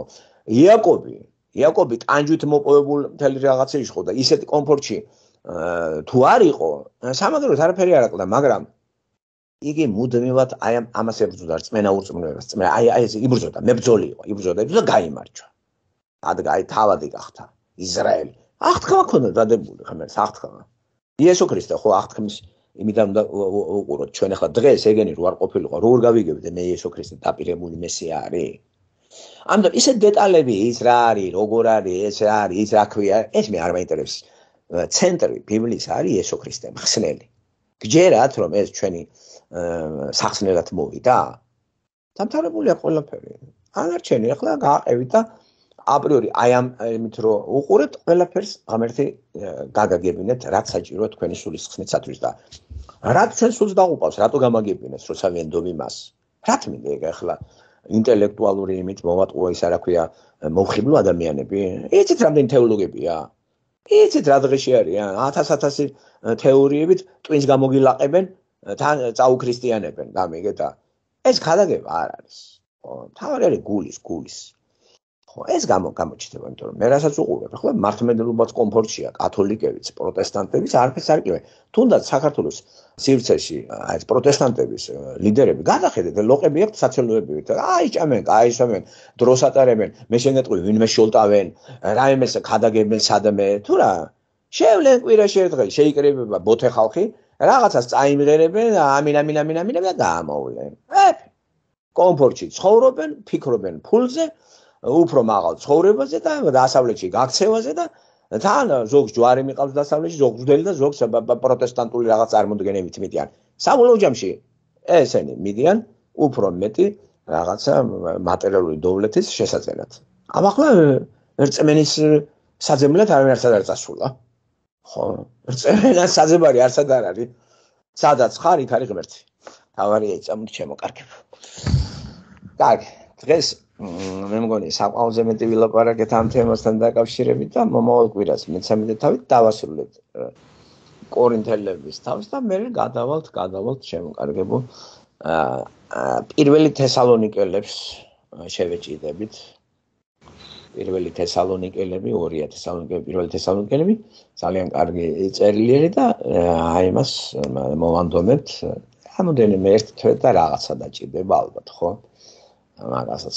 მე არის მეორე თესალონიკელები და კიდე რამდენიმე წელი დაგვჭა ღმერთის ნებითა და მისი რუდუნებითა და მისი მარ ჩვენი მოწყალებას რო იღებს რა თქმა უნდა გაგვითენებს და გაგვახანგრძლივებინებს ცოცხლს რომ ამ სიტყვასთან კიდე გითხავს დავტოვოს და მე რო დასრულდება ჩვენი გაზდა ამაში გაგვიხოს და მიგვიღოს იმ წიაღში პავლე რო აგერ უკვე გაიძულეს და დაეკვეხნა რომ მესამე ცამდე იყო ასული და ენით გამოთქმელ რაღაცებს ხედავ და ეს თუ რეალობა არ არის და ფანტაზია დაუპულები ვარ მაგრამ არის რეალობა ჩვენ ხო არ ვიცით. ადამიანი არ არის ესეთი ბრძენთავზე რომ ყველაფერი გაიგოს. ამიტომ გვჭირდება ჩვენ ღმერთი რომ შეზღუდული ადამიანები ვართ და ის გაგვაგებინებს ყველაფერს.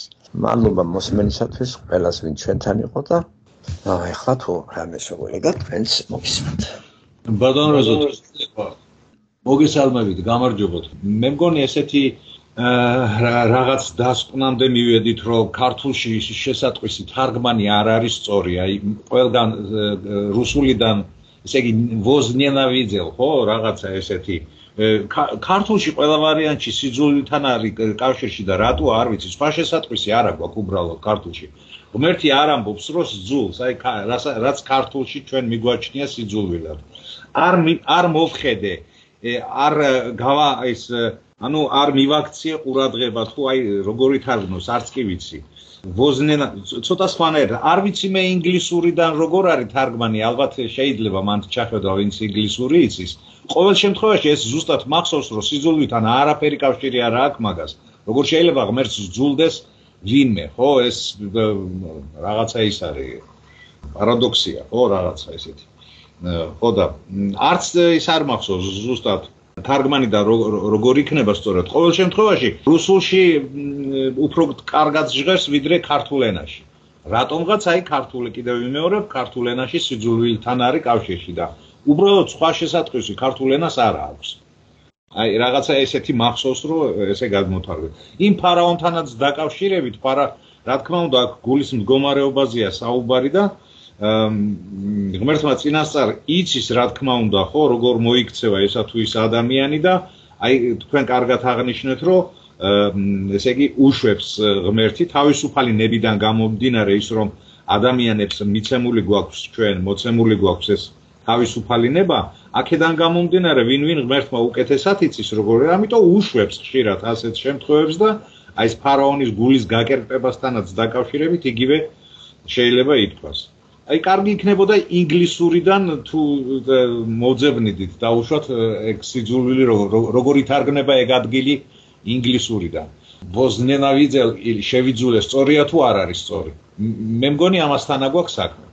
ხო რუსულის თუ დავესეცხეთ პირდაპირ თარგმნარი რაც ვასიკომა თქვენ ქართულად რა ესე პირდაპირ თარგმნოთ არ დაგენახვები არ დაგინახავ. აი ხედვასთან არის დაკავშირებული. ხედვა არა მორალი რაღაც თვისებასთან, ღირებულებასთან, არამედ ხედვა, მაგრამ რუსულში სიძულვილის სინონიმეთ ეს სიტყვაც გამოდგება. სიტყვებს ხო რამოდენიმე მნიშვნელობა აქვს, სინონიმებათაც არის და კონტექსტში უნდა წავიკითხოთ. ქართულში სიძულვილი აბსტრაქტული იქნება და მორალთან არის, ღირებულებასთან არის დაკავშირებული და თუ ამას ავიღებთ, ღმერთს თუ მივაწერთ, მაშინ შეცდომაა ღმერთს სიძულვილი არ აქვს. ის აბსოლუტური სუფთაა, წმინდა და აბსოლუტური სიყვარული არის. ამიტომ აქ უკვე განსხვავება იწყება. ერთ განა მეზიზღები ვასიკო შენ არ დაგინა, არ დაგენახვები. მე არ დაგენახვები, არ გამოგეცხადები. არ მსახურებ ამას შენ, მაგრამ მიყვარხარ. განა მართლაც არ მიყვარს ადამიანი, რომელსაც მე არ ველაპარაკები და არ ვენახვები. რამდენიც გინდა, თქვენ ეგრე არა ხართ და თუ სიძულვილის გამო. არ გინდათ მათთან ეს თქვენი პრობლემაა თქვენ ატარებს სიძულვილს ეს თქვენში სიძულვილია. მორალურია მაგრამ არის ადამიანი რომ არ მინდა რა დაგინახო რა. რა შეშია სიყვარული. თანაც მიყვარხარ და თქვა ხო არის შორით სიყვარული. და სულ აი ღმერთიც ეგრეა. აი ახლა ამ წუთში ღმერთი შემოდის ჩვენს რაღაც ხილულ ფორმებში ხელს იდე გვესაუბრება. ხო მაგრამ აგერ სიტყვით ხო არის. და როდესაც იქ ძველახთამაში არის ლაპარაკი და თარგმანი რაც უნდა თარგმნო ჩვენ მაინც მივდივართ ადამიანის რაობასთან ეს ინგლისური იქნება ებრაული თუ ბერძნული თუ ქართული თუ ისენი თავარია ძირითადი დებულებები თუ გავიგეთ არ თუ ღმერთი გავიგეთ რომ აბსოლუტური სიყვარულია აი ეს დაგილაგებს ტერმინს. და ტერმინიდან არ უნდა გავხსნათ ღმერთიდან უნდა გავხსნათ ტერმინი. ტერმინი კი არ ხსნის ღმერთს ღმერთი მიხსნის სიტყვას. იმიტომ რომ ის არის აბსოლუტური ცოდნა და ჩვენ კიდე ამ სიტყვებს ჩვენ სხვანაირ კონტექსტში სხვანაირად ხმარობთ. და შეიძლება თარგმანი ტენდენციურიც იყოს ჩემი სოფხელებიდან განაპირობებდეს თარგმანი და გავამართლვესა უამრავი რაღაცეებია ხო?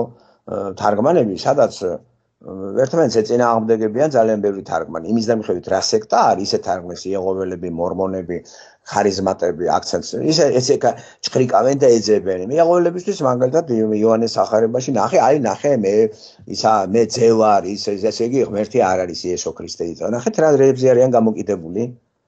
თავარი ავიწყდება ყველას. თავარი ბიბლიაში რა არის? ღმერთია და ამიტომ ბიბლიაში ღმერთი რო არის? განფენილი თვისებები. აი ეს უნდა შედრიბო და ამას სწორედ ამას აკეთებს ადამიანები რომელსაც სისტემატიური თეოლოგები ქვია აი აი დოზერს რო აქვს დაწერილი ღმერთის ბუნება რომელიც ბიბლიაშია გამფენილი სულ გაბნეული ეს შეკრიბეს ერთად და ღმერთის თვისებებს გვაცნობენ ბიბლიაზე დაყნობით ეს რო გაბატონდება მე ადამიანური იმით როა დაწერილი აბა სხვანაირად შეიძლება დაიწეროს უკვე აღარ მივანიჭებთ იმას მნიშვნელობას აი ხე რატო დარგო რა რახელე იჭამა, ესე იგი ჭამაზე ალაპარაკი. ეს ყველას ავიწყდება რომ ღმერთის სიტყვის დარღვევაზეა ამბავი და ამის გამო სახატავად ხონდა იყოს რაღაცა სიმბოლო ხე რაღაცა ხონდა მიხვდეთ კაცო ღმერთმა თუ ხე დარგო იქა ბოროტება და სიკეთე და ჯერ ერთი ხე შეიძლება ბოროტება და სიკეთის სიმბოლო იყოს. სიმბოლო კი რეალობა. ესე იგი შეიძლება ხეს კონდეს ناყოფი სიკეთისა და ბოროტების შემეც შესამეცნებელი ناყოფი ვაშლი მაგალითად სიტყვას. შევჭამ თუ არა მეწოდინება რა არის სიკეთე და ბოროტება. პირდაპირ გაგებით ესე იგი ناყოფი თუ აიღო ცოდნია კაენსა და აბეზე რა არის სიკეთე რა ბოროტი ეს ყველა ზღაპარი არის ნახეთ როგორ არის დაწერილი ხედავთ თავარი ავიწყდებათ ამან უნდა გადმოსცეს ამერთის არსი და მთელი თვისებები და სხვა საშუალებები არ არსებობს თუ არა რაღაც მიგანიშნე. საბოლოო ჯამში აქცენტი რაზე გადააქვთ? ხეზე და არა ღმერთზე სიტყვა რატო გატეხე? სიტყვის გატეხვაზეა ლაპარაკი. ხო? და არა იმაზე მაგალითად დავდე მურაბა შეჭამე ხო? აი დავდე მურაბა. მეუნები შვილს არ შეჭამა მურაბა. იცი რო შეჭამა მურაბა იცი კუჭი აგეშლება. ამიგეთ არაფერი არ ეშლება იმას იცის მოვიდა ტიპი და უნებ შეჭამა და კუჭი არ ეშლა. მაგრამ ჩემი სიტყვა დაარღვია იმან იცი? მაგრა გამიტეხა ხო რატო დაარღვია ჩემი სიტყვა? აღარ მინდა შენთან ურთიერთობა ხო? სიტყვის დარღვევაზე ცოდვა არის ღმერთის სიტყვის დარღვევა. და არა ხე მოწყვეტა და ხე დარგო იმისათვის რომ გავიხაროთ და მთელი მაგრამ ან თუ კონკრეტულ ხეზე იმას ვიზამთ აი ესე გავიდა ხალხი და წარმოადგენს ედემის ბაღი როგორც მითოლოგია როგორც იდეა და არის რა ორიგენმა და ემება საერთოდ ისეთი ინტერპრეტაცია დააგვიდოს მაგას გაყვა ადამიანები და უყვართ ეს ტვინის ჭყლეტვები და აესასი და და. მე ბოლოს შტაინერამდე მივედით და საერთოდ აღდგომა კი არ იყო რაღაცა იდეები იყო. და წავიდა ღმერთი კი არ იყო კაცო ეს რაღაც იდეას წარმოას ქრისტე არ ყოფილა რეალური პიროვნი გავიდნენ და გავიდნენ დამკაში. თეთრკანიანიც არ იყო ზანგი იყო. ზანგი ხალი კი კაცი კი არა ხალი იყო. აი ესეთ თეორიები არის დაუყვეთ მაგას ამიტომ არ არის საჭირო რა მაგების ის რა ჭყლეტვა არ არის საჭირო რა დონეზედაც შენ მიიღესა და თავარი არის ღმერთთან დამოკიდებულება შენ როგორი გაქვს შენ გამოიცვალე თუ არა უკეთესი ადამიანი ხარ ვიდრე იყავი თუ ისევ ეძებ რაღაცა შენი ყოფიერების რაღაც გამართლების საშუალებას. ბიბლიას ხო ყველა იყენებს თავისი ყოფიერების გამართლებისათვის. ცოლი იყენებს ქმართან საკამათოდ, ქმარი ცოლთან. სამღვდელოება თავისთვის იყენებს რელიგიას, როგორ დაიმონოს ხალხი. არ არის ესე? არ იყენებდნენ ეგრე? ისრაელები არ იყენებთ ამას ესე? და დაისაჯა. ასე რომ არაფერი არ არის. ახალი ყველაფერი ძველია ჩემო კარგებო და გამეორება ყველაფერს. იგივე ამ სინამდვილეში ვართ. ეხლა მე ხე კი არ მაინტერესებს და ღმერთს ვეჭხუბო, ხე რატო დარგვი და სატანა რატო გააჩინე. ღმერთი სიყვა რატო დაარღვი? რატო გააჩინა? ამაზე ვეჭხუბო, სატანა რატო გა. რა, იცი რა, რო არ გაგეჩინა, ხო არ გავაკეთებდი ესე. ხე რო არ დაგერგო, ხო არ მოგვლიჯავდი. ეც სადგავდი ვარ ათეიზმში. ავარი არის ღმერთზე დამოკიდებული ხარ? ესეთი ხო ხო არის? აი, რატო გინდა რომ მისი სიტყვის მას იყოს გადაუხვიო?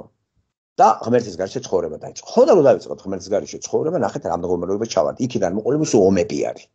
სულ ომები სახელმწიფოს დონეზე ერთმანეთზე ხოცხვაჟლეტვა ადამიანი არავის სასტიკი დანაშა ისენი სასჯელები. ხან ბოძზე გასმა ხან ჯვარზე გაკვრა დაჭრა და გილიოტინა. გაგიჟდები კაცო ცხოველთა სამყაროში არ არის ესეთი რამე. ადამიანის ისტორიაში რო გატახებო გული გაგისკდება რა.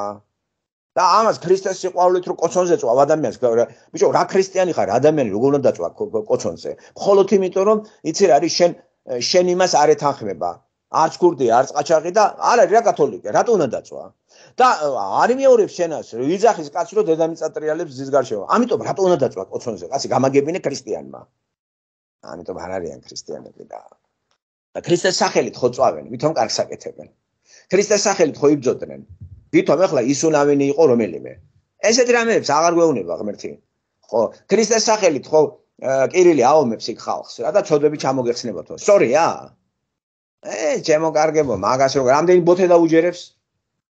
მე ბანაშვიდებს გადაუხდიან და ცათასასופეში რო ყველა სისტემრებენ ეს არ მოგწონთ. ყველა ვინც მოკდება იმავე წუთში მღვდელს მოიყვანენ. თავარია მღვდელმა რიტუალი ჩაატაროს და შესულა სულ ყველა სამოთხეში.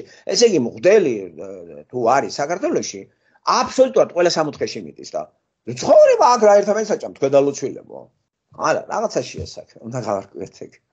ბატონო ამოხსენე სხვათა შორის ერთმა კარად თქვა გამახსენდა როცა წერია ღმერთმა შეიყვარა იაკობი და შეიძულა ესავი ყოველს გულზე ხვდება როგორ ღმერთს სიძულვილი აქვს ღმერთთან როგორ შეიძულა ესავი ღმერთს არ შეეძლო სიძულა ესავი და ასე შემდეგ მაგრამ ყველაზე საინტერესოა რომ რატომ შეიყვარა ღმერთმა იაკობი რომ გადავხედავთ თქვენ ისაუბრეთ რომ ორ პიროვნებას რო შევადარებთ დავინახავთ რომ ესავი როგორი მართლა ოჯახის კაცია მშრომელია და იაკობი თავის სახელიდანაც გამომდინარე და თავის საქციელიდან გამომდინარე მატყუარაა და უფრო კითხვა უნდა დავსვათ რატომ შეიყვარა ღმერთმა იაკობი? რომ გადავხედავ მის ცხოვრებას ვერაფერს ვნახავ რომ აი ეს კაცი არის საყვარელი ხო მაგრამ ხო და ეს უფრო საინტერესოა რატომ შეიყვარა ღმერთმა იაკობი მაგრამ რო თელიან ბიბლიას რო შევკრიფა და გადავხედავთ ღმერთი თავის მათს გვაჩვენებს როგორ შეუძლია სოდული ადამიანის გადარჩენა ამ ორ ადამიანს თუ შევადარებთ იასაფში დავინახავთ პიროვნება რომელიც მართლა მშრომელია კარგია და უფრო გაგვახსენება ადამიანი რომელსაც შეუძლია რომელსაც აქ პრეტენზია რომ თავის ძალებით შეუძლია გადარჩინოს თავისთავი. ღმერთმა მართლა აკურთხა ესავი, არაფერი არ დააკლო, ყველაფერი მისცა, მაგრამ რასაც ბიბლიაში ვხედავთ, რომ ისიც ცოდვილი იყო თავისთავად, ესავი ცოდვილი იყო, მასაც ბევრი შეცდომები ჰქონდა, მაგრამ ღმერთმა დავინახავთ რატომღაც არ ვიცით არამხილა, მაგრამ აი იაკობი რატომ შეიყვარა ეს უფრო საოცარია, რატომ შეიყვარა და აქედან გამომდინარე ხშირად არის ინგლისელებს ესეთი მე ღმერთო რატომ გადამარჩინე, ღმერთო მე რატომ შემიყვარე, ღმერთო მე რატომ?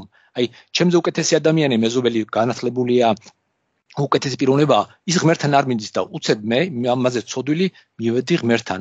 რატომ? აი და ეს უფრო გასაოცარია. მე რატომ გადა მე რატომ შემიყვარე ღმერთმა? რატომ შეიყვარა იაკობი? და აქ დავინახავთ ღმერთის მას და განვადიდებთ მის სახელს. და ამიტომ საოცარი ადამიანი რაზე მიაქცევს ყურადღებას სიძულზე თუ სიყვარულზე. და ბიბლიაში წერია რომ ღმერთს მხოლოდ ერთი რამე ძულს ეს არის ცოდვა. და თუ ესავის ცხოვრებას გადახედა და მის თამამოვლებას მართლა ძალიან გამრავლდა ესავის თამამოვლობაში ცოდვა და როგორც იყო ნათქვამი თქვენს თქვა ახსენეთ რომ ეს ხალხი ედომელები ტერი იყვნენ ისრაელი ხალხის და ღვთის ყველა აღთქმის ამის დამატება ამიტომ მადლობა ხო, მართლაც საოცარია, რატო უნდა შეიყვარო იაკობი, მეც მეც გაზრისა ვარ, ხო, აი ეს უფრო მაუცებს მე. თორე ესავი იმ თავით აი ტიპია რა და ეს რატო უნდა შეიყვარო? იმიტომ რომ ცოდვა როგორც თქვა, ცოდვა არ უყვარს ხარს. ადამიანი უყვარს, არაცებ ყურადღება შენ რა. თან როგორც გითხარით, აღთქმასაც მნიშვნელობა აქვს. რა შესაყვარებელი იაკობია, რომ გადახედავ გაოცდებით და ეგ მაუცებს მე. ან ავაზაკი კიდე ჩემთან იქნებიო რო უთხრა. ავაზაკი რა შესაყვარებელი იყო რა ხდება არ ვიცით. რა რა დადაინახა ავაზაკში ღმერთმა? დამალულია ჩვენთვის ეს? მაგრამ იმედის მომცემია. ეგ ისე კი არის გაიგოთ რომ ავიავაზაკოთ ბოლომდე და იცი რა არის ღმერთი გვაბატებს ბევრი გაგა პრიმიტიულად. არა არა ღმერთი გულში იყურება. ადამიანი ვერ იყურება გულში. ის 100%-იანი სამართლიანია ღმერთი. ი აბსოლუტურად იმ წამებში რაღაც აი მოხდა რა მობრუნდა რა კაცი რა დაიბადა რა ავაღა ძველ ადამიანს ცოდვილ ადამიანს რატო წაიყვანდა? და ამაღამ ჩემთან იქნებიო წმინდა უწმინდურს რატო გაიკარება აი საიდუმლოებით არის მოცული და ჩვენ ტვინით ვერ გავარკვევთ ამას. იმედით უნდა მივიდე და წმენით მივიღოთ. რა კი ღმერთმა? ეს ავაზაკი შეიყვარა იმიტომ კი არა რომ ავაზაკობდა. ესე იგი შანსი აქვს ადამიანს ღმერთს თუ მიიღებს რომ გამოსწორდეს და მიღებული იქნება. ხო და ესეთი რამეები ადგილები ძალიან მართლა ის არის სარდა ის არის გასახარებელი ცით და ჩვენ არ უნდა ვიყოთ იმით გამშვალული რომ რაკია ღმერთი მოსიყვარული არავის არ დაჟეს. კაცო, ეს სხვა სამართლიანიც არის. სამართლიანი რო არის მაგით უდგება ყველაფერს, არ დაგავიწყდეთ. და ლიბერალებს როგორ არის, იცი? ო, ესავიც უნდა უყვარდეს, იმიტომ რომ ხო ხო მოყვარული, ესე არ გავიგოთ, რომ მოყვარული რო არის ღმერთი, ესავი, იცი? უყვარს ესავი, ესავს არ უყვარს ღმერთი. ესეც მე ესე არ შეიძლება შევატრიალოთ. ესავს არ უნდა ეს ღმერთი და და მოწოზე ხო არ შეეტენება ღმერთი. ორი ღმერთს უყვარს. აი ეს ღმერთი მოყვარული რო არის, შენს უნდა გიყვარდეს. ცალკეული სიყვარული არ არსებობს ქრისტიანობაში. ადამიანები ადამიანებს არ არ მოწონთ ცალკეული სიყვარული. ხალი გატეხილში არის, როცა უყვარს კაცს და ის არ პასუხობს. ამ პირიქით კაცი. რატომ არის სიყვარული ორმხრივი? ბიბლიიდან არის ეგა. ამიტომ შენ დალოცილო, თავად ღმერთი სიყვარული არის, უჩემოთაც გაძლებს, მაგრამ ვის რომ აჩენს და მასე ვარ დამოკიდებული, მე რა თქმა უნდა ვეხმაურები ამ სიყვარულს, მე მიყვარს ღმერთი. მე უნდა შევიყვარო ეს. ესავს ღმერთი არ უყვარს. იმას წუთი შოფელი უყვარს, ღმერთი წერ გაჩენილი დიდარიც არის. თან კიდე არც დაკვირვებულა რომ ყველაფერი რაც აქვს ღმერთიდან აქვს. ააკა ჩანს ღმერთის სიყვარული, სად არის იძულული? ჯო რაც აქვს ყველაფერი ჯანი ღმერთიდან აქვს. ქონება ღმერთიდან. ამას კი ვერ უკვირდებიან. არე მიეწერა თვითონ არის მაგარიტები და იაკობი ჩათლაღი და გოთონე. ესეთი ხარ შენც. უბრალოდ ამან გამოავლინა შენ არა. ამიტომ ე ამ ტიპმა რომ გამოავლინა აქედან უნდა მიხვდე თუ ეს შეიყვარა მე რატო არ შემიყვარებს და მე ამიტომ შენ არ გიყვარს, შენ უნდა შეიყვარო ღმერთი. ეს არის ღმერთი არ უყვარს და სუებძის თელე დომელები და იმისი ბოლო წარმომადგენელი რა ვიგინდა რა იყო იცით ჰეროდე დიდი რა. ეს მიდგომა აი ამ კონკრეტულ იმაში თარგმნებით ახსნა ხო? არ გამოგვადგება ეს გაქცევა იქნება. აი თქვენ რაც ახსენით ეს არის ზუსტი. ზუსტი არის ესა და მე 100% ვიზიარებ, იმიტომ რომ არ დაგვაუწეს კალვინისტი არის ხო? ვოშერი და ასევე კალვინისტების მიდგომა როგორი არის ამ საკითხებზე. ლაპარაკი რაზე ეცი ხო არ არის? რაღაცა დატოვებული ისეთი ხვრელი, რომ გააფართოო სატანამ, რასაც რაც მოვიდა თომა აქვინელს. თომა აქვინელი ცნობილია, ვერან ვერ იტყვის, რომ არა ინტელექტუალურია და თომა აქვინელი არ წავიკითხოთ, წაკითხული მაგ და ინტელექტს ვიზიარებ. მაგრამ როცა შეეხო იმ საკითხს, რომ ედემის ბაღში ცოდვას ადამიანი მარტო ერთი ნაწილი დაექვემდებარა, ეს არის ნება და ინტელექტი არა, ამას რა მოყვა? მე-19 საუკუნეში ათეიზმი. აი ახლა როცა აქ თქვა კალვინიზმის დოქტრინა არის კალვინიზმის დოქტრინა. თორე ბევრი იცი რა ჩვენ რაღაცებს ლაპარაკობს ახო მაგ აგერ რა წიგნები მაგის და მე მგონი თქვენ რა გაქვს წაკითხული ეს სამი თომი უამრავი წიგნები მაქვს შეძენილი რომ სარგებლობთ მაგით რომ ეს კალვინისტი გადაყარო მაშინ რატომ მაგ ეს? ამიტომ მე ის მაინტერესებს შეცდომა სადუშვებს ადამიანის. ბიბლია არის სული წმინდით დაწერილი დანარჩენი ციგნები არის შერეული ჭკვიანი ადამიანების და რატღაც შეცდომა იყოს. შეიძლება შეცდომა ისეთი იყოს, ის გავაფართოვო, გავაფართოვო და მე აღმოჩნდეს ადღაც ერეტიკაში. ეხლა და აი კონკრეტული მაგალითი. აი ასე ფორმულირება, სხვანა აი ესე იგი, სხვანაირად უნდა დაისვას, სხვანაირად რო გამაგებინო. მე ეხლა ათეისტის ყურით უყურებ ამას, პოლვოშებთან ამაკ ლაპარაკი. თუ ამ ადგილს იხმარებ ისე რომ ღმერთი ამხელ, ვინც უყარს, მიდის და ამხელს. ხო და შედალუცულო მეც მომხილე მე არ გიყვარ ვარ. ასე დავსვა მე საგეს. მე ესავე რომ მოგისმინე. შენ დაგაბრალე რატო არ მომხილე და თუ არ ამხილა ღმერთია დამლაშავე და თუ ამხილა დამალული რატოა მაშინ ვიცით რომ არ ამხილა? რა იცით? იქნებ ამხილ და მე გითხარით აღთქმის შვილები აინტერესებს ბიბლიაში მკითხველს. მაგას მიყვები მე. ესავს არა. ის უკანა პლანზე გადადის ამიტომ თავარი მოქმედი მაგ ბიბლიაში ღმერთია და აღთქმიშვილები. ამიტომ მაგას უნდა გაყვედა, როცა კითხულობს ადამიანი და ახსნა რაღაცეები და სიძულვილი, აი აქ ეხსნება გზა კალვინიზმი რო თქვით, იზმი, დააკვირდე კალვინი პიროვნება იზმი. მარტინ ლუთერი ლუთერიანობა. და არც თუ არ ეგ ორგანიზაციები. მე ის ამ დოქტრინას არ მოგვახვეს თავზე? ქრისტიანობა თავისუფლებაა თუ დოქტრინის მოხვევა თავზე?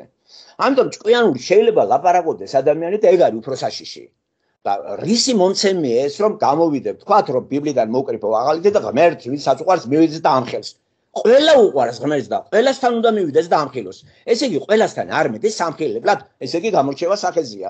ვინც უყარს ე გამოარჩია იმას ამხელს. დარჩენი გვერდზე გადადო. აი ეს ეს თქო წეხანი. საჭირო არ არის და რასვეშია კალვინიზმი და ისო კითხულობთ მაგწინე? მარქსიზმი წამიკითხეთ თქვენზე?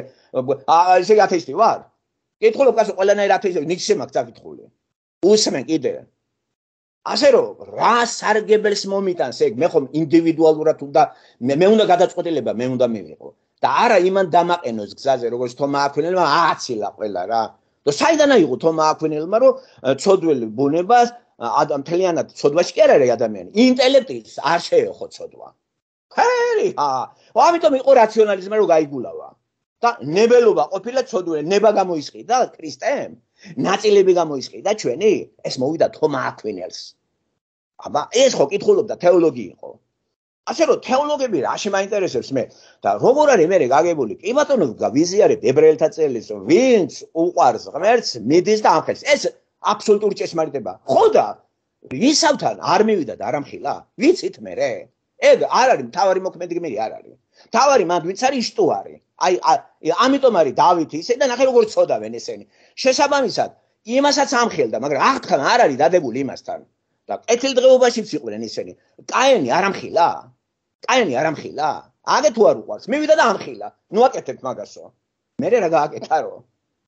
ასე რომ ცოტა იმაში რომ მივიდეთ და მოვწესრიგდეთ. აღარ იქნება გაუგებრობა ის ახლა და ოფიციალური ეკლესიები მაინც თავის დოქტრინას ახორციელებენ და ვერ გადაუხვევენ იცი? და ეს საშიშროება იყო თქვა ახლა რაც ილაპარაკეთ თქვენ იცი და თუ ამ საშიშროებას თქვენ თვითონ მიაგნებთ პრობლემა არ არის. და არა ის კალვინი არ წაიგო. კაც ავიკითხოთ ადამიანები ხო გავარჩიოთ ეგ არის სიამოვნება რომ არ მომწამო. მოკლედ ის არ არის ჩემი ვთქვათ ესეთი აპრიორი ესეთი სული წმინდა რა რამხელა შეცდომები აქვს იცით მას რა მარტინ ლუთერს იცით რამდენი შეცდომები აქვს ადამიანია რა ღმერთ რა ჩვენი მამები საქართველოს წმინდა მამები ვინმე იტყვის რომელი მორალური თვალსაზრისით რომ გადასაყრელებია მაგრამ რა არეული დარეული აქვს ყველაფერი რა და თელი რიგი რა მოკლედ ჩვენი გასამარტავი რა არის? საფოწერილია, მაგრამ მე თუ ორგანიზაციის წევრი ვარ, რომ გავწევრიანდი, დიპლომი ავიღე და დავდექი, ვალდებული ვარ თუ არა იმ ჩარჩოებში მომოწერაო? თორე ტყავს გამაძერობენ. ამიტომ ქრისტიანობა თავისუფლებაა.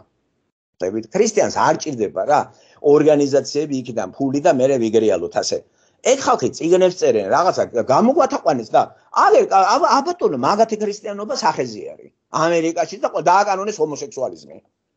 კი მაგრამ ამაზე ვერ გავიგე ეს რა ხდება გაგვაგებინო ხო აი რომ გახსენეს ნელა თომა აკვინელიდან დაწყებული მე რეიცი რა არის ადამი ეს ის არის პერსონაჟი არის მითი იცით რამდენი ძახის ამას თუ ესენი არის ძახენ ეს არ ნიშნავს არაფერს. განშტოებებია. ამიტომ როცა საკითხი ისმის ასე ესავი მოიძულა ეს შეიყვარა ამას ამაგრებთ აებრაელის წერილით რომ ღმერთს ვინც უყარს მიდის და ამხელს. რატო არ მივიდა იესოსთან? რა ქვია ესავთან? არ უყარს არ ყოფილა მოყვარული იმასთან რატო არ მივიდა? მე ეს მაინტერესებს. ა რატო არ ამხილა? და რა ვიცით რომ არ ამხილა? გამაგებინეთ ერთი. თავარი ხო ეგ არის ყველა გმირის ხო გაყვება ისა 3227 პერსონაჟი არის მანდ თავარი ხაზის რა არის აი როგორც კი წარღუნა მოხდა და შევიწრობდა ყველაფერი და დავიდა ერთ ერთს აი აბრაამზე. მე მაგას არ მიყვებით 4 პატრიარქს. 4 პატრიარქიდან რამდენი შვილებია მან და ვინმეს მიყვებით? მიყვებით აღთქმის შვილებს. ისააკი, იოსები და მე აი ნახი იაკობი და ისრაელი. მე უკვე სახელმწიფო. მე მან მეფეები, ვინ არის ღმერთთან? სად არის მან ესავი? ესავის მოდგომა საერთოდ დაინტერესებს. გავიდა სცენიდან, გადის ტრათარი აღქმული და თქმა იმისა რომ ის მოიძულა და არ მივიდა სამხილებდა და ეს იმიტომ უყვარს რომ მივიდა და ამხილა. რაღაცა პრიმიტიული არის მეთქი. ამას ვიძახი კაცო გვეს მის ღმერთი რასაკეთებს და დარწმუნებული ხარ თუ ეს ეს სწორია? დარწმუნებული ხარ? და ციტატებით რატო ვამაგრებ ჩვენ დოქტრინას? არჯობია უფრო თქვა რომ ღმერთი მოყვარულია სამართლიანია და ესავსაც ამხელდა, მაგრამ არ მიიღო ამის მაგალითი მაქვს მე ებრაელებიდან კი არა. აიმიდან, რა ქვია, კაენიდან. არ ამხილა. როგორ არ ამხილა კაცო? და ესავს რატო არ ამხელდა? მაგალითად, უყურებდა ისრაელი რა სასწაულებს ახდენდა. და არ იღებს, არა, ჯიუტია ფარაონივით. ამიტომ არაფერი შვაში არ არის სიძულვილი მანდა. მოიძულა ერთი შეიყვარა მეორე და ამას გაყვა ყველა და არ აი არჩე გამორჩევის თეორია და ყველა არ გადარჩება და გირეს და ამას მოყვა თეორიებით სექტები და აბატონო გაუგებრობაში ვართ. ამიტომ გამოგვათაყვანებს ყველა თუ ესე გავყვებით და წაკითხეთ კი წაიკითხოს ადამიანებმა მაგრამ თავის რწმენისთვის რაც ასარგებლოა ის ის მე ვიყოთ და როცა მასწავლებლის სტატუსი გვაქვს მაშინ ფრთხილად ვიყოთ და ისე ინდივიდუალურად თუ ადამიანს უნდა ეს მიიღოს. მასეებლის სტატუსი როცა აქ ადამიანს ისეთი ჭეშმარიტება ილაპარაკო რომ ზოგად იყოს ყველასთვის. და არ ერთი რაღაცა სექტისთვის. ხო აი მართლმადებლო ერთი სექტისთვის არის მართლმადებლისთვის არის. ეგ ეგ ამიტომ არ არის ქრისტიანობა. და პროტესტანტიზმში არ არის ისეთი სექტები რომ მარტო იმ ორგანიზაციისთვის არის. მე რა მე გაგეთ ა ამიტომ მე ჩვენ თავისუფლები ვართ ამ ხრივ ხო? ამიტომ ჩვენ თავისუფლების მინდა ვლაპარაკობთ რომ ესე იგი რას ქვია თავისუფალი? არა ვარ დამოკიდებული სექტებზე ორგანიზაციებზე მათ დოქტრინებზე. არა ვარ დამოკიდებული ხო? ამაზე რომ აი იქ მიდი იქ ელოცე იქ რაღაცა გაკ ვა არა ღმერთი ყველგან არის შო ახალი აღთქმის ეპოქაშია სოციალური პიროვნება ხარ რასაც აკეთებ გააკეთე და იზამე ღმერთი. ბიბლია იკითხე მორჩა. თუ რაღაცა ნიჭი გაკ პედაგოგისა თქვათ გადაცემისა ამასაც გაძლევს ღმერთი უფლებას ილაპარაკე შენ ვიწრო წრეში იყავი ქადაგე მაგრამ ფრთხილად იყავი შენ შენი რწმენით იქადაგე და სხვის რწმენით არასოდეს არ იქადაგო დოქტრინით არ იქადაგოთ სხვისი დოქტრინით ყველა უნდა ლაპარაკობდეს თავისი წმენით. ის ხალხი დოქტრინით ლაპარაკობენ, დოქტრინით. აი ისწავლა, დიპლომი მიცა. ესია თავში ესა კალამიცებს იმას. კაი, შეიძლება ძალიან კაი ადამიანები ან მაგაზე კი ლაპარაკობთ, კაცო. ჩვენ უფრო სარგებლობთ მასეთი ხალხისგან. ვიდრე ესენი ჩვენ ტყავს გაგვაძრობენ. იმიტომ რომ მაგათი გაგევით, იქ უნდა იარო, იქ არის ცხონება. სახში არ არის ცხონება. ვიქ მატერიალნაის რუჟენია უნდა ჩაატარო. მე მისიონერებისთვის უნდა ვაგზავნოთ სოფლიოში ადამიანები. ხო, ხო მოიგეს ეს ცხოვრება. ხო გულაობენ. და პრაქტიკაში კიდე რა არის ამერიკა აგერ. აი, მაგათი ხადაგებით არ მერავდება ქრისტიანები რა.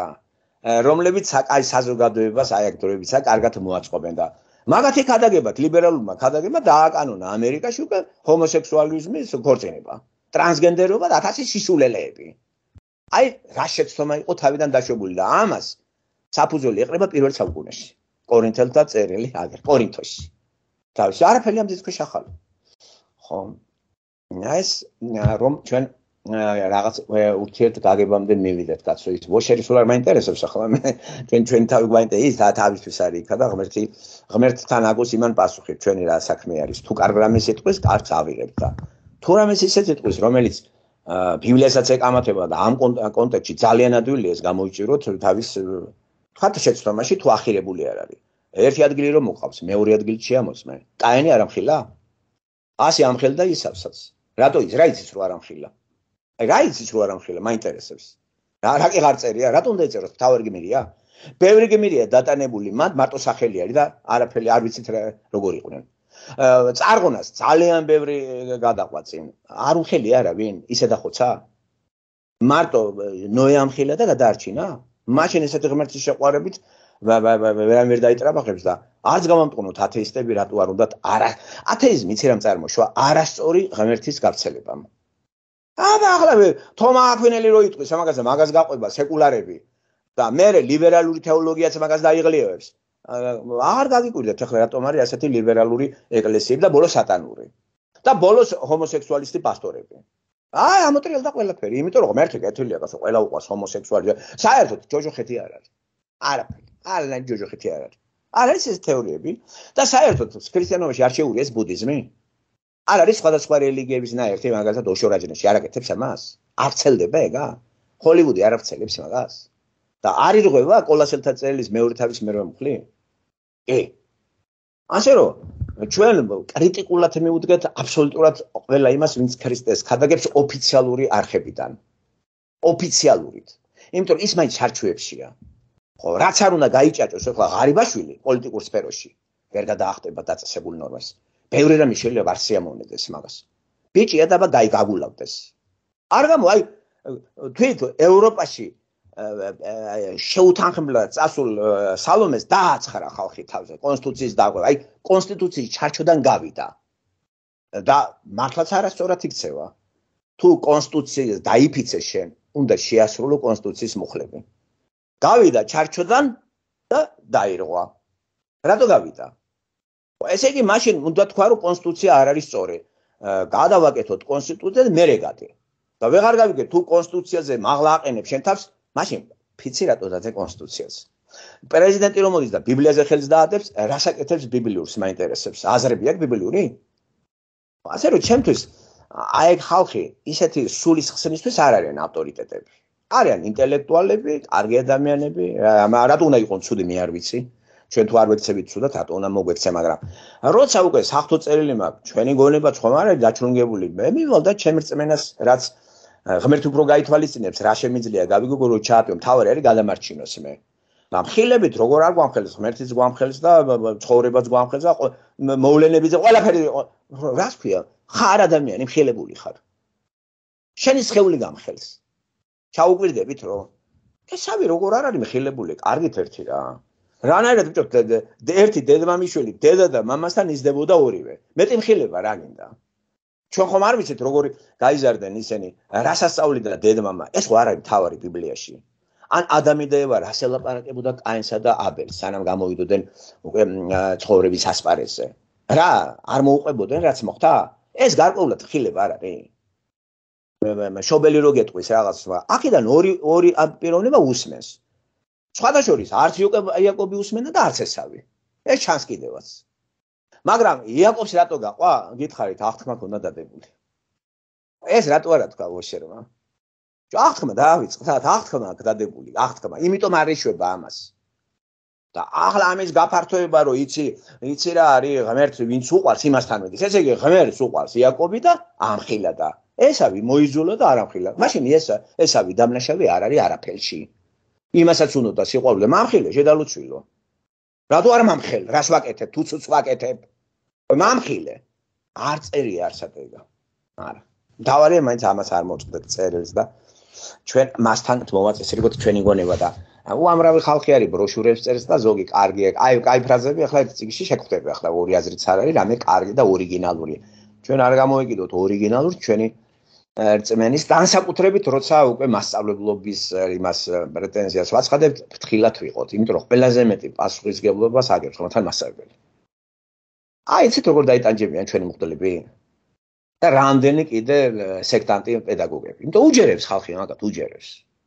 იცით რა პასუხი საბა. რიგითი ადამიანი ისე არის, იმიტომ მე შენ გენდობი. მართალი ეხლა დღეს ბიბლია არის და გეტყვის. კი, მაგრამ მე რატო არ მიჯერებდი? იმას რატო უჯერებდი? გითხარი რომ იმას მოусმინეო.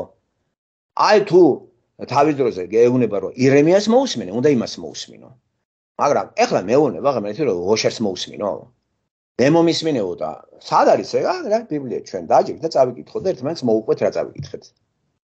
ერთმანეთს გაუზიაროთ უფრო კარგად გავერკოთ და ეს უფრო სწორი არის, ვიდრე ოფიციალური რაღაცა დიპლომიან ტიპს უყურო ჩარჩოებში რო არის და ვერ გავა ჩარჩოებიდან. გავა და გადააგდებენ. ვერ გავა გამორიცხულია, ნუ. როგორც მართლმადებელი ვერ გავა იმ ჩარჩოებიდან. რა, სიამოვნებთ ახლა რაც საკეთებენ? მატერიალური ის არის და ბევრი პროტესტანტი ვიცით ფოკუზინიკობს, ა იცით რომ ფოკუზინიკობს, მაგრამ უკვე რა კი ხა შეყო თავი ეხა უნდა გიჟოვანა ითამაშოს, ხო? აფართალდეს, ვითომენებზე ლაპარაკობს. და ვის მით მოწყიდება მაგას იმას მიატოვებს და მოდის. და ქოქოლასაც დააყრიან. როგორც მაფია ექცევა, მე რო კლავენ რა, ოტოვებ იმ გაერთიანებას. მინდოდა მომეყვანა იონეს ახარება თავი მესამე ჯავრი კი ის არის რომ სინათლე მოვიდა წუთისოფელში და სინათლეზე მეტად ბნელი შეიყვარეს ადამიანებმა ვინაიდან ბოროტი იყო მათი საქმენი.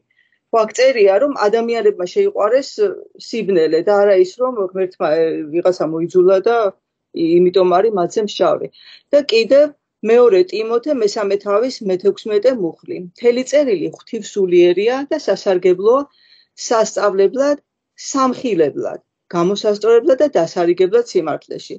ეხლა თუ შენ არ გინდა მისვლა საფთო წერილთან არ უჯერებ და არ კითხულობ, არ იქნები მხილებული, მაგრამ წერია რომ აგერ საფთო წერილი დაწერილია მთელი წერილი სამხილებლად. ასე რომ ვერან ვერ გამართლებს თავს რომ მე არ მომხილა ღმერთმა და აქედან გამომდინარე, როგორც თქვენ აღნიშნეთ, როგორ შეიძლება ისააკის შვილი იყო და შენ მხილებული არ იყო, იმიტომ რომ ის აუცილებლად ისაუბრებდა ღმერთზე, გააცნობდა იმას, რა მოწონს ღმერთს და რა რა არ მოწონს და როცა შენ უკვე იცი ღმერთის სიტყვა, შენ უკვე მხილებული ხარ ნებისმიერ დროს და შენ თუ არ გინდა და შენ თუ სიბნელე შეიყვარე უფრო მეტად და შენ თუ ბოროტება შეიყვარე უფრო მეტად, ეგ იმას ანიშნავს, რომ მხილებული არ ხარ. მადლობა.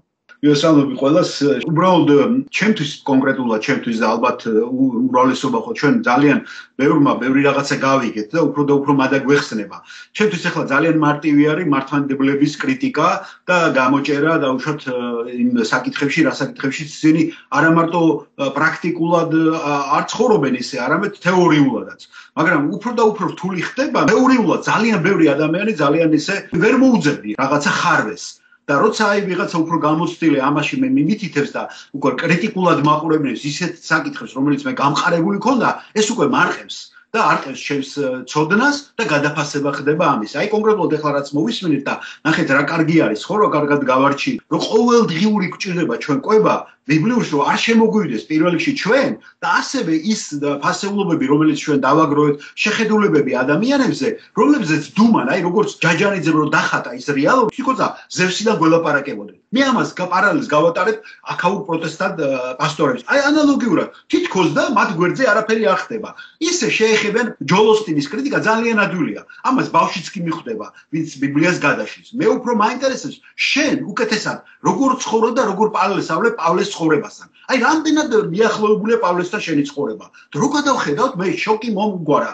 ეხლა ათეისტმა ლოიერება უნდა გამოკეკონ ადამიანის ცხოვრება და გამოიტანონ? იმიტომ რომ აბათ ეს რაღაც მოლაპარაკებული სექტა კალვინისტი იმიტომ ვახსენებ არა მარტო იმან კათოლიკებმა დაიწყეს თვითონ ამ პიროვნებამ დასაჯა თავისი მეგობარი როცა აზრებს შეეწინააღმდება და ძალაუფლება რომ მოიპოვა. ეხლა ამას გააკეთებდა პავლე ან იესო ქრისტეზე ლაპარაკი ზედმეტია ხო?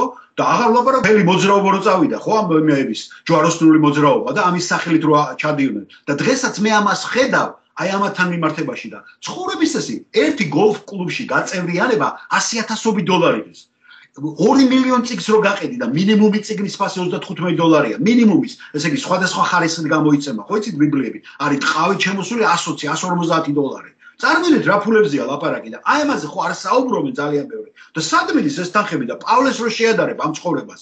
ახალ ლაპარაკობს სამი ადგილიდან რო ხელფასი იღებ და სახლი ისე გასაიდუმლოებული აუცილებლად თვითფრინავიდან უნდა გადაუგონ ვერტალიოტიდან რო დაანახონ ადამიანი როგორ ცხოვრობს და ზოგს ისე არ ერიდება თავის სახლში ტურებსდაც და იმასაც ჩაატარებს ეხლა შევადაროთ პარალელური გავლა მე ჯოულსტინი არ მაინტერესებს ვისაც თვითფრინავები ყავს მილიარდე შენ რიგით ამერიკელთან მე არ ვადარებ ამას ჩინელს რომელიც შენ კასეტებს უსმენს. არ ვადარებ ვიეტნამელს რომელიც გაღატაკებულია საქართველოსში უმშევარია. მე ვადავე რიგით ამერიკელის ცხოვრება როგორ მიდის? და შენი ცხოვრება როგორ მიდის ამის პარალელზე გადაირევით რა გაოცდებით რა ისეთ იმაზე არის ლაპარაკები ხო?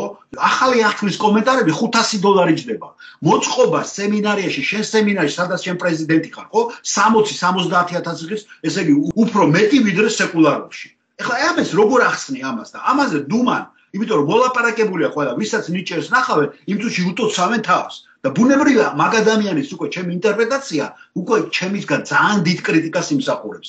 ყველანაირ ასპექტში. იმიტომ რომ მე მინდა ზრდა. მე მივახცი ამას და თავი მიდიდება.